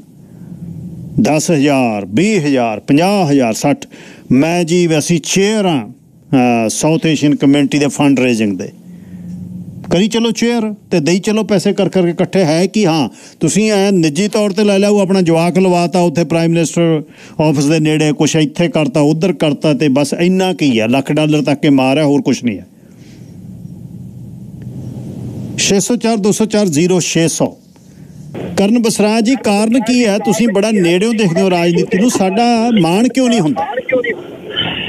ਗਿੱਲ ਸਾਹਿਬ, ਵਾਕਿਆ ਹੀ ਬਹੁਤ ਜ਼ਿਆਦਾ ਥੋੜਾ ਜਿਹਾ ਸਾਨੂੰ ਵੀ ਫੀਲ ਹੋਇਆ ਸੀਗਾ ਇਹ ਕਿ ਦੇਖੋ ਸੁਖ ਧਾਲੀਵਾਲ ਸਾਹਿਬ ਜਿਸ ਵੇਲੇ ਸੱਤਾ ਤੋਂ ਬਾਹਰ ਹੋ ਗਏ ਸੀ ਲਿਬਰਲ ਪਾਰਟੀ ਉਸ ਵੇਲੇ ਵੀ ਚਾਹੇ ਹਾਰੇ ਆ ਚਾਹੇ ਜਿੱਤੇ ਆ ਲਗਾਤਾਰ ਹੋ ਰਹੇ ਇਲੈਕਸ਼ਨ ਦੇ ਵਿੱਚ ਲੋਕਾਂ 'ਚ ਰਹੇ ਨੇ ਲੋਕਾਂ 'ਚ ਰਹੇ ਨੇ।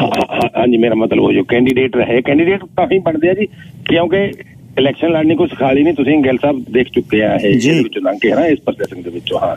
ਲੋਕਾਂ ਦੀਆਂ ਗੱਲਾਂ ਵੀ ਸੁਣਨੀਆਂ ਪੈਂਦੀਆਂ ਸਾਰਾ ਕੁਝ ਹੁੰਦਾ ਚਲੋ ਮੈਂ ਉਧਰ ਨੂੰ ਨਹੀਂ ਜਾ ਆਪਾਂ ਬਿਲਕੁਲ ਵੀ ਪੋਲੀਟੀਕਲ ਤੋਂ ਬਗੈਰ ਗੱਲ ਕਰਦੇ ਆ। ਪਰ ਟੂਡੋ ਸਾਹਿਬ ਨੇ ਰੁਕੀ ਜਿਹੜੇ ਮਿਨਿਸਟਰ ਬਣਾਏ ਆ ਪਹਿਲੀ ਵਾਰੀ ਨਹੀਂ ਹੋਇਆ ਹੈਗਾ। ਹਰਜੀਤ ਸਰਜਨ ਜਿੱਤਿਆ ਇਤੋਂ 2015 ਦੇ ਵਿੱਚ ਡਿਫੈਂਸ ਮਿਨਿਸਟਰੀ ਹੂੰ। ਸੋਹੀ ਸਾਹਿਬ ਜਿੱਤੇ ਐਡਵੈਂਟਨ ਤੋਂ ਇਨਫਰਾਸਟ੍ਰਕਚਰ ਮਿਨਿਸਟਰ ਬਣਾਇਆ ਗਿਆ ਕਿੰਨੀ ਵੱਡੀ ਮਿਨਿਸਟਰੀ ਹੂੰ ਔਰ ਉਹਨਾਂ ਨੇ ਜਿਹੜਾ ਇਨਫਰਾਸਟ੍ਰਕਚਰ ਖੜਾ ਕੀਤਾ ਕੈਨੇਡਾ ਦੇ ਵਿੱਚ ਉਹ ਵੀ ਸਾਰਿਆਂ ਦੇ ਸਾਹਮਣੇ ਹੀ ਆ। ਹੂੰ। ਉਸ ਤੋਂ ਬਾਅਦ ਇਲੈਕਸ਼ਨ ਹਾਰ ਗਏ ਉਹ 19 ਦੇ ਵਿੱਚ। ਤੇ ਆਪਣਾ ਸਿਟੀ ਦੇ ਮੇਅਰ ਬਣ ਗਏ। ਸਭਾ ਕੇ ਹੋਰ ਨਵਾਂ ਇੱਕ ਪਿਰਤ ਪਾ ਗਏ। ਉਹ ਹੁਣ ਐਮਪੀ ਨੂੰ ਚਸਕਾ ਪੈ ਗਿਆ। ਤੇ ਚਲੋ ਹੁਣ ਮੇਅਰ ਵੱਲੋਂ ਵੀ ਹੋ ਚਲੋ। ਆਮ ਸੌਰੀ ਤੇ ਦੂਸਰੀ ਗੱਲ ਇਹ ਸਾਡੀ ਸਰੀਰ ਦੇ ਵਿੱਚੋਂ ਦੇਖੋ ਰਣਦੀਪ ਸਰਾਏ ਸਾਹਿਬ ਹੋ ਗਏ ਕੈਨ ਹਾਰਡੀ ਹੋ ਗਿਆ ਆਪਣਾ ਕਲੋਵਰਡੇਲ ਤੋਂ ਉਧਰੋਂ ਚਾਰ ਚਾਰ ਐਮਪੀ ਇਹਨਾਂ ਨੂੰ ਬਗੈਰ ਕਿਸੇ ਜ਼ੋਰ ਸ਼ੋਰ ਦੇ ਬਗੈਰ ਕੁਛ ਕੀਤੇ ਦੇ ਵੀ ਮਿਲ ਰਹੇ ਆ। ਔਰ ਜਿਹੜਾ ਤੁਸੀਂ ਕਹਿ ਰਹੇ ਆ ontario ਵਿੱਚ ਕਿਉਂ ਜ਼ੋਰ ਲਾਇਆ ਜਾ ਰਿਹਾ। ਗਿੱਲ ਸਾਹਿਬ ਜਿੱਦਾਂ ਇੰਡੀਆ ਦੇ ਵਿੱਚ ਯੂਪੀ ਸਟੇਟ ਹੈ ਨਾ ਬਿਲਕੁਲ ਇਸੇ ਤਰ੍ਹਾਂ ontario ਸਟੇਟ ਹੋ ਗਈ ਤੇ ਬਾਕੀ ਇੱਕ ਨਾਲ ਕਿਊਬਿਕ ਜਿਹੜੀ ਹੈਗੀ ਆ ਉੱਥੋਂ ਵੀ ਕਾਫੀ ਜਿਹੜੀ ਹੈਗੀ ਆ 50% ਜਿਹੜੀ ਹੁੰਦੀ ਆ ਵੋਟ ਪੋ ਪੈ ਜਾਂਦੀ ਆ। ਉੱਥੇ ਦੀ ਬਰੋ ਕਿਊਬਿਕ ਨੂੰ ਤੇ 50% ਆ ਜਿਹੜੀ ਉਹ ਡਿਵਾਈਡ ਹੋ ਜਾਂਦੀ ਆ ਕੰਜ਼ਰਵੇਟਿਵ ਤੇ ਲਿਬਰਲ ਦੇ ਵਿੱਚ। ਜੀ। ਐਨਡੀਪੀ ਨੂੰ ਮਿਲੀ ਸੀਗੀ ਵੋਟ ਜਿਸ ਵੇਲੇ ਜੈਕ ਲੇਟਨ ਸਾਹਿਬ ਪਾਰਟੀ ਦੇ ਪ੍ਰਧਾਨ ਸੀਗੇ। ਬਿਲਕੁਲ। ਔਰ ਜੈਕ ਲੇਟਨ ਸਾਹਿਬ ਦੀ ਜਿਹੜੀ ਕੀਤੀ ਉਹ ਕਮਾਈ ਸੀਗੀ ਉਹਦੇ ਕਰਕੇ ਟੌਮ ਮਲਕੇਰ ਸਾਹਿਬ ਨੇ 2015 ਦੀ ਇਲੈਕਸ਼ਨ ਦੀ ਤੁਸੀਂ ਗੱਲ ਕਰਦੇ ਸੀਗੇ। ਐਕਚੁਅਲੀ ਟਰੂਡੋ ਸਾਹਿਬ ਨੂੰ ਉਸ ਵੇਲੇ ਡਿੱਚੇ ਹੀ ਇੰਨਾ ਕੀਤਾ ਵਿੱਚੇ ਟੌਮ ਮਲਕੇਰ ਸਾਹਿਬ ਤੇ ਵਿੱਚੇ ਸਾਡੇ ਸਟੀਵਨ ਹਾਰਪਰ ਸਾਹਿਬ ਨੇ। ਉਹ ਸਮਝਦੇ ਹੀ ਨਹੀਂ ਕੁਛ ਵੀ ਇਹਨਾਂ ਨੂੰ ਔਰ ਚੋਣ ਕੈਂਪੇਨ ਕਰ ਲਈ 2 ਮਹੀਨੇ ਲੰਬੀ। ਬਿਲਕੁਲ ਠੀਕ ਹੈ। ਔਰ ਉਸ ਵੇਲੇ ਸੀਰੀਆ ਦੇ ਵਿੱਚ ਜਿਹੜਾ ਸਿਰਫ ਜੋ ਕੁਝ ਹੋਇਆ ਸੀਗਾ ਇੱਕ ਬੱਚੇ ਦੀ ਡੈਥ ਹੋ ਗਈ ਸੀ ਉਹਦਾ ਨਾਂ ਸੀ ਐਲਨ ਕੁਰਦੀ ਜਿਹੜਾ ਕਿਸ਼ਤੀ ਦੇ ਵਿੱਚ ਡੁੱਬ ਗਿਆ ਸੀ। ਬਿਲਕੁਲ ਠੀਕ ਹੈ। ਜਿਹਦੀ ਭੂਆ ਇੱਥੇ ਰਹਿ ਰਹੀ ਸੀਗੀ ਹੂੰ। ਆਪਣੇ ਕੋਕਟਲਮ ਸਾਈਡ ਦੇ ਉੱਤੇ। ਬਸ ਉੱਥੋਂ ਹੀ ਗਰਮ ਹੋ ਗਿਆ ਕੰਮ। ਉਹ ਜੀ ਬਸ ਉਹ ਕਹਿੰਦੇ 25000 ਅਸੀਂ ਲੈ ਕੇ ਆਵਾਂਗੇ ਇੱਥੇ। ਔਰ ਇਮੀਗ੍ਰਾਂਟ ਭਾਈਚਾਰਾ ਕੋ ਕੈਨੀ ਸਾਹਿਬ ਦਾ ਡਰਾਇਆ ਹੋਇਆ ਆਪਣਾ ਇੰਨਾ ਸੀਗਾ। ਐਕਚੁਅਲੀ ਕਈ ਕਈਆਂ ਨੂੰ ਇਸ ਤਰ੍ਹਾਂ ਲੱਗ ਰਿਹਾ ਸੀ ਵੀ ਪਤਾ ਨਹੀਂ ਕੈਨੀ ਨੇ ਸਾਰਾ ਕੁਝ ਆਉਣਾ ਬੰਦ ਕਰ ਦੇਣਾ ਆ। ਤੇ ਇਸ ਤਰ੍ਹਾਂ ਜਿਹੜਾ ਸੀਗਾ ਜੀ ਟੋਟੋ ਸਾਹਿਬ ਦੇਖੋ ਵੀ ਉਸ ਵੇਲੇ ਟੌਮ ਮਲਕੇਰ ਸਾਹਿਬ ਸੂਟ ਸਵਾਈ ਫਿਰਦੇ ਸੀ ਉਸ ਵੇਲੇ। ਐਨਡੀਪੀ ਵਾਲਿਆਂ ਨੂੰ ਲੱਗਦਾ ਸੀਗਾ ਕਿ ਅਸੀਂ ਸ਼ਾਇਦ ਇਸ ਵੇਲੇ ਜਿਹੜਾ ਹੈਗਾ ਆ ਉਹ ਰਾਜ ਸੱਤਾ ਦੇ ਵਿੱਚ ਆ ਜਾਵਾਂਗੇ। ਪਰ ਤੁਹਾਨੂੰ ਪਤਾ ਹੀ ਆ ਉਹ ਤੋਂ ਬਾਅਦ ਕੀ ਹੋਇਆ? ਤੇ ਟੂਡੋ ਸਾਹਿਬ ਦੀ ਜਿਹੜੀ ਹੁਣ ਰੀਸ਼ਫਲ ਆ ਇਹਨਾਂ ਵਿੱਚ ਹੁਣ ਇਹ ਨਹੀਂ ਦੇਖੋ ਮੈਨੂੰ ਸਭ ਤੋਂ ਜ਼ਿਆਦਾ ਕਤੀ ਤਰ੍ਹਾਂ ਇਸ ਵੇਲੇ ਮਿਨਿਸਟਰ ਲੱਗ ਰਹੇ ਆ ਸ਼ੌਨ ਫਰੇਜ਼ਰ ਜਿਹੜੇ ਕਿ ਇਮੀਗ੍ਰੇਸ਼ਨ ਮਿਨਿਸਟਰ ਬਣਾਏ ਗਏ ਆ ਹੁਣ ਉਹਨਾਂ ਨੂੰ ਹਾਊਸਿੰਗ ਮਿਨਿਸਟਰ ਬਣਾਇਆ। ਹੂੰ। ਤੇ ਇਮੀਗ੍ਰੇਸ਼ਨ ਵਿੱਚ ਤਾਂ ਉਹਨੇ ਬੱਲੇ ਬੱਲੇ ਕਰਵਾਤੀ ਆ ਕਹਿੰਦੇ ਸਾਨੂੰ 10 ਲੱਖ ਤੋਂ ਘੱਟ ਬੰਦਾ ਚਾਹੀਦਾ ਹੀ ਹਾਊਸਿੰਗ ਚ ਕਰਾ ਦੇਣਗੇ।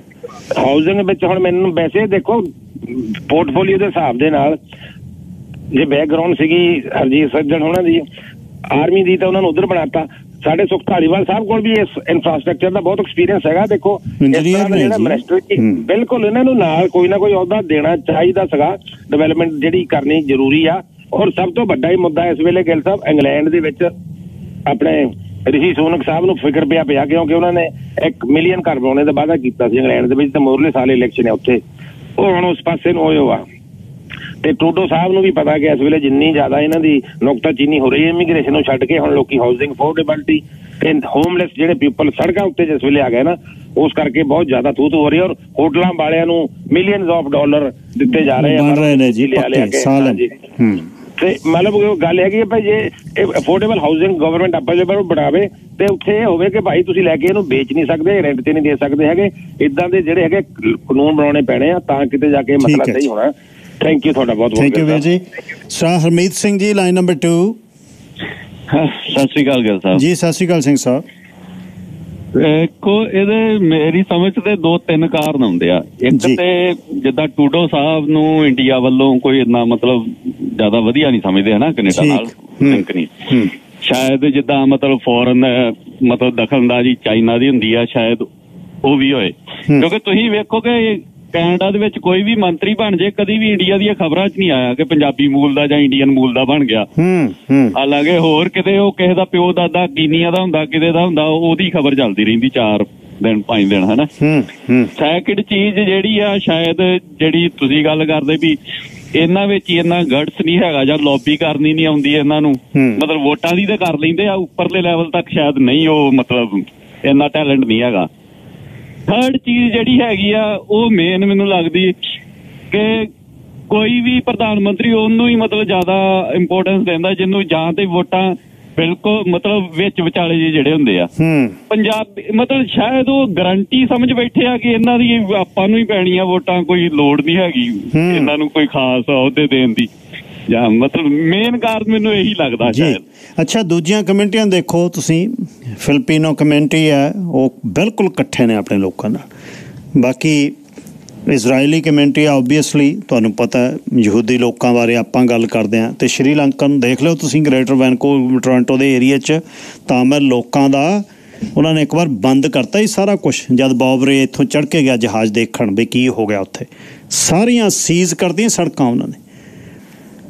ਤੇ ਖਾਸ ਤੌਰ ਤੇ ਡੀ ਐਡਿਕਸ਼ਨ ਦੀ ਦੀ, ਦਾ ਜਿਹੜਾ ਜੜੀਆਂ ਬੂਟੀਆਂ ਨੇ, ਉਹ ਉਹ ਸਮਾਨ ਜਿਹੜਾ ਸਰੀ ਤੁਸੀਂ ਲੈ ਸਕਦੇ ਹੋ 604 355 2400 ਤੇ। ਕਿਸੇ ਵੀ ਨਸ਼ੇ ਨਾਲ ਪੀੜਤ ਤੋਂ ਡੀ ਐਡਿਕਸ਼ਨ ਚ ਮਨ ਤੁਹਾਡਾ ਬਣ ਗਿਆ ਤਾਂ 604 355 2400 ਤੇ। ਰਿਮਾਰਕੇਬਲ ਰਿਜ਼ਲਟ ਨੇ, ਪੰਜਾਬ ਤੋਂ ਡੀ ਕੇ ਸ਼ਰਮਾ ਜੀ ਆਏ ਸੀ, ਪਿਛਲੇ ਦਿਨੀ ਜ਼ਿਆਦਾ ਆਪਣੇ ਗੱਲ ਕਰਕੇ ਗਏ ਨੇ। ਉਹਨਾਂ ਦੀਆਂ ਪੰਸਾਰੀ ਦੀਆਂ ਚੀਜ਼ਾਂ ਪੀਠ ਕੇ ਬਣਾਈ ਹੋਈ ਇੱਕ ਔਸ਼ਧੀ ਹੈ। 604 355 2400 ਨਾਲ ਇੱਕ ਬਹੁਤ ਤਾਕਤਵਰ ਇੱਕ ਪ੍ਰੋਟੀਨ ਦਾ ਪਾਊਡਰ ਹੈ ਜਿਹੜਾ ਤੁਸੀਂ ਸਵੇਰ ਸ਼ਾਮ ਦੁੱਧ ਨਾਲ ਲੈਣਾ। 604 355 2400 ਤੇ ਤੁਸੀਂ ਗੱਲਬਾਤ ਕਰ ਸਕਦੇ ਹੋ। Komalpreet Sandhu ji line number 4 hello ਸਤਿ ਸ਼੍ਰੀ ਅਕਾਲ ਭਾਜੀ। ਸਤਿ ਸ਼੍ਰੀ ਅਕਾਲ ਜੀ ਕੋਮਲਪ੍ਰੀਤ ਜੀ। ਹਾਂਜੀ ਅਹ ਜਿਵੇਂ ਕਾਫੀ ਕੁਝ ਡਿਸਕਸ ਹੋਇਆ ਮੈਂ ਇੱਕ ਅਹ, ਇਹ ਦੱਸਣਾ ਚਾਹੁੰਦੀ ਹਾਂ ਕਿ ਜਿਹੜੇ ਉਹ ਮਿਨਿਸਟਰ ਬਣਦੇ ਨੇ ਉਹ ਭਾਵੇਂ ਪਹਿਲੀ ਵਾਰ ਬਣਦੇ ਨੇ ਪਰ ਉਹ ਪਾਰਟੀ ਦੇ ਨਾਲ ਬਹੁਤ ਟਾਈਮ ਤੋਂ ਜੁੜੇ ਹੁੰਦੇ ਨੇ। ਹਮ। ਇੱਕ ਉਹਨਾਂ ਨੇ ਬੈਕਗ੍ਰਾਉਂਡ 'ਚ ਬਹੁਤ ਕੰਮ ਕੀਤਾ ਹੁੰਦਾ ਆ। ਉਹਨਾਂ 'ਚ ਲੀਡਰਸ਼ਿਪ ਸਕਿੱਲਸ ਹੁੰਦੀਆਂ ਆ। ਹਮ। ਉਹ ਕੱਲਾ ਆਪਣਾ ਜਿਹੜਾ ਪੋਲਿਟੀਕਲ ਕਲਚਰ ਆ ਇਵੇਂ ਦੇ ਨਹੀਂ ਹੁੰਦੇ। ਉਹਨਾਂ ਦੀ ਨੈਟਵਰਕਿੰਗ ਬਹੁਤ ਸਟਰੋਂਗ ਹੁੰਦੀ ਆ। ਜਿਵੇਂ ਮੈਂ ਆਈ ਆਈ ਸਾ witness Stephen Lecce, education minister here in Ontario. Hmm. Like uh, ਉਹ ਫੈਡਰਲ ਦੇ ਵਿੱਚ ਵੀ ਉਹ ਤੇ uh, ਉਹਨੇ ਬਹੁਤ uh, ਕੀਤਾ ਲਾਈਕ ਜਦੋਂ ਉਹ ਆਪਣੀ ਕੰਸਟੀਟੂਐਂਸੀ ਨੂੰ ਰਿਪਰੈਜ਼ੈਂਟ ਕਰਦੇ ਆ ਜਿਵੇਂ. ਅਦਰਵਾਈਜ਼ ਪ੍ਰਾਈਮ ਮਿਨਿਸਟਰ ਨੂੰ ਨਹੀਂ ਪਤਾ ਆਪਣੀਆਂ ਕੀ problems I mean as a human being he knows. But generally ਜਦੋਂ ਉਹ ਰਿਪਰੈਜ਼ੈਂਟ ਕਰਦੇ ਆਪਣੀ ਕੰਸਟੀਟੂਐਂਸੀ ਨੂੰ ਐਡਰੈਸ ਕਰਦੇ ਆ I don't think other people have the caliber and the vocal. They just do the uh, politics the way you told in Hmm. the Hmm, hmm. beginning. ਕਿ ਉਹਨੂੰ ਥੱਲੇ ਸੋਚੋ ਲੋਕਾਂ ਨੇ ਬੁਰਾਈਆਂ ਸਾਈਡ ਕਰਕੇ ਆਪਣੇ ਆਪ ਨੂੰ ਚੰਗਾ ਦਿਸਣਾ ਚਾਹੁੰਦੇ ਆ. ਐਂਡ ਪਰ ਵਟ ਦੇ ਹੈਵ ਉਹ ਆਪਣੇ ਆਪ ਨੂੰ ਮੈਨੂੰ ਲੱਗਦਾ ਨਹੀਂ ਕਿ ਉਹ ਦੱਸ ਪਾਉਂਦੇ ਆ ਅਦਰ ਥਿੰਗ ਇਜ਼ ਜੇ ਇੱਥੋਂ ਦੇ ਬੱਚੇ ਜਿਹੜੇ ਇੱਥੇ ਵੱਡੇ ਹੋਏ ਨੇ ਜੇ ਉਹ ਪੋਲਿਟਿਕਸ ਚਾਹਣ ਪੰਜਾਬੀ ਬੱਚੇ ਦੈਨ ਪਿਕਚਰ ਚੇਂਜ ਹੋ ਸਕਦੀ ਆ ਪਰ ਆ ਜਿਹੜੀ ਪੋਲਿਟਿਕਸ ਚੱਲਣ ਦੀ ਆ ਇੰਡੀਅਨ ਕਲਚਰ ਵਾਲੀ ਤਾਂ ਕਰਕੇ ਆਪਾਂ ਪਿੱਛੇ ਆ। Thank I you think so thank you Hardyal Nagra ji. ਜੈਸਾ ਸਤਿ ਸ੍ਰੀ ਅਕਾਲ। ਸਤਿ ਸ਼੍ਰੀ ਅਕਾਲ ਨਾਗਰਾ ਜੀ। ਕਹਿੰਦੇ ਆ ਹੁੰਦਿਆਂ ਨਾ ਮਨ ਕਫੀਆਂ ਲਗਨ ਪਗ ਪੜਾਏ ਹੂੰ। ਹਰ ਬੰਦਾ ਆਪਣੀਆਂ ਚੋੜੀਆਂ ਮੰਗਦਾ। ਹੂੰ। ਪੰਜਾਬੀ ਅਸੀਂ ਆਪੇ ਚੋੜ ਮੰਗਦੇ ਪਰ ਸਾਰੇ ਇੱਕ ਹੁੰਦੇ ਨਹੀਂ। ਹੂੰ। ਕਦੇ ਚਾਪਲ ਧੜੇ ਆ। ਹੂੰ। ਦੋਨੇ ਦੋਨੇ ਪਾਸੇ ਆਪਾਂ ਹੈਗੇ ਆ। ਲੇਰ ਵਾਲਾ ਵੀ ਹੈਗੇ ਦੂਏ ਪਾਸੇ ਵੀ ਹੈਗੇ ਆ। ਹੂੰ। ਉਹ ਵੀ ਆ ਜਾਵੇ ਰਿਆ ਸਾਡੀ ਪੰਜਾਬੀ ਦੀ ਹੋਣੀ ਆ। ਕਦੇ ਨਾ ਕਰੋ। ਹੂੰ। ਥੈਂਕ ਯੂ ਜੀ। ਇੱਕ 250 ਕੋਡ ਤੋਂ 5784 ਨੰਬਰ ਹੈ ਜੀ। 9 ਸੌਰੀ ਨਹੀਂ ਮੇਰੇ ਕੋਲ ਲਾਈਨ ਨੰਬਰ 6 ਗਿਲ ਸਾਹਿਬ ਸਤਿ ਸ਼੍ਰੀ ਅਕਾਲ ਜੀ ਸਤਿ ਸ਼੍ਰੀ ਅਕਾਲ ਨਿਕ ਜੀ ਸਤਿ ਸ਼੍ਰੀ ਅਕਾਲ। ਸੌਰੀ ਕਸਨੋ ਕਸਨੋ ਤੁਹਾਨੂੰ ਇੰਨਾ ਐਕਸਪੀਰੀਅੰਸ ਹੈ ਪੋਲਿਟਿਕਸ ਦਾ ਹੈ ਜੀ ਮੈਂ ਤਾਂ ਅੱਜ ਪਹਿਲੀ ਵਾਰ ਸੁਣਿਆ ਵੀ ਤੁਸੀਂ ਇਲੈਕਸ਼ਨ ਵੀ ਲੜੇ ਸੀਗੇ ਮੈਨੂੰ ਨਹੀਂ ਪਤਾ ਇਹਦਾ ਪਹਿਲਾਂ ਤੁਸੀਂ ਸਾਨੂੰ ਐਨਾਲਾਈਜ਼ ਕਰਕੇ ਦੱਸੋ ਕਿ ਜਿਹੜੇ ਦੋ ਐਮਪੀਆਂ ਦੇ ਤੁਸੀਂ ਨਾਂ ਲਏ ਆ ਸਰੀ ਦੇ ਲਿਬਰਲ ਪਾਰਟੀ ਦੇ ਉਹਨਾਂ ਨੂੰ ਅੱਜ ਤੱਕ ਕਿਉਂ ਨਹੀਂ ਕੁਝ ਵੀ ਬਣਾਇਆ? ਤੁਸੀਂ ਐਨਾਲਾਈਜ਼ ਕਰਕੇ ਦੱਸੋ। ਨਹੀਂ ਜੀ ਮੈਂ ਤਾਂ ਉਹਨਾਂ ਦੀ ਕੁਆਲੀਫਿਕੇਸ਼ਨ ਦੱਸਤੀ ਸਮਾਂ ਦੱਸਤਾ ਵੀ ਕਿੰਨੇ ਚਿਰ ਦੇ ਕਰ ਰਹੇ ਨੇ ਨਿਕ ਸਾਹਿਬ ਪਰ ਨੰਬਰ ਲੱਗਣਾ ਚਾਹੀਦਾ ਰਿਪਰੈਜ਼ੈਂਟੇਸ਼ਨ ਹੋਣੀ ਚਾਹੀਦੀ ਸੀ। ਕੋਈ ਨਾ ਕੋਈ ਤਾਂ ਕਾਰਨ ਹੋਏਗਾ ਨਾ ਜ਼ਰੂਰ ਜਨਾਬ ਜੇ ਪੰਜ ਵਾਰੀ ਬੰਦਾ ਨੇ ਜਿੱਤਿਆ ਉਹਨੂੰ ਕੁਝ ਵੀ ਨਹੀਂ ਬਣਾਉਂਦੇ। ਤੇ have to be something behind the scene ਹਾਂ ਇਹ ਇਹ ਪੋਲੀਟੀਕਲ ਪਾਰਟੀ ਦੇ ਇਨਰ ਸਰਕਲ ਚ ਕੀ ਹੈ ਉਹਦਾ ਨਹੀਂ ਮੈਂ ਦੱਸ ਸਕਦਾ ਪਰ ਮੈਨੂੰ ਬਾਹਰੀ ਰੂਪ ਜਿਹੜਾ ਉਹ ਮੈਂ ਦੱਸ ਸਕਦਾ। ਹਾਂ ਬਿਲਕੁਲ ਇਹ ਇਹ ਉੱਥੇ ਕੀ ਹੋ ਰਿਹਾ? ਉੱਥੇ ਲੌਬੀਇਸਟ ਨੇ ਉੱਥੇ ਕੌਣ ਨੰਬਰ ਨਹੀਂ ਕਿਉਂ ਨਹੀਂ ਲੱਗਦਾ? ਇਹ ਜ਼ਰੂਰ ਮੈਂ ਸਮਝਦਾ ਵੀ ਕੋਈ ਨਾ ਕੋਈ ਗੱਲ ਹੈ। ਹਾਂਜੀ। ਸਾਹਿਬ ਥੈਂਕ ਯੂ ਜੀ ਥੈਂਕ ਯੂ ਹਾਂ ਇਹ ਜ਼ਰੂਰ ਹੈ ਵੀ ਦੇਖੋ ਕੋਈ ਨਾ ਕੋਈ ਵਿਵਾਦ ਜੇ ਹੋਵੇ ਪੋਲੀਟੀਕਲ ਪਾਰਟੀ ਦੇ ਵਿੱਚ ਕਿਸੇ ਕੈਂਡੀਡੇਟ ਦੇ ਨਾਲ ਫਿਰ ਹੋ ਸਕਦਾ ਪਰ ਕੋਈ ਮੇਜਰ ਕੰਟਰੋਵਰਸੀ ਵੀ ਨਹੀਂ ਹੈ। ਨਾ ਸਰਾਏ ਉਹਨਾਂ ਦੀ ਨਾ ਸੁਖਤਾ ਵਾਲੀਵਾਲ ਉਹਨਾਂ ਦੀ। ਹੁਣ ਸਾਡੀ ਕਮਿਊਨਿਟੀ ਦੇ ਉਹ ਰਿਪਰੈਜ਼ੈਂਟੇਟਿਵ ਨੇ ਸਰੀ ਦੇ ਐਮਪੀ ਨੇ ਪੰਜ ਵਾਰ ਐਮਪੀ ਬਣ ਜਾਣਾ 2014 ਦੇ 19 ਸਾਲ ਹੋ ਗਏ ਸੁਖਤਾ ਵਾਲੀਵਾਲ ਉਹਨਾਂ ਨੂੰ। ਦੋ ਇਲੈਕਸ਼ਨਾਂ ਸਿਰਫ ਗਰਮੰਤ ਤੋਂ ਤੇ ਜਿੰਨੀ ਸਿਮ ਤੋਂ ਹਾਰੇ ਨੇ ਗਰਮੰਤ ਨੂੰ ਵੀ ਜਿੱਤੇ ਨੇ ਜਿੰਨੇ ਨੂੰ ਵੀ ਦੁਆਰਾ ਉਹ ਜਿੱਤੇ ਨੇ। ਇੱਕ ਵਾਰ ਸੰਦੀਪ ਪੰਧੇਰ ਨੂੰ ਜਿੱਤੇ ਨੇ ਅ, 19 ਚ ਮੇਰੇ ਨਾਲ ਮੈਨੂੰ ਜਿੱਤੇ ਨੇ ਤੇ ਹੁਣ 21 ਚ ਫੇਰ ਜਿੱਤੇ ਨੇ ਉਹ ਪੰਜ ਵਾਰ ਜਿੱਤੇ ਆ। ਇੰਜੀਨੀਅਰ ਨੇ ਸਰਵੇਅਰ ਨੇ ਤੇ ਐਂਟਰਪ੍ਰੀਨਿਓਰ ਨੇ, ਉਹ ਕਹਿੰਦੇ ਮੈਂ ਬਿਜ਼ਨਸ ਕਰਦਾ, ਸ- ਨਿਊਟਨ ਦੇ ਵਿੱਚ ਬੱਚੇ ਪਾਲੇ ਨੇ ਉਹਨਾਂ ਨੇ ਕੰਸਟੀਚੁਐਂਸੀ ਦੇ ਵਿੱਚ ਨੇ, ਤੇ ਲੋਕਾਂ ਦੇ ਜਿਹੜੇ ਨੇ, ਕੋਈ ਫੰਕਸ਼ਨ ਨਹੀਂ, ਉਹਨਾਂ ਦਾ ਇੰਟਰਨਲ ਜਿੱਥੇ ਤੋਂ ਉਹਨੂੰ ਸੱਦਦੇ ਨੇ, ਉਹ ਜਾਂਦੇ ਨੇ। ਸਰਾਏ ਹੋਣੀ, ਸਰਾਏ ਉਹਨਾਂ ਕੋਲ ਸਾਰੀ ਜ਼ਿੰਮੇਵਾਰੀ ਆ ਪਲੇਅਰ ਮਗਾਉਣ ਦੀ, ਉਹਨਾਂ ਦੇ ਕਹੇ ਤੇ ਵੀਜ਼ੇ ਮਿਲਦੇ ਨੇ। ਜਿੰਨੇ ਕਬੱਡੀ ਦੇ ਪਲੇਅਰ ਨੇ ਆਪ ਐਸੋਸੀਏਸ਼ਨਾਂ ਦੱਸਦੀਆਂ ਨੇ ਵੀ ਉਹਨਾਂ ਦੇ ਕਹੇ ਤੇ ਵੀਜ਼ੇ ਮਿਲਦੇ ਨੇ। ਆਹ ਤਾਂ ਜ਼ਿੰਮੇਵਾਰੀਆਂ ਦਿੱਤੀਆਂ ਨੇ, ਪਰ ਮਿਨਿਸਟਰ ਨਹੀਂ ਬਣਾਏ। ਜਗਜੀਤ ਸਿੰਘ ਬਰਾੜ ਜੀ ਲਾਈਨ ਨੰਬਰ 1 ਹਾਂਜੀ ਗਿੱਲ ਸਾਹਿਬ ਸਤਿ ਸ੍ਰੀ ਅਕਾਲ ਜੀ ਸਤਿ ਸ਼੍ਰੀ ਅਕਾਲ ਬਰਾੜ ਸਾਹਿਬ। ਮੈਂ ਨਾ ਗੱਲਾਂ ਗੁੱਲਾਂ ਕਰਦਾ ਰਹਿਣਾ ਹੈਗਾ। ਰੇਡੀਓ ਤੁਹਾਡਾ ਬਹੁਤ ਸੁਣਦਾ ਸਵਾਰੀ ਨਹੀਂ। ਧੰਨਵਾਦ। ਇੱਕ ਦਿਨ ਮੈਨੂੰ ਇੱਕ ਬੰਦੇ ਨੇ ਗੱਲਾਂ ਸੁਣਾਈਆਂ ਮੈਂ ਅਸੀਂ ਆਪਸ ਵਿੱਚ ਗੱਲਾਂ ਕਰਨ ਲੱਗ ਹੂੰ। ਉਹ ਮੈਨੂੰ ਉਹਨੇ ਦੱਸਿਆ ਸ਼ੇਰਾਂ ਬਾਬਤ ਪਹਿਲਾਂ। ਅੱਛਾ ਜੀ। ਕਹਿੰਦਾ ਜਿਹੜਾ ਸ਼ੇਰ ਹੁੰਦਾ ਹੈ ਨਾ ਉਹ ਜਦੋਂ ਸ਼ਿਕਾਰ ਮਾਰਦਾ ਆਪਦਾ ਹੂੰ।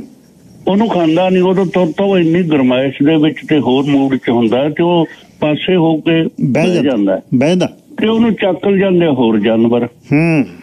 ਇੱਕ ਤਾਂ ਇਹ ਗੱਲ ਦੱਸੀ ਉਹਨੇ ਮੈਨੂੰ। ਹੂੰ। ਫਿਰ ਇੱਕ ਦਾ ਹਾਥੀ ਹੁੰਦਾ ਹੈ, ਸਾਰਿਆਂ ਨੂੰ ਵੱਡਾ ਜਾਨਵਰ ਹੈ ਵੀ। ਹੂੰ। ਇਹਦੇ ਦਾ ਰੱਬ ਨੇ ਧੌਣ ਇਹ ਜੀ ਲਾਤੀ ਆ ਉਹਦਾ ਪਿੱਛੇ ਮੁੜ ਕੇ ਵੇਖ ਹੀ ਨਹੀਂ ਸਕਦਾ। ਵੀ ਪਿੱਛੇ ਕੌਣ ਆ ਗਿਆ? ਭਾਵੇਂ ਮੇਰੇ ਹਾਂ ਧੌਣ ਨਹੀਂ ਮੋੜ ਸਕਦਾ ਜੀ। ਸੁੰਡ ਨੂੰ ਕਿਧਰੇ ਘੁਮਾ ਲੇ ਧੌਣ ਨਹੀਂ ਮੁੜਦੀ ਜੀ ਨਹੀਂ ਮਿਲਦੀ। ਹੂੰ। ਇੱਕ ਹੁੰਦਾ ਜੀ ਝੋਟਾ। ਹੂੰ। ਫਿਰ ਉਹ ਝੋਟਾਬਾਦ ਵੀ ਹੈਗਾ ਸਾਡੀ ਕੌਮ ਦੇ ਵਿੱਚ। ਹੂੰ ਹੂੰ। ਉਹ ਮੈਨੂੰ ਉਹਦੀਆਂ ਗੱਲਾਂ ਬਹੁਤ ਵਧੀਆ ਲੱਗੀਆਂ। ਸੋ ਇਹ ਜੇ ਜਾਨੀ ਆਪਣੇ ਜੀਨ ਦੇ ਵਿੱਚ ਹੈ ਜੇ ਉਹਦਾ ਕਰਕੇ ਆਪਾਂ ਪਿੱਛੇ ਰਹਿ ਜਾਂਦੇ। ਧੰਨਵਾਦ ਜੀ। ਸਾਹਿਬ ਬਲਜਿੰਦਰ ਸਿੰਘ ਜੀ। ਭਾਈ ਜੀ ਸਤਿ ਸ਼੍ਰੀ ਅਕਾਲ। ਸਤਿ ਸ਼੍ਰੀ ਅਕਾਲ ਜੀ।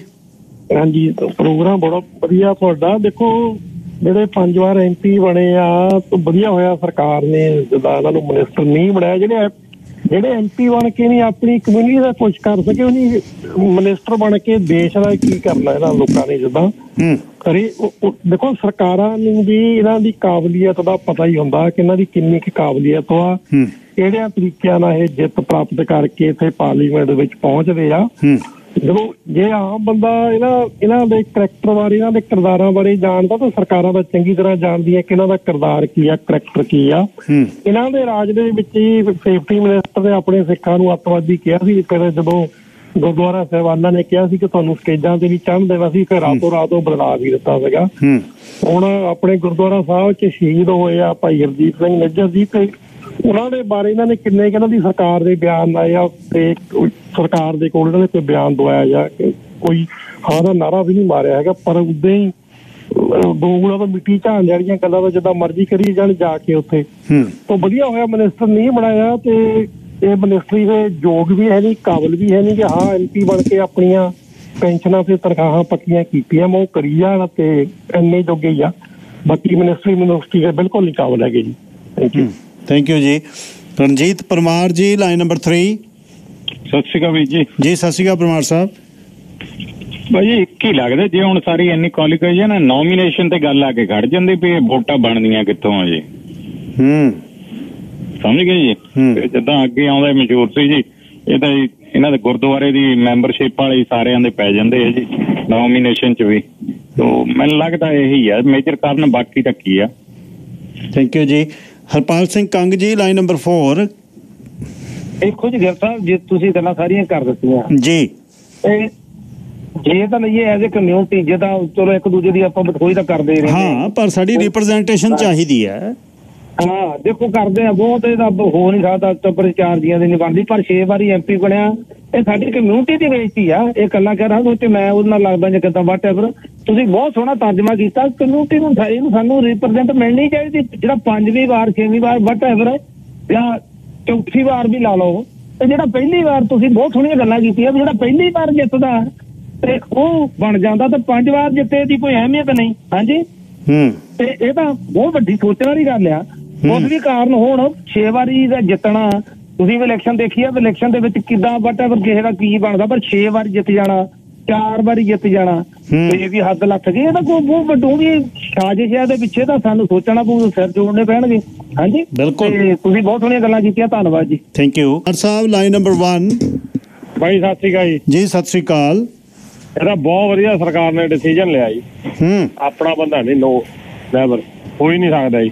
ਭਾਈ ਇੱਕ ਵੀ ਬੰਦਾ ਸਾਬਤ ਕਰ ਦਿਓ। ਜਦੋਂ ਟਰੂਡੋ ਨੇ ਹਿੱਕ ਥਾਪੜ ਕੇ ਇਹ ਗੱਲ ਕਹੀ ਸੀ ਮੋਦੀ ਨਾਲੋਂ ਜ਼ਿਆਦਾ ਮੰਤਰੀ ਆ। ਜੋ ਟ੍ਰਾਂਟੋ ਵਾਲਾ ਸੀ ਮੰਤਰੀ ਕਿ ਕਿਹੜਾ ਸੀ? ਜਿਹਨੇ ਆਪਣੀ ਪੈਠ ਲਵਾਈ ਸੀ ਜਿਹੜਾ ਜੂੜਾ ਹਾਰ ਗਿਆ ਸੀ।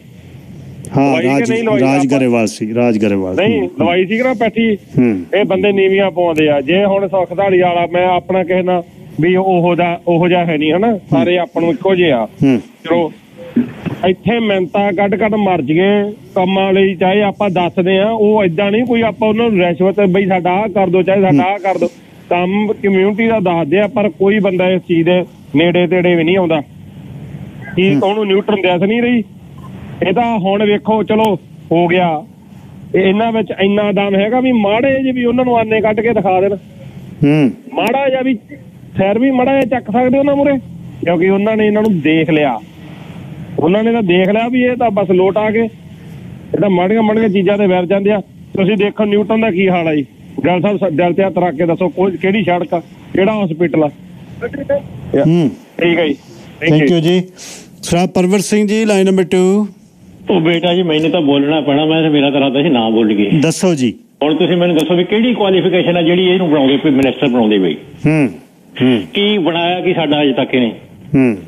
ਕਿਹੜਾ ਕੰਮ ਕੀਤਾ ਜਾਂ ਬੋਲ ਕੇ ਦੱਸ ਦੇ ਵੀ ਮੈਂ ਤੁਹਾਡਾ ਹਸਪਤਾਲ ਬਣਾਤਾ ਜਾਂ ਤੁਹਾਡੇ ਸਕੂਲ ਅਸੀਂ ਵਧੀਆ ਬਣਾਤੇ ਹੂੰ। ਜਾਂ ਅਸੀਂ ਤੁਹਾਡੇ ਪੋਰਟੇਬਲ ਚਕਾਤੇ ਹੂੰ। ਜਾਂ ਅਸੀਂ ਤੁਹਾਡੇ ਆਪਣੀ ਦੂਜਾ ਆਪਣਾ ਹੈਲਥ ਦਾ ਆ ਕਰਤਾ ਹੂੰ। ਇਹ ਤਾਂ ਕੀਤਾ ਹੈ ਕੋਈ ਪ੍ਰਾਪਤੀ ਸਿਰਫ ਨਜਾਇਜ਼ ਵੋਟਾਂ ਪਵਾ ਕੇ ਇਹਦਾ ਸ਼ਰਾਬਾਂ ਪਿਆ ਕੇ ਲੋਕਾਂ ਨੂੰ ਤੇ ਸਮੋਸੇ ਖਵਾ ਕੇ ਤਾਂ ਵੋਟਾਂ ਲੈਂਦੇ ਇਹ ਕੋਈ ਕੁਆਲੀਫਿਕੇਸ਼ਨ ਤਾਂ ਦੱਸਣ ਇਹ ਇਸ ਤਰ੍ਹਾਂ ਕੋਈ ਸ਼ਰਾਬ ਪੀ ਕੇ ਉਹਨਾਂ ਨੇ ਕੋਈ ਰੱਖਿਆ ਵੀ ਇੱਥੇ ਸ਼ਰਾਬ ਪੀ ਲਓ ਤੇ ਮੈਨੂੰ ਵੋਟਾਂ ਪਾ ਲਓ ਇਹੋ ਜਿਹਾ ਕੋਈ ਖਬਰ ਨਹੀਂ ਆਈ ਹੈਲਥ ਕੇਅਰ ਬਿਲਕੁਲ ਗਵਰਨਮੈਂਟ ਦੇ ਅੰਡਰ ਹੈ ਐਜੂਕੇਸ਼ਨ ਹੈ ਜਿਹੜੀ ਪ੍ਰੋਵਿੰਸ਼ੀਅਲ ਮੈਟਰ ਹੈ। ਪਰ ਪੋਲੀਟੀਕਲ ਬੰਦੇ ਆਪਣੀ ਕੰਸਟੀਚੁਐਂਸੀ ਦੇ ਲੋਕਾਂ ਦੇ ਲਈ ਗੱਲ ਕਰ ਸਕਦੇ ਆ। ਇਹਦੇ ਵਿੱਚ ਕੋਈ ਨਹੀਂ। ਕੱਲਾ ਹੁਣ ਸਾਡਾ, ਕੱਲਾ ਇਮੀਗ੍ਰੇਸ਼ਨ ਦਾ ਥੋੜਾ ਰਹਿ ਗਿਆ ਕੰਮ। ਬਈ ਕੱਲਾ ਇਮੀਗ੍ਰੇਸ਼ਨ ਹੀ ਆ ਤੇ ਇਮੀਗ੍ਰੇਸ਼ਨ ਦੇ ਬਲਬੂਤੇ ਪਰ ਹਾਂ, ਪਹਿਲਾਂ ਪਾਉਂਦੇ ਆਏ ਅਸੀਂ। ਅਸੀਂ ਜੇਸਨ ਕੈਨੀ ਤੋਂ ਅੱਕ ਕੇ ਵੀ ਇਹ ਕੱਚੇ ਰੱਖਦਾ, ਪੱਕੇ ਰੱਖਦਾ, ਇਹ ਨਹੀਂ ਕਰਦਾ, ਉਹ ਨਹੀਂ ਕਰਦਾ, ਪਾਈਆਂ ਹੀ ਸੀ। ਟਰੂਡੋ ਦੇ ਲਈ ਅਰਦਾਸਾਂ ਹੋਈਆਂ ਪੰਜਾਬ ਦੇ ਵਿੱਚ। ਹੁਣ ਜਦ ਫਲੱਡ ਆਇਆ ਹੋਇਆ ਹੁਣ ਆਪਾਂ ਕਹਿੰਦੇ ਆ ਵੀ ਇਹ ਇਹ ਰੁਕਣਾ ਚਾਹੀਦਾ। ਪਰ ਹੁਣ ਕਿਵੇਂ ਰੁਕੂ ਹੈ ਵਿਜੇਂਦਰ ਸਿੰਘ ਜੀ ਫੇਰ ਕੋਈ ਗੱਲ ਕਰਨੀ ਚਾਹੁੰਦੇ ਤੁਸੀਂ? ਹਾਂਜੀ ਬਾਈ ਜੀ ਮੈਂ ਇੱਕ ਗੱਲ ਮੇਰੀ ਵਿੱਚ ਰਹਿ ਗਈ। ਬਾਕੀ ਨਾ ਇਹਦੇ ਜਿਹੜਾ ਮਿਨਿਸਟਰ ਨਾ ਬਣਾਉਣ ਦਾ ਦੇਖੋ ਇੱਕ ਤਾਂ ਇਹਨਾਂ ਦੀ ਕਾਬਲੀਅਤ ਵੀ ਕੋਈ ਹੈ ਨਹੀਂ ਕਿ ਮਿਨਿਸਟਰ ਬਣਨ ਦੀ। ਦੂਜਾ ਇਹ ਗੱਲ ਆ ਮੈਂ ਉਹਨੇ ਯਾਰ ਕਹਿੰਦਾ ਹੁਣ ਇਹ ਚੱਲਿਆ ਕਾਰਤੂਸ ਆ ਜਿਹੜਾ ਇਹਨਾਂ ਮੇਅਰ ਦੀ ਚੋਣ ਲੜ ਕੇ ਪੰਜਾਬੀਆਂ ਦੀ ਪੇਠੇ ਛੁਰਾ ਮਾਰਿਆ ਨਾ ਮੇਰਾ ਨਹੀਂ ਖਿਆਲ ਕਿ ਮੈਨੂੰ ਤੀ ਕਦੀ ਇਹਨੂੰ ਤੇ ਜਿੰਨੇ ਸਿੰਘ ਨੂੰ ਮਾਫ ਕਰੂੰਗੀ ਬਾਕੀ ਦੇਖੋ ਗਾਹਾਂ ਕੀ ਹੁੰਦਾ। ਸੋ ਹੁਣ ਇੱਕ ਚੱਲਿਆ ਕਾਰਤੂਸ ਆ ਚੱਲਿਆ ਕਾਰਤੂਸ ਕੋਈ ਵੀ ਨਹੀਂ ਵਰਤਣਾ ਚਾਹਦਾ ਹੁੰਦਾ। ਥੈਂਕ ਯੂ ਵੀਰਾ ਜੀ। ਖੈਰ ਪੋਲੀਟੀਕਲ ਸਿਸਟਮ ਦੇ ਵਿੱਚ ਉਹ ਮੇਅਰ ਦੀ ਚੋਣ ਲੜ ਸਕਦੇ ਸੀ ਕੋਈ ਲਾਅ ਉਹਨਾਂ ਨੂੰ ਰੋਕਦਾ ਨਹੀਂ ਸੀ ਉਹ ਲੜੇ ਨੇ। ਕੁਛ ਉਹਨਾਂ ਨੇ ਇਲੀਗਲ ਤਾਂ ਕੀਤਾ ਨਹੀਂ। ਲੋਕਾਂ ਨੇ ਵੋਟਾਂ ਨਹੀਂ ਪਾਈਆਂ। ਉਹ ਸੋਚਦੇ ਸੀ ਵੀ 24 25000 ਤਾਂ ਮੈਨੂੰ ਐਮਪੀ ਨੂੰ ਮਿਲੀ ਹੋਈ ਹੈ। ਲਾਸਟ ਜਿਹੜੀ ਉਹਨਾਂ ਦੀ ਇਲੈਕਸ਼ਨ ਸੀ 15 ਵਾਲੀ ਉਹਦੇ ਚ 24000 ਵੋਟ ਸੀ। ਉਹ ਕਹਿੰਦੇ 7-8000 ਹੋਰ ਮੈਨੂੰ ਸ਼ਹਿਰ ਤੋਂ ਮਿਲ ਜਾਣੇ 32000 ਨਾਲ ਮੇਅਰ ਬਣਦਾ ਪਰ ਵੋਟਾਂ ਘੱਟ ਰਹਿ ਗਈਆਂ। ਤੇ ਲੋਕ ਪੋਲੀਟੀਕਲੀ ਬਹੁਤ ਸਿਆਣੇ ਨੇ, ਪਰ ਸਾਡੀ ਰਿਪਰੈਜ਼ੈਂਟੇਸ਼ਨ ਹੋਣੀ ਚਾਹੀਦੀ ਹੈ ਜ਼ਰੂਰ। ਪਰ ਹੋਈ ਵੀ ਬਹੁਤ ਹੈ। ਨਵਦੀਪ, ਬੈਂਸ ਬਹੁਤ ਉੱਪਰਲੇ ਲੈਵਲ ਤੇ, ਟਰੂਡੋ ਦੇ ਇਨਰ ਸਰਕਲ 'ਚ ਰਹੇ ਨੇ ਉਹ ਬੰਦੇ। ਉਹ ਨਿਕਲ ਗਏ ਵਿੱਚੋਂ। ਸੱਜਣ ਉਹਨੂੰ ਹੀ ਰੀਸ਼ਫਲ ਕਰਤੇ ਕਈ ਵਾਰ। ਇੱਕ ਦੋ ਬਿਆਨ ਵੀ ਉਹਨਾਂ ਦੇ ਜਿਹੜਾ ਬਈ ਮੈਂ ਬਲੂ ਪ੍ਰਿੰਟ ਮੈਂ ਤਿਆਰ ਕੀਤਾ ਸੀ ਅਫਗਾਨਿਸਤਾਨ 'ਚੋਂ, ਝੂਠ ਸੀ ਗੱਲ, ਨਹੀਂ ਕੀਤਾ ਸੀ ਉਹਨਾਂ ਨੇ, ਫਿਰ ਉਹ ਮਾਫੀ ਮੰਗੀ ਆ ਕੇ। ਕਈ ਵਾਰ ਅਸੀਂ ਹੱਦੋਂ ਵੱਧ ਵੀ ਗੱਲ ਕਰ ਜਾਂਦੇ ਹਾਂ। ਟਰਾਈ ਤਾਂ ਹੁਣ ਪ੍ਰੋਵਿੰਸ਼ਲੀ ਵੀ ਕੀਤੀ ਸੀ ਉਹਨਾਂ ਨੇ, ਸੁਖਤਾਲੀ ਵਾਲ ਉਹਨੇ ਜਦ ਕ੍ਰਿਸਟੀ ਕਲਾਰਕ ਉਹਨਾਂ ਨੇ ਨੇਤਾ ਬਣਾਈ ਆ, ਤਾਂ ਉਹਨਾਂ ਨੇ ਮਿਨਿਸਟਰ ਬਣ ਜਾਣਾ ਸੀ, ਪਰ ਐਮਐਲਏ ਦੀ ਚੋਣ ਲੜਨ ਤੋਂ ਪਹਿਲਾਂ ਉਹਨਾਂ ਦਾ ਜਿਹੜਾ ਟੈਕਸ ਲੇਟ ਕਹਿੰਦੇ ਨੇ, ਉਹ ਪਰ ਟੈਕਸ ਐਵੇਜ਼ਨ ਕਹਿੰਦੇ ਨੇ ਵਿਰੋਧੀ ਉਹਨਾਂ ਦੇ। ਤੇ ਉੱਥੋਂ ਮੁੜਿਆ ਇਹ ਉਹ ਫੇਰ। ਦੁਬਾਰਾ ਨੋਮੀਨੇਸ਼ਨ ਫੇਰ ਜਿੱਤ ਗਏ ਉਹ। ਦੋਨੇ ਇਕੱਠੇ ਖੜੇ ਸੀ ਨਿਊਟਨ ਦੇ ਵਿੱਚ। ਸਰਾਏ ਤੇ ਆਪਣੇ ਸੁੱਖ ਹੋਣੀ, ਸਰਾਏ ਹੋਣੀ ਹਾਰ ਗਏ ਤੇ ਸਰਾਏ ਹੋਣੀ ਜਾ ਕੇ ਆਪਣੇ ਦੁਆਰਾ ਉਹਨਾਂ ਨੇ ਟਰਾਈ ਕੀਤੀ ਸਰੀ ਸੈਂਟਰ 'ਚ ਉੱਥੇ ਜਿੱਤ ਗਏ ਜਸਵੀਰ ਸੰਧੂ ਉਹਨਾਂ ਨੂੰ ਉਹ। ਸੋ ਵੋਟਾਂ ਨਾਲ ਹੀ ਜਿੱਤੇ ਨੇ, ਪਰ ਰਿਪਰੈਜ਼ੈਂਟੇਸ਼ਨ ਹੋਣੀ ਚਾਹੀਦੀ ਹੈ। ਇਹਦੇ ਵਿੱਚ ਕਿ- ਜਿਹੜੀ ਕੁਆਲੀਫਿਕੇਸ਼ਨ ਦੀ ਗੱਲ ਦੂਜਿਆਂ ਦੀ ਕਿਤੇ ਵੱਧ ਹੈ ਇਹਦੇ 'ਚ? ਪਰ ਸਾਡੀ ਰਿਪਰੈਜ਼ੈਂਟੇਸ਼ਨ ਕਿਉਂ ਨਹੀਂ? ਇਹ ਇਹ ਇੱਕ ਵਿਸ਼ਾ ਪੋਲੀਟੀਕਲ ਵਿਊ ਕੋਈ ਵੀ ਹੋਣ ਵਿਰੋਧਤਾ ਕੋਈ ਵੀ ਹੋਵੇ, ਪਰ ਕਮਿਊਨਿਟੀ ਦੀ ਰਿਪਰੈਜ਼ੈਂਟੇਸ਼ਨ ਦੇ ਲਈ ਰਲ ਕੇ ਸਾਨੂੰ ਕੰਮ ਕਰਨਾ ਚਾਹੀਦਾ ਇਹ ਬਹੁਤ ਜ਼ਰੂਰੀ ਹੈ। ਬਾਕੀ ਕੱਲ ਨੂੰ ਰੱਬ ਰੱਖਾ।